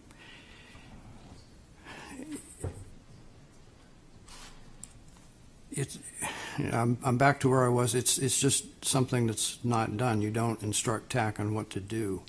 Um, They do their thing, the planning board does its thing. And uh, if, if TAC came up with something not contained within the Portsmouth regulations, I think the applicant could have a valid concern with that. So, um, you know, and then if that came as a recommendation to the planning board, I, I would have a concern with some, a recommendation outside the regulations, much like a recommendation outside deputy city attorney's uh, advice on the other matter.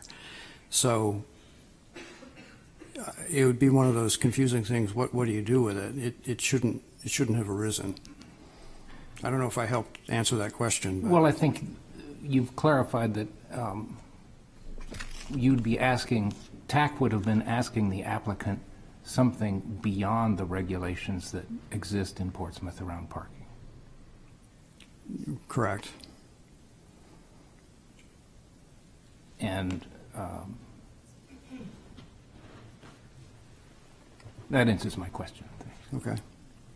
Assistant Mayor, then Councilor Cook. Thank you. Um, Thank you, Chairman. I just have a, a question um, that relates to the email sent around 710 Middle Street. Uh, The email dated June 23rd, 2022, um, mentions uh, the need, the potential need for an extension on that project.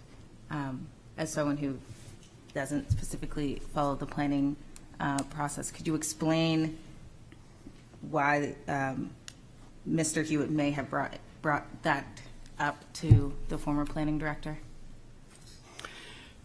Approvals have a time limit within which you have to get a building permit and proceed with the actual project. Um, I, I should remember, I don't remember offhand, I think it's a year or two, some, some it's a year, some it's two years.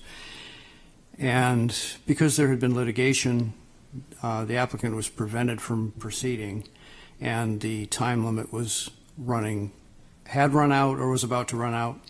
And I think he raised the question because what, what was the, the intervening litigation? Did that toll the deadline of the time frame? How does that work? So I think, I think, I don't have that email in front of me, but I think that's, as I recall it, that's the context of that question. Um, Another question, so considering that a, an extension would have been needed or was issued, um, Mr. Hewitt was on the board when that application came forward, or would have been on the, sitting on the For board? the when that- extension, yes. For the extension. Okay, thank you. Councilor Cook. Uh, Thank you, Your Honor, and thank you, Chair Chellman. Um, I have a general question about email and emailing to other boards, if you're sitting on the planning board. Is there ever a time when it's appropriate for a planning board member to email the entirety of the TAC or the entirety of the Conservation Commission? Or, for that matter, the entirety of the planning board? The first two, I can't think of a situation where it would be appropriate. The, the last, only when discussing things like um, regulatory amendments, uh, legislative matters, they're called, where uh, draft documents, you can circulate draft documents for discussion. It's, it's very limited. It has nothing to do with applicants, has nothing to do with people's property. It's just rules and regulations, or perhaps recommendations that we're going to make to council. As a follow-on to that, um, if a member of the planning board were to email all of the TAC or all of the Conservation Commission, is there a chance to introduce bias into their deliberations? It would depend on what, yes, I mean, that's where you're not supposed to do it. Thank you. Uh, Councilor Moreau, then Councilor Bagley. Mr. Chellman, if my memory serves me right, as the city council rep on planning board, I believe prior to passing our new rules in January 2024, there was actually at one of our public meetings um, that you did state to all planning board members the request that anything to, as requested, to be requested by staff, go through you. Because I remember us having a discussion on that. Is that true? Yes, it- excuse me, yes, it's been more than once, because I've been reminded by staff. I just wanted to make sure Yes. I had remembered that correctly, so You- it you really did. was made part of the rules before it was officially adopted. Okay, thank you. Uh, Thank you, Your Honor. Can I ask a clar- clarifying question um, of Attorney Eggleston? Certainly. Um, There was a lot of discussion about Section 91A colon 2 um, regarding the email that was sent to the uh, entirety of the planning board. And you mentioned a chance social or other encounter not convened for the purpose of discussing or acting upon such matters shall not constitute a meeting if no decisions are made regarding such matters. And my question to you is, are you, is your contention that an email to a quorum of the planning board was a chance? No, it's, it falls under the other aspect of that sentence. Well, wouldn't electronic communication and email be the same thing? Um, The sentence that you read and which I referred to would be an exemption from the broader prohibition on the use of electronic communication as a ersatz meeting, in effect. So the goal. I'm sorry, what was that word, ersatz? Yes. I don't know the definition of that, A sorry. replacement meeting as something that's Okay. not a meeting.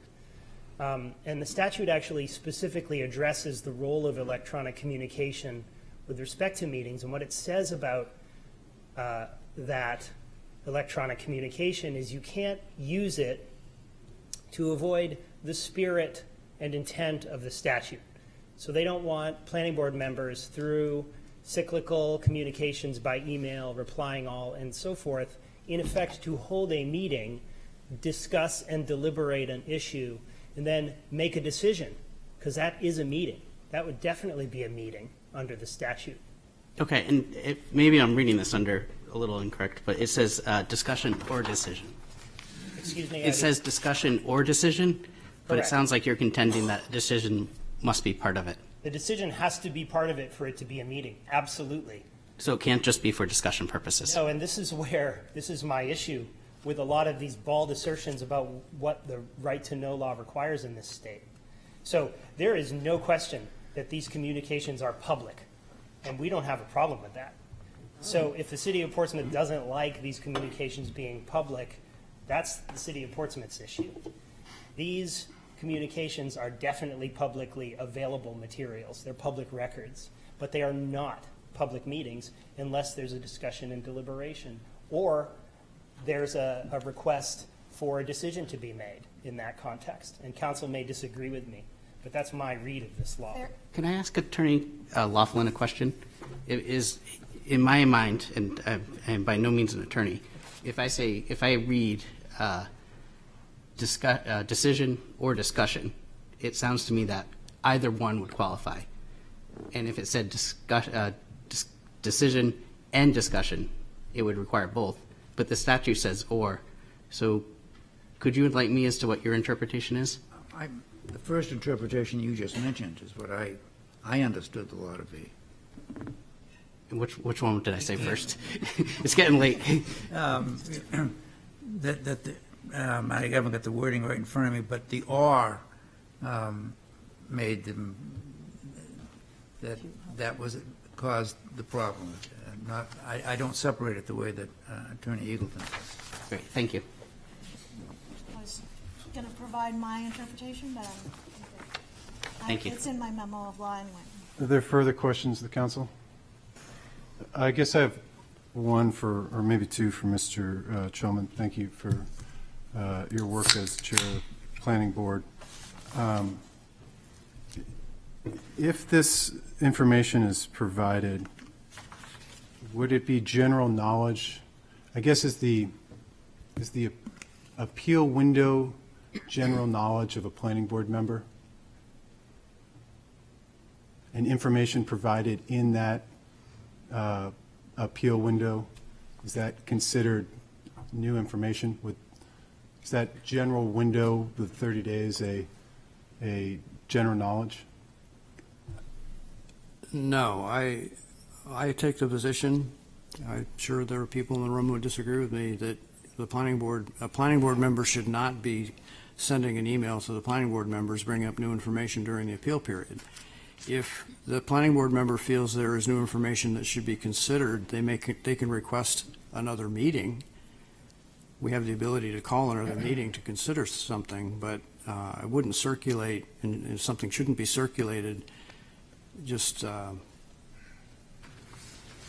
that's the way it was, in my opinion. Um, And then, um, I guess this uh, would pr- probably be a question also for Mr. Hewitt, but um, reading this, this sounded, as you recall, I felt the application was incom- was incomplete as the planning board was not provided all the information it needed to make an informed decision on the, on behalf of the people of Portsmouth, see below and attached. Is it your belief that, was this information of the Bloomberg law the- or the four links, was that presented at the planning board? Or is that presented, or was that outside of the, the planning board and not presented to the planning board? I didn't click on all those links, but I don't recall anything about from Bloomberg Law. Um, You know, we had a presentation by the deputy city attorney, and he explained the outstanding litigation, and then we had uh, the explanations from the applicants, engineers, and other people explaining more about the site details. But, um, you know, I, I didn't want, I didn't feel it was appropriate to open those links. You know? Would it have been um, at the planning board meeting, um, if he had had prior knowledge of these links, would it have been through some course available to him to ask questions on this in the public record? That could have been appropriate. But, you know, we're back to the, how much research does a planning board member do on their own? Um, The internet can be a wonderful and a dangerous thing, depending on what you're doing with it. And if, if, if you found a concern over uh, some element that had recently been discovered in another part of, you know, uh, kryptonium or something that I'm, I'm making up, um, that has just been discovered and causes this kind of a problem that hadn't been identified before, you would ask the applicant, have you studied kryptonium? We should have you consider that, whether you've got any on your site perhaps, um, and report that to the DES. I don't know. You know, that's, that's how that sort of thing might come up. Thank you, Chairman. Your Honor. Uh, One. Assistant Mayor? Thank you. Um, This is for Attorney um, Edel, um, sorry. Eggleston. Eggleston. And I'm, I'm just trying to get um, a little bit of clarification on um, your, your and uh, Mr. Hewitt's um, understanding of the statute and the right, and right to know. So are you stating that, or uh, I guess a, a question is, if someone would have replied, would that then have considered this a quorum in a meeting? So I think uh, if the, re- depends on the nature of the reply. Mhm. So, so I guess um, an example of, um, okay, so go ahead. Yeah, so if someone said, thanks, appreciate it, I wouldn't call that discussion or decision. If someone said, uh, thanks, I appreciate that, what do you think this means in terms of the application? And Mr. Hewitt were to respond, well, I think it means this, then sure, that starts to get into the territory where you're holding a deliberation that should be public knowledge. But where someone just sends an email and says, heads up, uh, I would like this material to be part of our record at the meeting next month, that is not a discussion and it's not a decision. And he's not requesting either one. Okay, Thank you. Any further questions? Thank you, Chairman Chellman. Excuse. Your Honor, I, I would, um, I believe we are past 10:30. Yeah, so I guess we have a question of, you've, do you have any further witnesses? No, and I, and like to excuse Mr. Chellman first before we get Sure, into yep, any you're further excused, yep. That's okay, thank you. Um, I do not, um, but I understand Mr. Eggleston does have, um, two witnesses. I do, uh, and I put it to the board, uh, Mr. Mayor. Um, Mr. Hewitt will be on the stand for some time. Uh, It's a late night. I sit myself on the Hanover Planning Board, Zoning Board of Adjustment. I get how hard it is to be up late dealing with these issues. Neither I nor Mr. Hewitt wants the board making a decision at 1 o'clock in the morning on these issues. So, uh, you know, I put it to you and I put it to council to suggest what we should do at this point. So I would ask, um, since this is um, concerning uh, Mr. Hewitt, um, if you would like an extension uh, to better um, serve your, uh, your case, and you believe that would be uh, a better use or a better opportunity for us, uh, we can agree upon uh, that time if you think that it's going to be, like, three hours is going to be significant. Uh, So it'd be, a defer, I guess I would, I have a scheduling problem in that I will be out of the country next week. So it would, we need to finish up this week if we're gonna postpone. How would we do this, Kelly? Just a quick question in terms of if we were to postpone to tomorrow. Well, if we postpone, that, that's If we adjourn to tomorrow, is that, does that require? continue. We continue to tomorrow, would that provide, that, would that, re- would that It's one- require? It's one to three inches. It's not a snowstorm. They don't expect this, we're not canceling uh, trash pickup. Um, Would we expect, would we have to notice it, I guess is my question, if we, if we continue tomorrow? No, because we're continuing it, so it's already been noticed, and if the board takes the motion to continue, that, then that's, Okay, are there any other, um, are there any other scheduled hearings tomorrow night? I, in- I would, I, I don't know without the calendar in front of me. There's HDC tomorrow night in this room, Your Honor. One is Valentine Day. It's conference room A. No, There's- Tues- there- There's conference room A. of- There's two boards in here?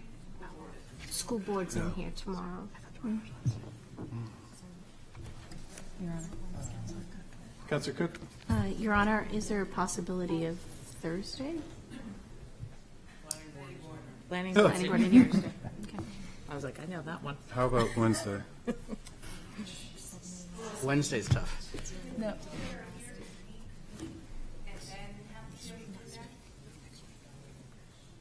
Well,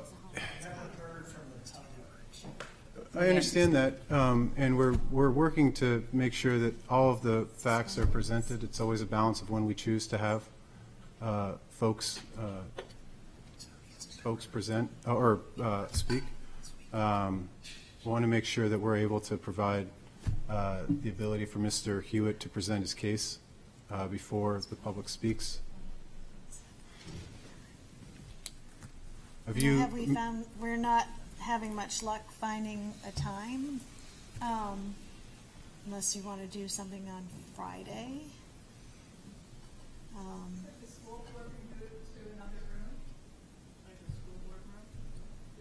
We do have the HDC and the school board. Um, is in conference room A. HDC is in conference room A. Um, Board's supposed to be in here, yeah. We have no, uh, And we shut down Wednesday. I guess we shut down, I guess Wednesday is Valentine's Day, but um, that's fine with me. Um, That's amateur hour for, for going out to dinner. Yeah. You're gonna need a lawyer. Um,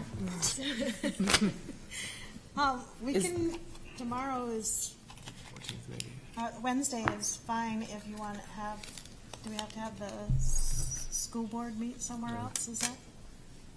The school board meeting. Fourteenth has, Nothing in here. The school board Wednesday meeting is at 2:30 in the afternoon. Yeah, there's Yeah, nothing. there's nothing here, so the evening. we could do that Wednesday evening. Wednesday evening? Is that okay with you? Conservation Commission's here at four. Okay, they'll be done. at, The school board is here tomorrow, and then they're, and then they're here Wednesday as well? We're not looking Uh, at, Conservation Commission, four PM on Wednesday. and what's here tomorrow? School Board. Okay. One to three inches, shouldn't scare anyone away. HDC is here. Okay. School board can also No, meet they're in in the, Conference Okay, so Wednesday is when we're going to, I won't be able to make it. okay. Tuesday? I won't be able to make it. I have my Valentine's tomorrow. My husband works Wednesday night.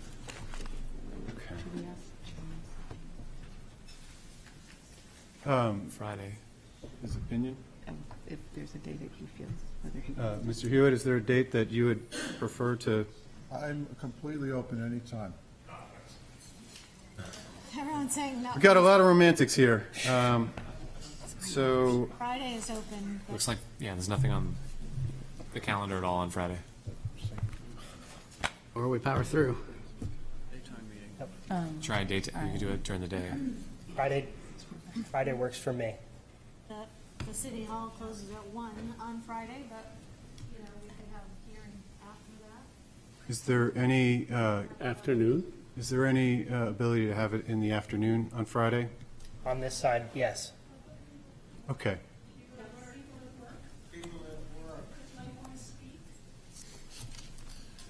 Um, Would there be any um, opposition by uh, Mr. Hewitt or his counsel for having the public hearing uh, portion of the meeting before you present your case Tonight? tonight? Uh, We, we would not oppose that. If, if the public wants to speak tonight to conclude to this evening, that's fine with us. Okay, And and then then we we will continue on rejoin your, on as long as you are okay with uh, that order of the events. Attorney Walkland, do you? Okay, so, um, You have the sheet. Do we have a, have we figured out when we're going to have, What time on Friday? Yeah. Because I have some closings that day. some of us have obligations professionally.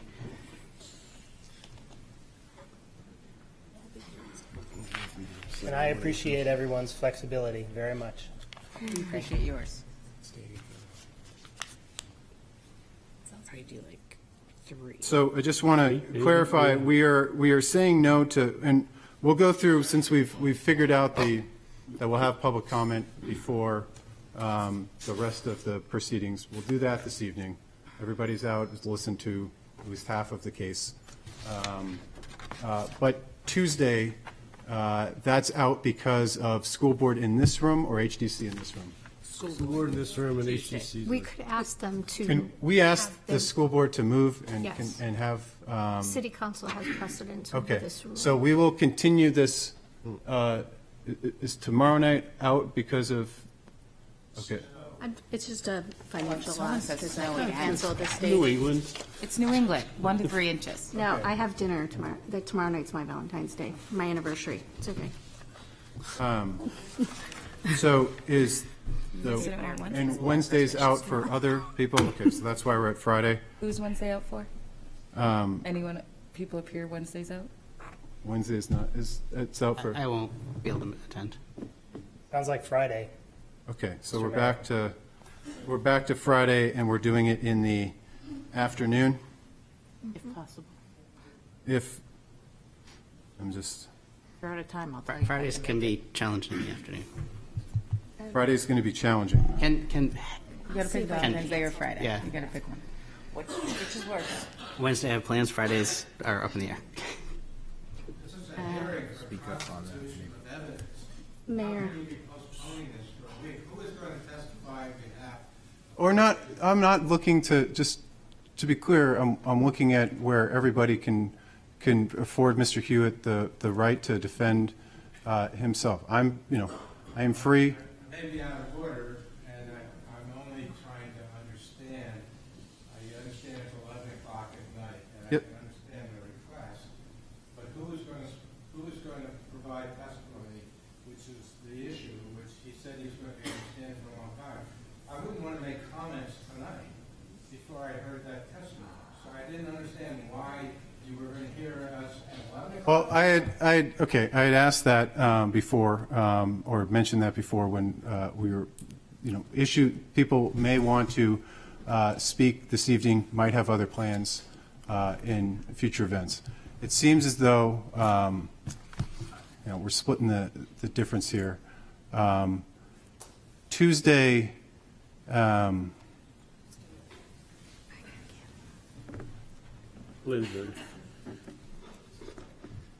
when, so, but you, Councilor Bagley, you're out on Wednesday? Yes. Okay, for what? Okay. Um, Rescheduled to Thursday. It's a special event. Um, Your Honor, I'm trying to cancel my, That- That's, Okay, we're going to do Tuesday. We're going to reschedule the rest of the hearing until Tuesday. Tomorrow? Tomorrow. Tomorrow. Tomorrow. Get over. Tomorrow at 6 PM. And this, It's going to snow in the morning. Snow's gonna be done by like. We're not expecting an enormous amount of snow tomorrow. We're going to postpone the rest of the hearing till tomorrow at 6 PM. I'd wait a motion to postpone. so moved. Continue. To conti- I'd wait a, mo- I'd wait a motion to continue. I move we So- continue to tomorrow at six. Second? All in favor? Aye. Any opposed? Thank you so much. Well,